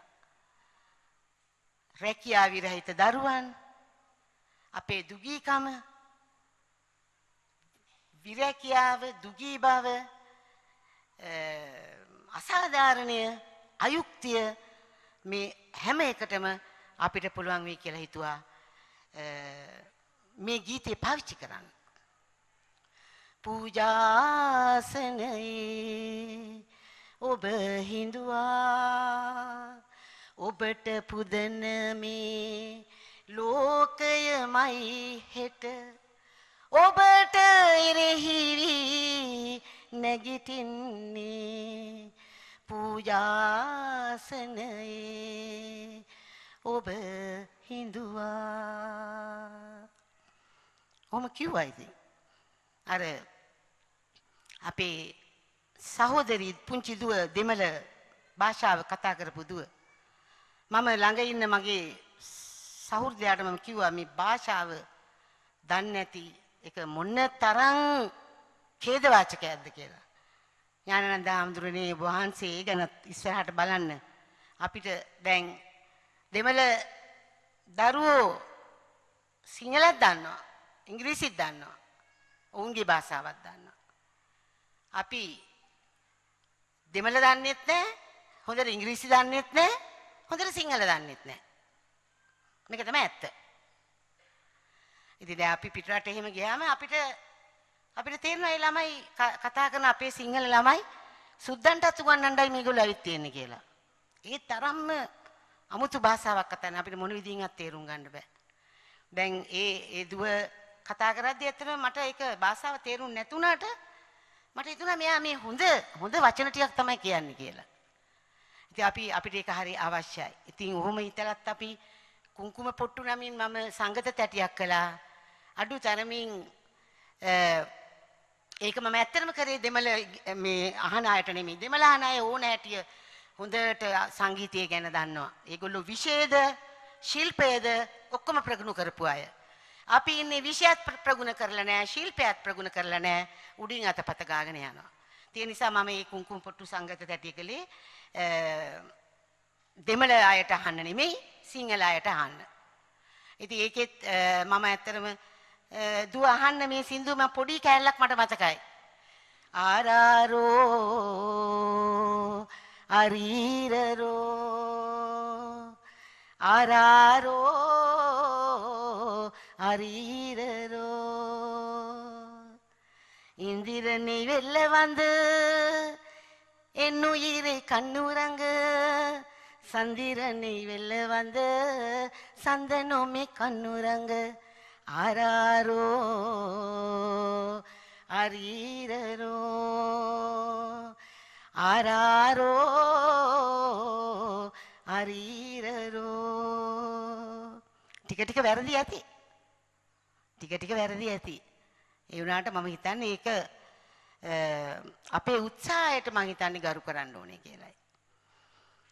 ඉතින් මේ මම කිව්වේ ඒකයි මම ගොඩක් වෙලා කතා කරන්න අදහස් කරන්නේ නැහැ. මම අර අපේ සුනිල් මහත්තයා කිව්වා වගේ මම චූටි කතන්දර දෙකකින් සින්දු දෙකක් කියන්න හදන්නේ. අ, මම ගියා පහුගිය අවුරුදු දෙකකට විතර දෙකක නෙමෙයි අවුරුදු 3-4කට උඩදී අපේ අමරදේව සර්ට තිබුණා මේ කන්දි විහාරේ පන්සලේ අලුත්ගම කන්දි විහාරේ පන්සලේ මේ උපාර උත්සවයක් තිබ්බා. ඒ උපාර උත්සවයට සර්ගේ උපාර ගීතය කියන්න තිබුණේ මට. ඉතින් මම ওই දවස්වල අපේ ගෙදර පඩිපෙලක් හදනවා. ඒ පඩිපෙලෙන් වැටිලා මගේ මේ වම් අත කැඩුනා. එහෙම් පිටින්ම. කැඩලා ඉතින් ලොකු ප්ලාස්ටර් එකක් දාගෙන ගියා. ඉතින් මම ප්ලාස්ටර් නෙමෙයි ප්ලාස්ටර් 10ක් දාගෙන හරි මම දැන් සින්දු කියන්නේ යන්න ඕනේ. ඉතින් ඒ නිසා මගේ මට හොඳට මතකයි මගේ පුංචි පොඩි නංගී තව යාළුවෙකුයි ඇවිල්ලා සාරියේ ඇඳුවා. ඉතින් මේ අන්- දාන්න බෑනේ 67. මෙහෙමනේ දාන්න ඕනේ. දාන්න බෑ. ඉතින් මේ හැ- මේක පැලලා දෙකට මැහැව්වා. ගෙන එහෙ යන්න 70. ඉතින් මගේ අර යාළුවා කිව්වා මගේ නංගි නම් ඒකට කැමති වුණෙත් නැහැ. නංගි කිව්වා මලමිනියන් දන්නෙත් මෙහෙමයි. ඒ කප් දෙකට බෙදලා හදන්න කියලා. ඉතින් නංගි ආසෙ උන්නේ නැහැ ඒක කියනවට. ඉතින් මං කිව්වා අනේ හොඳයි දැන් මලමිනියත් ඇඳෙනවා දැනගත්තද දැන්. ඉතින් ඇඳගෙන දැන් ගියා. ගිහිල්ලා ඔහම ඉන්නකොට මේ හරියට වන්දනා වෙනවා දැන් මේ මේ මාමේ වුණාවට එනවා වගේ. එහෙට බස් එකකින් ආවා මේ චූටි පොඩි ගොඩාක් කට්ටිය hina වෙවි hina වෙවි යනවා. පොඩි දරුවෙක් කළු මට හොඳ අමු මූණක් හොඳ කටු මූණක් තිබුණේ පොඩි එකාගේ. ඇවිල්ලා මේ මන් ළඟට ඇවිල්ලා හැව්වා මගේ එක්කම හිටියා සිද්ධාර්ථ හාමුදුරුවෝ රඹුකන සිද්ධාර්ථ හාමුදුරුවෝ හිටියා අපේ ජ්‍යෙෂ්ඨ කවීන්ද්‍රයා පරාක්‍රම කොඩිතුවක්කු හිටියා ළඟ. ඇහුවා මේ මගෙන් ඇහුවා මේ නැන්දගේ අතමක් වෙලාද කියලා ඇහුවා. හඳුන් කුරු පෙට්ටියකුත් අතේ තිබුණා. ඉතින් මං කිව්වා අනේ පුතේ බලන්නකෝ මම මේ ගෙදර පඩි පෙලෙන් වැටිලා මගේ අත කැඩුනා. ඒකයි මේ කිව්වා. හොඳට බලන් හිටියා මන් දිහා මූණ. බලන් ඉල්ලුවා හොඳ වැඩි. කපාටම කිව්වා. හොඳ වැඩි කිව්වා. ඉතින් ටිකක් කපාට සැලිලා මං ඇහුවා ඇයි පුතේ කිව්වම ඔයා අපිට තෝතෝ කී කී සින්දු කියනවා. හොඳ නෑ කිව්වා. බැලින්න මොකද දැන් මේ කාලේ මේ මේ සින්දු ප්‍රසිද්ධයි. පුතාලා කියන්නේ මොකද්ද සින්දුව? මොකද්ද? හා? කියමු අපි දැන්. කූචි කුචයියෝ. කූචි කුචයියෝ. කූචි කුචයියෝ. කියන්නේ තෝත් නටාපිය මාත් නටන්නම් කූචි කුචයියෝ කූචි කුචයියෝ. ඔකේ තෝතෝ කියලා තියෙනවනේ. ඒකයි. තොටබත් හැන්දයි මටබත් හැන්දයි තොටබත් හැන්දයි මටබත් හැන්දයි තෝත් නටාපිය මාත් නටන්නම් කූචි කුචයියෝ කූචි කුචයියෝ ඔන්න ඕක කියලා අර හොඳ වැඩේ කියලා අහගත්තේ. ඉතින් පස්සේ ඉතින් අර සිද්ධාර්ථ හාමුදුරුවෝ මේ ජනවාරේ ගැමියා කියන වචන කියලා ඉතින් ලොකු සාත්තරයක් කිව්වට එයාට හරියන්නේ නැහැ. ඒක පස්සේ අතේ තිබුණ හඳුන් කුරත් මගේ ඇඟට ගහලා දාලා දිව්වා. ඉතින් මම එතනදිත් ඇත්තට මං හිතුවා අපි කොච්චර වාසනාවන්තද කොච්චර හොඳද මේ වගේ මේ සින්දුවක් කියලා දැන් එයා ඒකට තරහ වෙලා. ඉතින් ඒක හරි වටිනවනේ. එයාගේ තරහව සාධාරණයිනේ. එයාගේ පුංචි මනසේ හිතෙන දේ. හරි සන්තෝසයි. දැන් ඔහුමම පොඩි කතාවක් තියෙනවා මට කියන්න. මම කරා සින්දු හෝඩිය නමින් සංගත තැටියක්. ඒකේ තියෙන්නේ අයන්නේ ඉඳලා අං වෙනකන්ම නොනවතින සින්දු අයන්න ඉඳලා අං වෙනකන්. අයන්න අලියාටයි අලියා කළු පාටයි මොයන්න මොනරාටයි මොනරා කොළ පාටයි ඔහොම තමයි සින්දු තියෙන්නේ. මෙන්න මේ කාලේ මගේ පොඩි දුව උපකාරක පන්තියකට මේ රාජගිරිය පැත්තේ ගිහින් තිබුණා. ඒ ඒ සංගත තැටියේ ඉවර කරන්නේ ගීයක් තියෙනවා. ඒ ගීය ගායනා කරලා මම කියනවා ඔන්න පුතාලා මේක පාඩම් කරගන්න ඕනේ. මං එනවා පාඩම්ද කියලා බලන්න. ඔතනින් තමයි ඉවර කරන්නේ. ඉතින් දැන් මේ ඒ පැත්තේ ඉතින් දැනගන්න ඇතිනේ මගේ දුවයි මෙතනට එන්නේ කියලා. ඉතින් ඒ අල්ලාපු ගෙදර මෙම චූටි බාග තාප්පකින් තමයි වැහිලා තියෙන්නේ. ඉතින් මට ඇවිල්ලා අම්මා මට එහෙට යන්න බෑ. පොඩි මේ නංගි කෙනෙකුයි මල්ලි කෙනෙකුයි මේ බයිනවා මට කියලා. මොකද මෙයාට කියනවලු අප්පෝ උගලන්ගේ අම්මා මහ බොරුකාරයා. එනවා කිව්වට ආවේ නැහැ. කියනවලු. ඉතින් ආයි ඊළඟ දවසෙත් ගියම කියන කෝ තාම ආවේ නෑ මහා බොරුකාරයා කියනවලු. ඉතින් මට මේ ඇවිල්ලා කිව්වා මම ඉතින් දවසක් ගියා ගෙදර ඒ ගෙදරේ. මේ මේ උපකාරක පන්තිය නැති වෙනවනේ. යනකොට කතාව මේකයි. ඉතින් මං දැන් ටිකක් බැලුවාම මෙන්න මේකයි ප්‍රශ්නේ. ඊගොල්ලෝ මං ගෙදරට ගියා. ගෙදරට ගිහලා ඉතින් ඒගොල්ලෝ එක්ක සින්දුවක් කියලා ඒගොල්ලන්ගේ එක සින්දුව පාඩම්ද කියලා බලලා යන්තම් රණ්ඩුව සමතකටපත් කළා. මොකද්ද සින්දුව? ආ ආ ඈ ඈ ඊ ඌ ඌ ඒ ඒ ඌ ඌ ආ ආ ඈ ඈ ඊ ඊ ඌ ඌ ඒ ඒ ඌ ඌ කාගජ ටඩන තදන පබම කාගජ ටඩන තදන පබම යාර ලව සහල අං මෙන්න සින්දුව අකුරු 32යි ශුද්ධ හෝඩියේ අකුරු 32යි ඉතින් දැන් ඔකත් කියලා ආවා ඉතින් මම ඇත්තටම දැන් මේ දේවල් ටික කිව්වේ අපි අපේ කලාවෙන් ජීවිතය ජයගත්තු විදිය. මම කිව්වේ ඒකනේ මගේ එක්ක තමයි මගේ නංගිය ආවා. බාලයා නවවෙනියා. පවුලේ නමය. එයා මේ මුකුත් දන්නේ නැහැ. හුඟක් දුක්ඛ දෝමනස්යන් දන්නේ නැහැ. එයා එනකොට අපි හුඟක් දේවල් වලින් වැඩ හරි. දැන් මේ කියලා එකට ආව එකත් හොඳයි. මේක දැන් ටිකක් දැනගත්තානේ. දැන් මට මේක මම අවසන් වශයෙන් තවත් දෙයක් මට කියන්න ඕනේ. දැන් ওই පුතාලා දුවලා දැන් මේ බලනවා වගේ ඒ කාලේ අපි පොඩි කාලේ රියැලිටි ප්‍රසංග තිබුණේ නැහැ. තිබුණා අපිට ගුවන් විදුලියේ තරංගයක්. ගීත තරංගයක් තිබ්බා. මම හුඟක් පුංචි. මේ තරඟේ කරේ ඒ කාලේ හිටියා ප්‍රොස්පර් පනාන්දු කියලා මහත්තයෙක්. ඒ මහත්තයා තමයි මේකේ නිවේදන කටයුතු කරේ අර මෙතන දැන් ඉන්න පුතා කරනවා වගේ. ආර්යසේන මිල්ල විතානාරච්චි කියලා නිෂ්පාදකතුමෙක් හිටියා. එතුමා තමයි නිෂ්පාදනය කළේ. මට හොඳට මතකයි මම දැන් වයස අවුරුදු 72යි. ඉතින් මට හුඟක් මතකයි. ගොඩාක් දේවල් මතකයි. මොකද මතක තියෙන්නේ මං හිතන්නේ අපිට අතීතයේ තුලින් තමයි අපි තාම ජීවත් වෙන්නේ. වර්තමානයට ඇවිල්ලා අපිට නැවත එනවට වඩා හැම වෙලේම අපි අර ටික මතක් කරගත්තොත් තමයි අපේ ජීවිතේ ගොඩනගා ගන්න පුළුවන් වෙන්නේ. ඒ නිසා හොඳට මතකයි. ඉතින් මේ තරගෙන් පළවෙනි වුණා මම. දෙවෙනියා වුණා වික්ටර් රත්නායක මහත්තයා. අපි දෙන්න තරඟ කළේ. පොඩි යත් පොඩි මාත් පොඩි.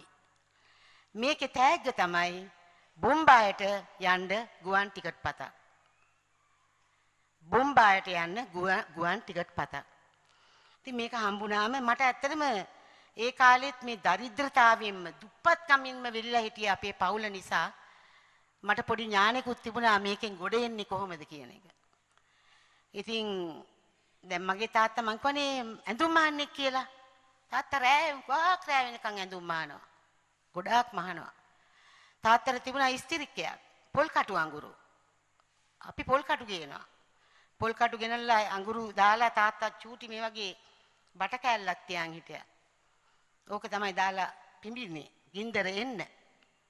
ඉතින් ගින්දර හොඳට ඇවිල්ලා ඉවර වුණොත් තාත්තගේ මුළු ඔළුවෙම කුඩු වලින් පිරීලා. අර මේ අඟුරු කුඩු වලින් පිරීලා මූණ ඔක්කොම හැමතැනම. හරි සුදුයි තාත්තා තවත් සුදුයි. ඉතින් මේ දුක අපිට හොඳට තේරුණා මේක. අම්මා තේ කෝප්පයක් හදලා වහලා තියෙන තාත්තට තාත්තා රෑ වැඩ කරනවා බොත්තම් කාස මානවා කර මානවා තාත්තා හොඳ කටර් කෙනෙක් ඇත්තටම කටර් බාසුන්නේ කියලා තාත්තට කිව්වේ. ඉතින් අපි හොඳටම දන්නවා මේ තේක තාත්තා හොඳටම ඇල් වතුරලයි බොන්නේ කියලා. නමුත් කරන්න දෙයක් නැහැ. තියෙන්නේ එච්චරයි. ඉතින් මේ බොම්බායට යන්න ටිකට් එක හම්බෙච්ච වෙලාවේ මම තාත්තට කිව්වා මේ තාත්තේ මොන පිස්සුද අපි කොහෙද මේ රටවල් වලට යන්නේ? අපි ගිහිල්ලා බලමුද මේක දීපු තැනින් මේ අපිට සල්ලි දෙන්න පුළුවන්ද කියලා. ඉතින් තාත්තා ටිකක් අකමැත්තෙන් ගියා ඉතින් මයිත් එක්ක. මේ කොටුවේ ওই ජනාධිපති මන්දිරය ළඟ ඔර්ලෝසු කණුවක් තිබුණා. තාම තියෙනවා. ඒ ඔර්ලෝසු කණුව ළඟ තමයි මේ කාර්යාලය තිබුණේ. ඉතින් ගිහිල්ලා මං තමයි කතා කරේ තාත්තා මුකුත් කතා කරේ මම ඉතින් ගිහිල්ලා කිව්වා මහත්තයා අපිට මේ රට යන්න අපිට වත්කමක් නැහැ අපි දන්නෙත් නැහැ යන්න අපිට මේ ටිකට් එක අරගෙන මුදලක් අපිට දෙන්න පුළුවන් නම් හොඳයි කියලා කිව්වා. කිව්වහම ඒගොල්ලෝ දෙසරයක් හිතුවේ නෑ ඇත්තටම. ඒ ඇතුළට ගිහිල්ලා මේ මහත්තුරු ඒක බලලා මේ ඉක්මනට ඒ මුදල් අපිට ගෙනත් දුන්නා. මට ඒක මතක නෑ කොච්චර මුදල්ද කියලා. ඉතින් මුදල් ටික අතර හම්බුනාට පස්සේ ඇත්තටම හරි බඩගිනි. ගාක් වෙහෙස වෙලා දැන් මෙතනට ආවේ අපි. කොටේනෙන් කොටේන පල්ලිය උඩින් නැගලා ආම ස්ට්‍රීට් හරහා හෙට්ටියවත්ත හරහා ඔහොම පයින්ම ඇවිල්ලා ආවේ අපි කොටුවට. ඉතින් තාත්තා කිව්වා අපි මොන හරි කමු කියලා ඔය දැන් තියෙන වගේ ලස්සන පොඩි පොඩි කඩ තිබුණා. හොඳ එළවලු රොටි දෙකක් තාත්තයි මයි කාලා. හොඳ සරුවත් එකක් බිව්වා. තවම මට ඒ සරුවත් එකේ රස මතකයි. දැන් නම් එහෙම සරුවත් හම්බෙන්නේ නැහැ. කසයට දාපු හොඳ සරුවත්. බීලා මේ ඉතින් දැන් අපි එනවා ඉතින්. එන ගමන් මං තාත්තට කිව්වා තාත්තේ අපි මේ සල්ලි වලින් ඉස්තිරිකයක් ගමු. මොකද මම දන්නවා දැන් තාත්තගේ. ඒ ගමන් තාත්තා කිව්වා උඹට පිස්සුද බං ඉස්තිරික ගන්න කොහෙද මේ ගෙදර ලයිට් නැතුව කියලා. ගෙදර ලයිට් නැහැ. ඒ ගමන් මං කිව්වා ලයිට් උත් ගමු. ලයිට් ගත්තා. තාත්තට ඉස්තිරිකයක් ගත්තා. සුමානකට විතර කණ්ඩ බොණ්ඩ හොඳට දේවල් ගෙනාවා. තවත් සල්ලි ටිකක් ඉතුරුයි. ගත්ත තාත්තට උණු වතුර බෝතලයක්. හරි සන්තෝසයි ජීවිතේ. ජීවිතේ හරි සන්තෝසයි. ඉතින් මෙහෙම අපි ලබාගත්තු පන්නරේ මම හිතන්නේ අපිට හුඟක් ශක්තිමන්ත වුණා. දරුවෝ හදන්න, ගෙවල් දොරවල් හදාගන්න, තව කාට හරි උදව් කරන්න, අපේ සරල ජීවිතයක් ගොඩනගා ගන්න හොඳට පුළුවන්කම තිබුණා. පුළුවන්කම ලැබුණා. දැන් මම මගේ කතාව අවසන් කරන්න යන්නේ හුඟක් වෙලාව ගියා දැන්. ඒ නිසා මම අවසාන වශයෙන් ඇත්තටම මේ දෙමව්පියෝ අද කැපකරු මාපිය දෙමව්පියෝ ලොකු ලොකු දෙයක් ඉෂ්ට සිද්ධ කරන්න මේ දරුවන්ට. අපිටත් එහෙම අපිට හුඟක් අය උදව් කරා. මට මතකයි අපේ පන්සලේ සුදු ගවුම් බෙදා දෙන රෙදි බෙදා දෙන දිනයක් තිබුණා. ඒ දිනේදී අක්කයි මයි දෙන්නම ගියා ඒ රෙදි ලබා ගන්න පොලිමට. දීපතුත්තාමාර රාමේ පන්සලේ. ගිහිල්ලා කිට්ටු එනකොටම රෙදි ඉවර වුණා. අපිට ලබා ගන්න. මූණ අපේ එල්ලුණා. මේක හාමුදුරන්ට හොඳට තේරිලා හාමුදුරුව අපිට හාමුදුරුව මේ ඥානනන්ද හාමුදුරුව මේ දැන් මේ කරන සේවය වගේ අපිට රෙදි ගෙනල්ලා දුන්නා. එහෙම අපේ ජීවිතයක් අපිට තිබුණා. අපි ඒක හොඳට ප්‍රයෝජනයට අපි අරගත්තා. ඒ නිසා අපි ජීවිතේ ශක්තිමත් ජීවිතේ සාධාරණයි සත්‍යය දකින්න අපිට පුළුවන් සරලයි බොරුවක් කියන්නට අවශ්‍ය නැහැ. බොරුව එක බොරුවක් කිව්වොත් පුතේ දුවේ ඒක වහන්න බොරු 10ක් කියන්න ඕනේ. ඒ නිසා අපිට අපි සත්‍යය ප්‍රකාශ කරොත් අපිට අපේ ජීවිතේ ගොඩනගා ගන්න පුළුවන් අතීතය මෙනෙහි කරමින්. ඒ නිසා මම මගේ කතාව අවසන් කරන්නට මම මේ දරුවන්ගේ දෙමව්පියන්ට ඒ වගේම අපේ පින්වන්ත හාමුදුරන් වහන්සේලාගේ දෙමව්පියන්ට ආශිර්වාදයක් කරන්නට. දෙමව්පියන්ට භක්තියක්ම ලබා දෙන්නට.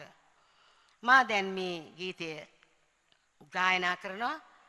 මේ ගීතයටත් ඇත්තටම පුංචි කතන්දරයක් තියෙනවා. අපි පතන කියන නුවරඑළිය පැත්තේ අවස්ථාවක අපි ගියා මේ පැල රෝපණයකට ඒකට ලොකු විද්වත් සභාවක් ගියා මහාචාර්ය ජේ.පී. දිසානායක මහාචාර්ය සුනිල් ආරියරත්න ධර්මසිරි ගමගේ W.A. අබේසිංහ මේ වගේ ලොකු කණ්ඩායමක් අපි ගියා බස් එක. ගිහිල්ලා අපිට මගදී ලස්සන දිය ඇල්ලක් ගලාගෙන දිය ඇල්ලක් තැනක නවත්තලා අපි ඔක්කොමලටම ඕන වුණා මූණ ටිකක් සෝද ගන්න, කකුල ටිකක් තෙමා ගන්න, ඒකේ සුන්දරත්වයේ විඳින්න. ඔහොම ඉන්නකොට ධර්මසිරි ගමගේ සොහොයුරා දුර ඉඳලා සීයා කෙනෙක් එනවා දැක්කා. ඒ සීයාගෙන් ඇහුවා සීයේ මේ මේ මේකින් වතුර ටිකක් අපිට බොන්න හොඳයිද කියලා ඇහුවා. සීයා එකපාරටම පාට හිටගෙන හොඳ ලස්සන්ට කිව්වා අනේ පුතේ ඔය අම්මා වගේ වතුර ටික කිව්වා. කිසි දෙයක් වෙන කිව්වේ නෑ යා. බොණ්ඩ කිව්වෙත් නෑ, එපා කිව්වෙත් නෑ. ඔය අම්මා වගේ වතුර ටික. ඔච්චරයි කිව්වේ. බලන්න ඒකේ මොන තරම් ධර්මයක්ද තියෙන්නේ කියලා. අපි ගමන ගිහින් ඉවර වෙලා එද්දී W අබේසිංහ කවීන්ද්‍රයා මගේ මං ගෙදර ළඟින් බහින්න හදනකොට මට කොල කෑල්ලක් දීලා කිව්වා නන්දා මේක තියාගන්න මේක චුට්ටක් බලන්න මේක කියා වැඩකට ඉදිරි වැඩකට ගන්න පුළුවන්ද කියලා. ඒ ගීතේ තමයි දැන් මම කියන්න යන්නේ. හොඳට ඔබ අහන්න. මොන තරම් උපමා මේ ගීතය තුල තියෙනවද? ඔබගේ හදවතේ අම්මා තාත්තා ගැන යම් කිසි අදහසක් මතුවේ. ඔබ බලන්න මේ ගීතය අහලා අපිට මේ හදවතේ පිපෙන මල පුළුවන්ද මගේ අම්මට තාත්තට පුදන්න කියන එක ගැන හිතලා බලන්න. මම දැන් මේ සින්දුව තමයි කියන්න යන්නේ. මම හිතනවා මේ මුළු ගීයේම වචන ටික මට මතක් වෙයි කියලා මේ මොහොතේ මං මතක් වුණොත් ඔක්කොම ටික කියනවා. මම හිතනවා මතක් වෙයි කියලා. මේ ගීතය අහන්න මගේ කතාව මම මෙතනින් ගීයෙන් අවසන් කරනවා. මම හිතනවා සුබෝධි හාමුදුරුව මට ආරාධනා කළා මගේ කතාව දරුවන්ට කියන්න කියලා.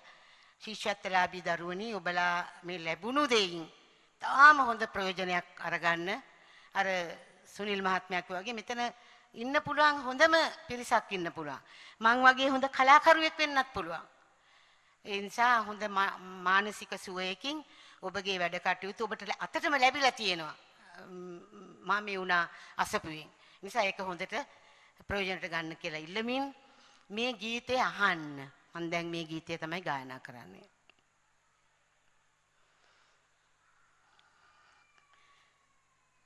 මිහි මණ්ඩලේ අඳුරු කුසේ දිය උල්පත අම්මා අහස්තලින් මරු කතරට වහින වැස්ස අම්මා නිල් දෙරණී තුරුලිය මත මල් සම්පත අම්මා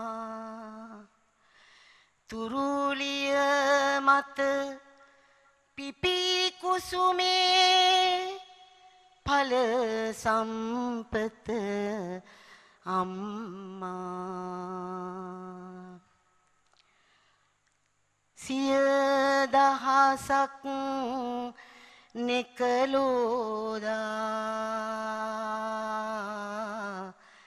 එලිය කරන අම්මා.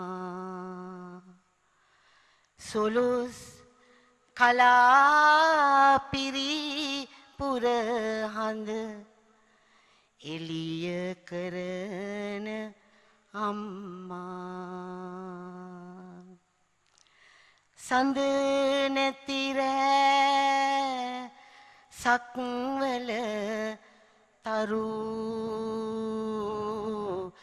එලිය කරන අම්මා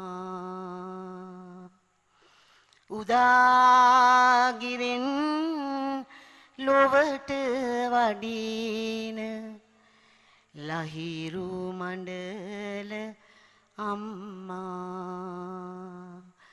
මිහි මණ්ඩලේ අඳුරු කුසේ දිය උල්පත අම්මා අහස්තලින් මරු කතරට වහින වැස්ස අම්මා තිරුවන් සරණයි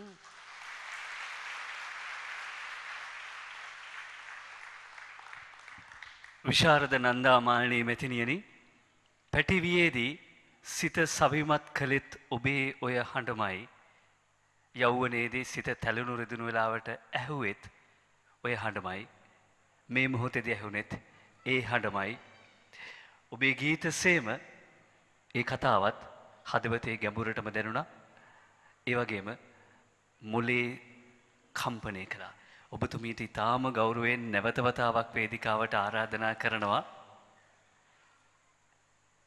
விஷாரத நந்தாமாலினி மெத்தினியனி அருமையாக பாடல்களை பாடி தன்னுடைய அனுபவங்களை நம்மோடு பகிர்ந்து கொண்டார் அதிலே அவர் பாடிய ஆறாரோ ஆறிரரோ தாலாட்டும் கூட நிச்சயமாக எங்களுக்கு நல்லதொரு அஹ், மனதுக்கு தாலாட்டாக அமைந்தது இப்போது நந்த அமாலினி அவர்கள் கரங்களால் கூட தங்க பதக்கம் விருதுகள் என்பன வழங்கி வைக்கப்பட இருக்கின்றன නන්දාමාලිනී අතින් මුලින්ම රන් සම්මාන දිනාගන්නට රන් සම්මාන ලබන්නට රන් සම්මාන පළඳවන්නට අපි සූදානම් ආරාධනා කරනවා. කලාංශයෙන් අධ්‍යාපනය හදාරා ඒ සාමාර්ථ තුනක් ලබා ගනිමින් විශ්වවිද්‍යාල ප්‍රවේශය ලද එන්නිව් රමේශිකා මදුෂානි තිස්ස මහාරාම මහාවිද්‍යාලයේ දියණියට. රමේශිකා මදුෂානි දියණිය තිස්ස මහාරාම මහාවිද්‍යාලයේ. කලා විෂය ධාරාව යටතේ අධ්‍යාපනය හදාලා ඇය ඒ සාමාර්ථ තුනක් ලබා ගත්තා. මීළඟට නාරන්දිනී ජාතික පාසලෙන් තාක්ෂණික අංශයෙන් අධ්‍යාපනය හදාරා විශ්වවිද්‍යාල ප්‍රවේශය ලද එල් ඩිමල්ෂා සුජානි දියණීට ආරාධනා කරනවා.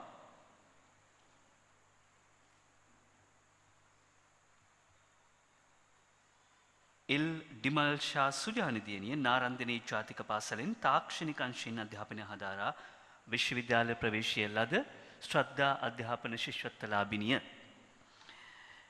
ඊළඟට දික්වැල්ල විජිත මධ්‍ය මහාවිද්‍යාලයේ අධ්‍යාපනය හදාරන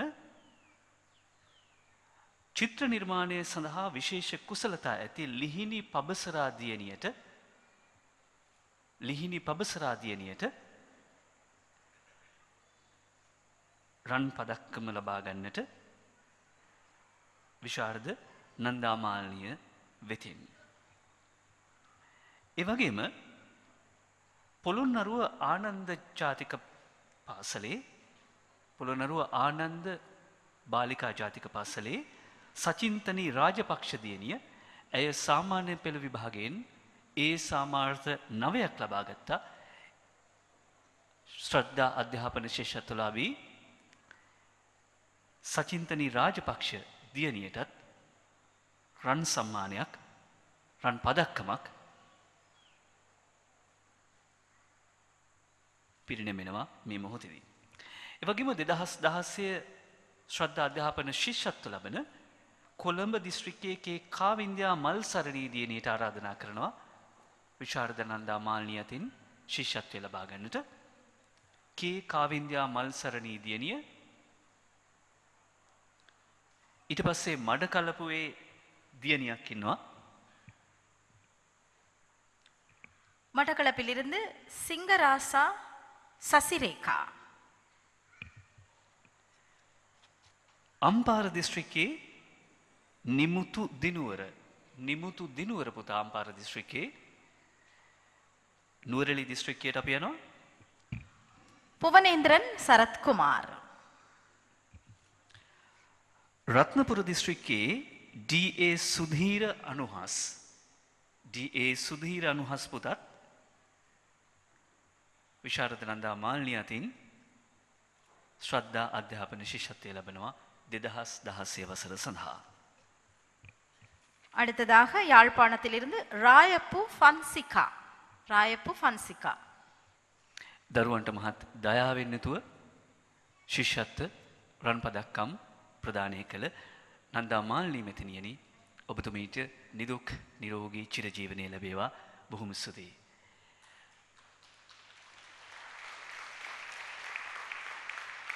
මීළඟට පින්වත් මහනායක ස්වාමීන් වහන්සේට අෂ්ට පරිෂ්කාර පූජා කිරීමේ පින්කමයි සිදුවන්නේ.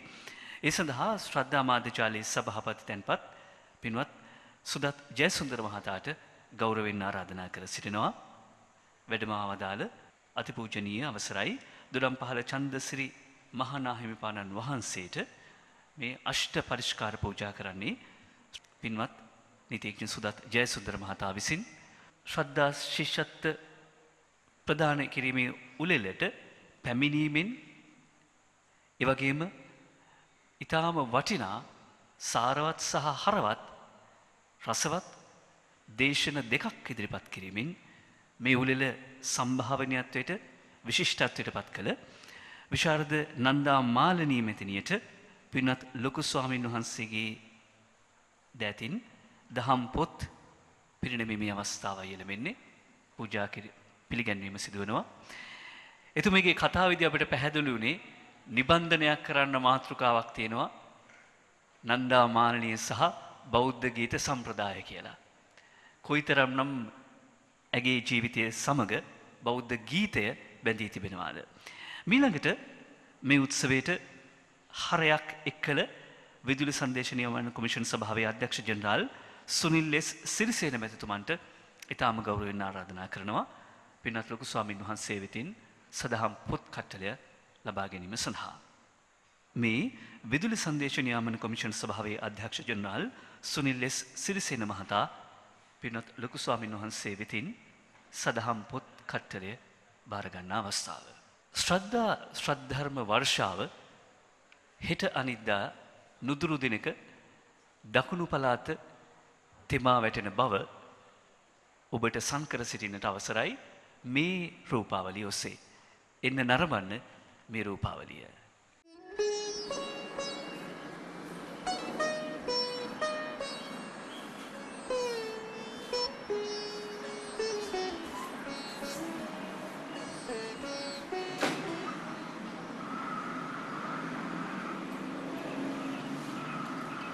මක්කයි මේ අම්මා අමයි මෙන්න හදන්නේ. මම මේ කොළඹ පුතාලෑ ගෙදර යන්න කියලා. අයියලායි ගෙදර හිරවෙලා ඉන්න බෑ කියලානේ අම්මා මෙහෙ ආවේ. එහෙ හිර වෙලා හිටියත් ඉතින් ශ්‍රද්ධා ටීවී එකෙන් බණපදයක් ඇහෙනකොට හිතට දැනෙන සැනසීම ලොකු දෙයක් දුවේ. කොළඹට ශ්‍රද්ධා ටීවී එක හොඳට පේනවා. අත්තම්මේ ඔයාට කොළඹ යන්න ඕන නෑ. ඒ ඇයි දුවේ? අපේ ටීචර් කිව්වා ළඟදිම දවසක දකුණින් අපිට ශ්‍රද්ධා ටීවී බලන්න පුළුවන් කියලා. ලක්තිවත් සම්බුදු සසුනත් සුරැකූ අභීත විරුවන් දැයට දායාත කළ දකුණු පලාතේ වෙසෙන ලක්ෂ සංඛ්‍යාත ජනතාවකට උතුම් ශ්‍රී සද්ධර්මය දායාත කරනු පිණිස ශ්‍රද්ධා රූපවාහිනියත් ශ්‍රද්ධා ගුවන් විදුලියත් දකුණුලකට ගෙනයන්නට අපි සැවුම අත්වැල් බැඳ ගනිමු. ඒ සඳහා දකුණේ ශ්‍රද්ධා සම්ප්‍රේෂණ මධ්‍යස්ථානය තනවන්නට දායක වනු කැමති පින්වත් ඔබට හැකියයුරින් එහි පරපැනින් කොටසක් වූ කොටස් කිහිපයක් සඳහා දායකත්වී දරිය හැකි. සම්ප්‍රේෂණ මධ්‍යස්ථානයක මුළුවියදමින් තිහින් එකක් එනම් රුපියල් මිලියන එක කොටසක්. සියෙන් එකක් එනම් රුපියල් ලක්ෂ තුනක කොටසක්. තුන්සියෙන් එකක් එනම් රුපියල් ලක්ෂයක කොටසක්. තුන්දාසෙන් එකක් එනම් රුපියල් දහදාසක කොටසක්. තිස්දාසෙන් එකක් එනම් රුපියල් දහස්සක කොටසක්. හැටදාසෙන් එකක් එනම් රුපියල් පන්සියයක කොටසක් ගැන ඉහත සඳහන් කොටසක් සඳහා බරපෙනදරීමෙන් හෝ මාස්තික දායකත්වයක් වශයෙන් හෝ ඔබට හැකි පමණින් හෝ දායක විය හැකි. මීට සම්බන්ධවීමට කැමති ඔබගේ මුදල්ලාතාර සම්පත් බැංකුව කඩුවල ශාකාව ගිනුම්මංක බිඳුව එකයි හැට දෙකයි හයයි බින්දු හතරයි දෙසිය දෙක දරන ශ්‍රද්ධා රූපවාහිනි සංවර්තන අරමුදලකිනුමට පෙරකර බැංකු රෙසිත් පතෙහි ඡායා පිටපතක් විකාශන කටයුතු පුළුල් කිරීම සඳහා ලෙස සඳහන් කොට ඔබගේ නම ලිපිනේ සහ දුරකථනංකයද සමග අප වෙත එවන්න. ශ්‍රද්ධා සංවර්ධනංශය මහමිවුණාව බෝධිඥාන භාවනසපුව නොම්බර තුන්සිය හැට නවය හේවාගම කඩුවල. සියලු තොරතුරු සඳහා අමතන්න බිඳුවයි හතයි එකයි දෙකයි තුන්සිය විසි අටයි අටසිය විසි හය බිඳුවයි හතයි එකයි නවයයි පන්සිය හැත්තෑ පහයි එකසිය හතලිස් එක. අපගේ විදුත් ලිපිනය ඉන්ෆෝ ශ්‍රද්ධා.ලක ඒනම් ඉතින් ගෙදර ඉඳම් බණක් අහන්න ශ්‍රද්ධා ටීවී එක දකුණටත් පෙන්වන්න උදව් කරන හැමෝටම පිං.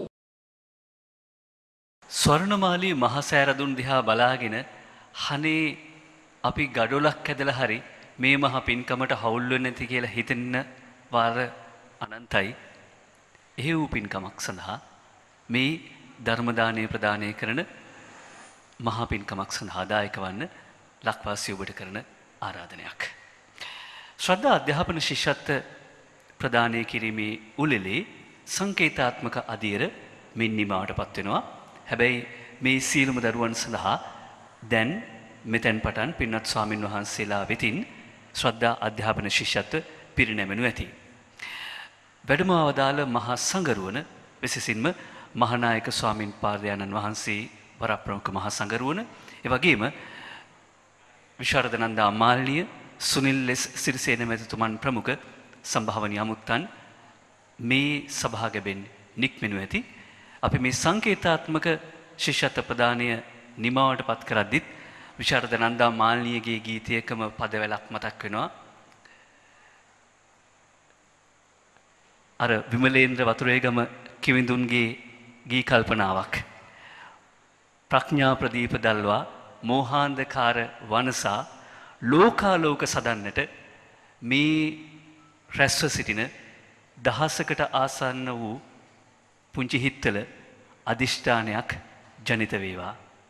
ඒ අධිෂ්ඨානය තව තවත් පෝෂණය වේවා. මේ උලෙල සඳහා පැමිණි සම්භාවනය අමුත්තනි ඔබට තෙරුවන් සරණයි.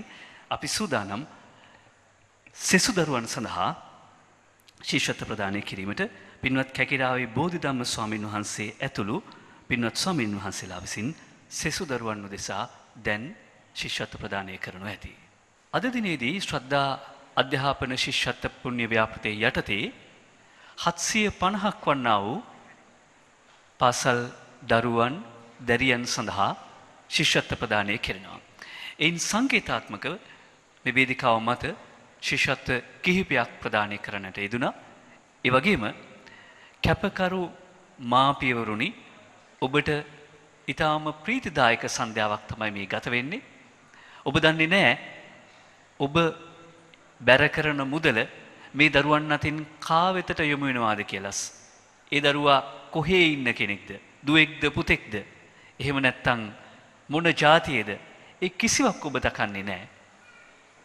ඔබ මහත් වූ මෛත්‍රියෙන් දයාවෙන් යුතුව ඔබ යොමු කරන මේ මුදල් මේ දරුවන් සඳහා වැය කෙරෙනවා. උදේ හවස කරණීය මෙත සූත්‍ර දේශනාව ඔස්සේ මෛත්‍රිය වඩන්නට පුරුදු වෙන ඔබ කරන මහත් மைத்ரி සහගත පින්කමක් මේ.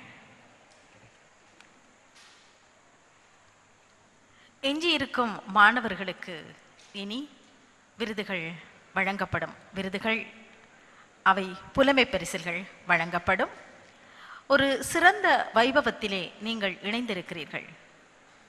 மாணவ மணிகளுக்கு புலமை பரிசில் வழங்கும் வைபவம். இந்த புலமை பரிசில் உங்களை உயர்ந்த ஸ்தானத்திற்கு நல்ல இடத்திற்கு கொண்டு செல்லும் என்கின்ற நம்பிக்கையோடு இந்த புலமை பரிசிலை வழங்குகிறார்கள். நீங்களும் அதன்படி அதனை பெற்றுக்கொள்ள வேண்டும். கற்பதற்காக மட்டுமல்ல ஒழுக்க விழுமியங்களை பேணுவதற்காகவும் என்பதை நினைவில் கொள்ள வேண்டும். මේ දරුවන් ශ්‍රද්ධා අධ්‍යාපන ශිෂ්‍යත්වය ලබද්දී කැපකරු මව්වරුන් පියවරුන් බලා සිටිනවා අසා සිටිනවා සමහර විට ශ්‍රද්ධා රූපවාහිනිය ඔස්සේ නරඹනවා. ඔබට දැක ගන්නට පුළුවන් දැක ප්‍රීති වන්නට පුළුවන් මේ දරුවන් මුහුණු ඔස්සේ එහෙම නැත්නම් මේ දරුවන් ශිෂ්‍යත්වය ලබද්දී ඔවුන්ගේ සතුටු මුහුණ ඔස්සේ ඔබට බොහෝ සොම්නසක් උපදවා ගන්නට පුළුවන් මේ ඔබ ඉතා අසීරුවෙන් දැහැමෙන් සෙමෙන් උපයන ධනයයි මේ දරුවන් වෙනුවෙන් කැප කරන්නේ.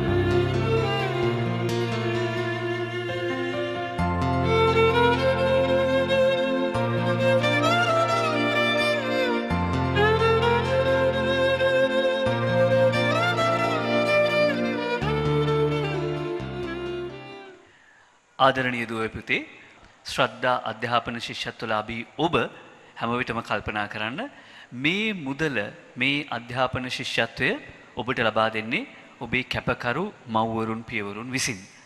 ඔවුන් මහන්සියෙන් උපයපු මුදල තමයි ඔබ වෙනුවෙන් මේ වෙන් කරන්නේ කැප කරන්නේ. ඔවුන් බලාපොරොත්තු වෙන එකම දේ ඔබ හොඳ මිනිස්සෙක් විදියට හොඳට ඉගෙනගෙන රටේ ජීවත් වෙන එක රටට වැඩක් කරන එක ඔබේ ආගමට දහමට වැඩක් කරන එක සහ තවත් ඔබ වගේම පිරිසකට ඔබට පුළුවන් කාලෙක ආයි පෙරලා උදව් කරන එක. ඒ ඇරෙන්න වෙන කිසිවක් ඔබට මේ මුදල ලබා දෙන කැපකර වූ මැව්වරුන් පියවරුන් බලාපොරොත්තු වන්නේ නැහැ. ඔවුන් බලාපොරොත්තු වෙන එකම දේ ඔබ හොඳ මිනිහෙක් වෙලා උගතෙක් වෙලා රටට වැඩදායක කෙනෙක් වෙලා හොඳින් ජීවත් වෙමින් තවත් ඔබ වෙන පිරිසකට අනාගතයේ මේ විදිහට උදව් කරන එක. ඒ අදිෂ්ඨානය හිතේ දරා ගන්න. දැන් ඒ අදිෂ්ඨානශීලී ඔබට පින්වත් ස්වාමින් වහන්සේලා සෙත් පිරිත් සජ්ජායනා කර ආශිර්වාද කරන්නට සූදානම්. අසුන් වලින් නැගී සිට සෙත් පිරිත් සජ්ජායනයේ ආශිර්වාදය ලබා ගන්න. இப்போது ஆசீர்வாதமும் பிரித் பாராயணமும் வழங்கப்படும் அனைவரும் எழுந்திருந்து அதனை கேட்டுக்கொள்ளுமாறு கேட்டுக்கொள்கிறோம். சாது சாது சாது நமோ தஸ் பகவதோ அரஹதோ. சம்மா சம்புத்தஸ் நமோ தஸ் பகவதோ அரஹதோ.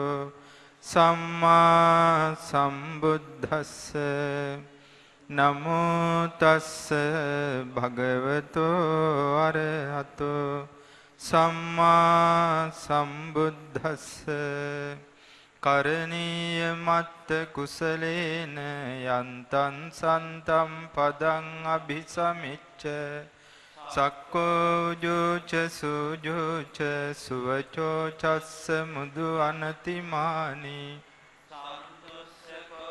සුභරෝච අප්පකිච්චෝච සල්ලහුක වුත්ති සන්තින්ද්‍රියෝච නිපකෝච අප්පගබ්භෝ කුලේසු අනනුගිද්ධෝ නචකුද්දන් සමාචරේ කිංචි යේන විඤ්ඤෝ පරේ උපවධියුං සුකිනෝ වාකේමිනෝ හොන්තු සබ්බේ සත්තා භවන්තු සුඛිතත්තා කේචිපාන භූතත්හි තසාවාධාවරාවානවසේසා දීඝාවායේ මහන්තාවා මජ්ජිමාරස්ස කානුකතුලා ඨාවායේව අද්දිඨායේ ච දුරේ වසන්ති අවිධුරේ භූතාවා සම්භවේසීවා සබ්බේ සත්තා භවන්තු සුඛිතත්තා.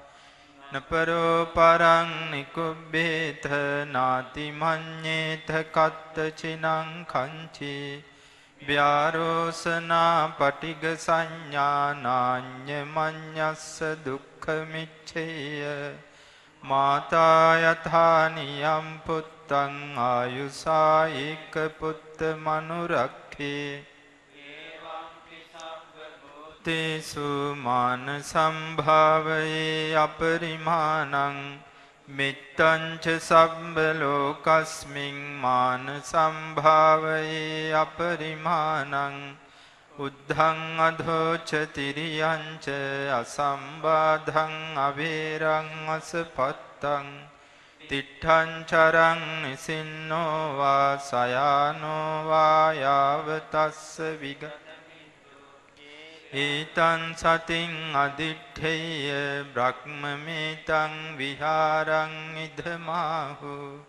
දිට්ඨිංච අනුපගම්ම සීලවා දස්සනේන සම්පන්නෝ. කාමේසු විනේයගේ ධන්නහි ජාතු ගබ්බසෙයම් පුනරේති.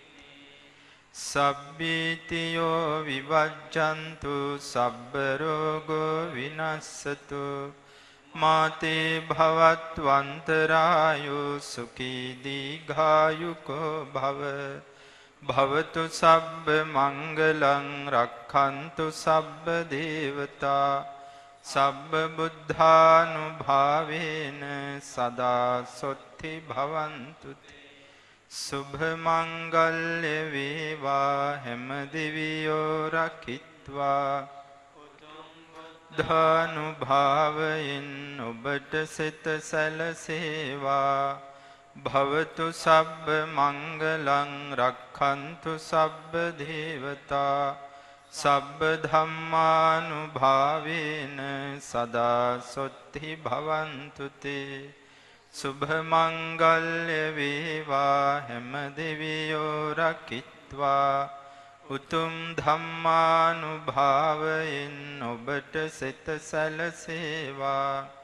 භවතු සබ්බ මංගලං රක්ඛන්තු සබ්බ දේවතා.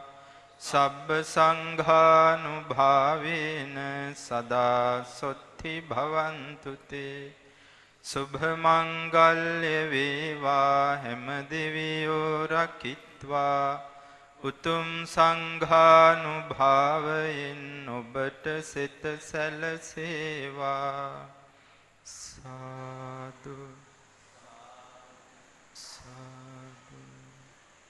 மகா மெவுனாவ தியான ஆசிரமமும் அதன் ஊடகப் பிரிவான ஸ்ரதா தொலைக்காட்சி நிறுவனமும் இணைந்து ஏற்பாடு செய்து இரண்டாயிரத்து பதினைந்தாம் ஆண்டு ஆரம்பிக்கப்பட்ட இந்த ஸ்ரதா கல்வி புலைமை பரிசில் செயல் திட்டத்தினூடாக இவ்வாண்டு இரண்டாயிரத்து பதினாறாம் ஆண்டுக்காக மாணவர்கள் தெரிவு செய்யப்பட்டு எழுநூற்று ஐம்பது மாணவர்களில் தங்கப் பதக்கங்களும் மற்றும் புலமை பரிசில்களுக்கான சான்றிதழ்களும் பெற்றுக்கொண்டீர்கள் இந்த வைபவத்தில் கலந்து கொண்ட அத்தனை பேருக்கும் எங்களுடைய வாழ்த்துக்கள். அடுத்த வருடம் இன்னும் நிறைய மாணவர்கள் இணைந்து கொள்ள வேண்டும் இணைத்துக் கொள்ளப்பட வேண்டும் என்கின்ற பிரார்த்தனையோடு உங்களிடமிருந்து விடைபெறுகிறோம் நன்றி வணக்கம் කිරිබත්ගොඩ ඥානන්ද පින්වත් ලොකු ස්වාමීන් වහන්සේගේ පුුණ්‍ය සංකාලපනාවක් මත ක්‍රියාත්මක වෙන ශ්‍රද්ධා අධ්‍යාපන ශිෂ්‍යත්ව වැඩසටහනේ දෙවන අධීරයි පින්වත් දරුදරියන් හත්සිය පනස් දෙනෙකු සඳහා ශිෂ්‍යත්ව ප්‍රදානය කරමින් අද දිනේදී සිදුවනේ. අමරපුර මහා සංඝ සභාවේ සභාපති දුහරන්දර ශ්‍රී කල්්‍යාන වංශනිකායේ මහානායක අතිපූජනීය අවසරයි. දුඩම් පහළ චන්දසිරි මහානාහිම්පාණන් වහන්සේ වර ප්‍රමුඛ මහා සංගරුවනෙහි ගෞරවනීය වැඩම කරවීමෙන් එවගේම ප්‍රවීණ ගායිකා සංගීත විශාරද නන්දා මාල්නී මැතිනිය එවගේම විදුලි සංදේශ නියාමන කොමිෂන් සභාවේ අධ්‍යක්ෂ ජෙනරාල් සුනිල් ලෙස් සිරිසේන මැතිතුමන් ප්‍රමුඛ සම්භාවනයන්ගේ සහභාගිත්වයෙන් ශිෂ්‍යත්ව ප්‍රදානය අද දිනේදී සිදු කරන්නට යෙදුනා. මේ ශිෂ්‍යත්ව ලැබූ සෑම සිතකම ජයග්‍රහණය ලබමී තවත් බොහෝ පිරිසකට ජයග්‍රහණය සඳහා මඟ පෙන්වමී කියන අධිෂ්ඨානය ඇතිවේවා කියන ප්‍රාර්ථනය ඇතිව අපි ශ්‍රද්ධා අධ්‍යාපන ශිෂ්‍යත්ව පුුණ්‍ය ව්‍යාපෘතිය සජීව විකාශය නිමා කරනවා ඔබ සමට තෙරුවන් සරණයි නමුබුද්ධාය. සිප්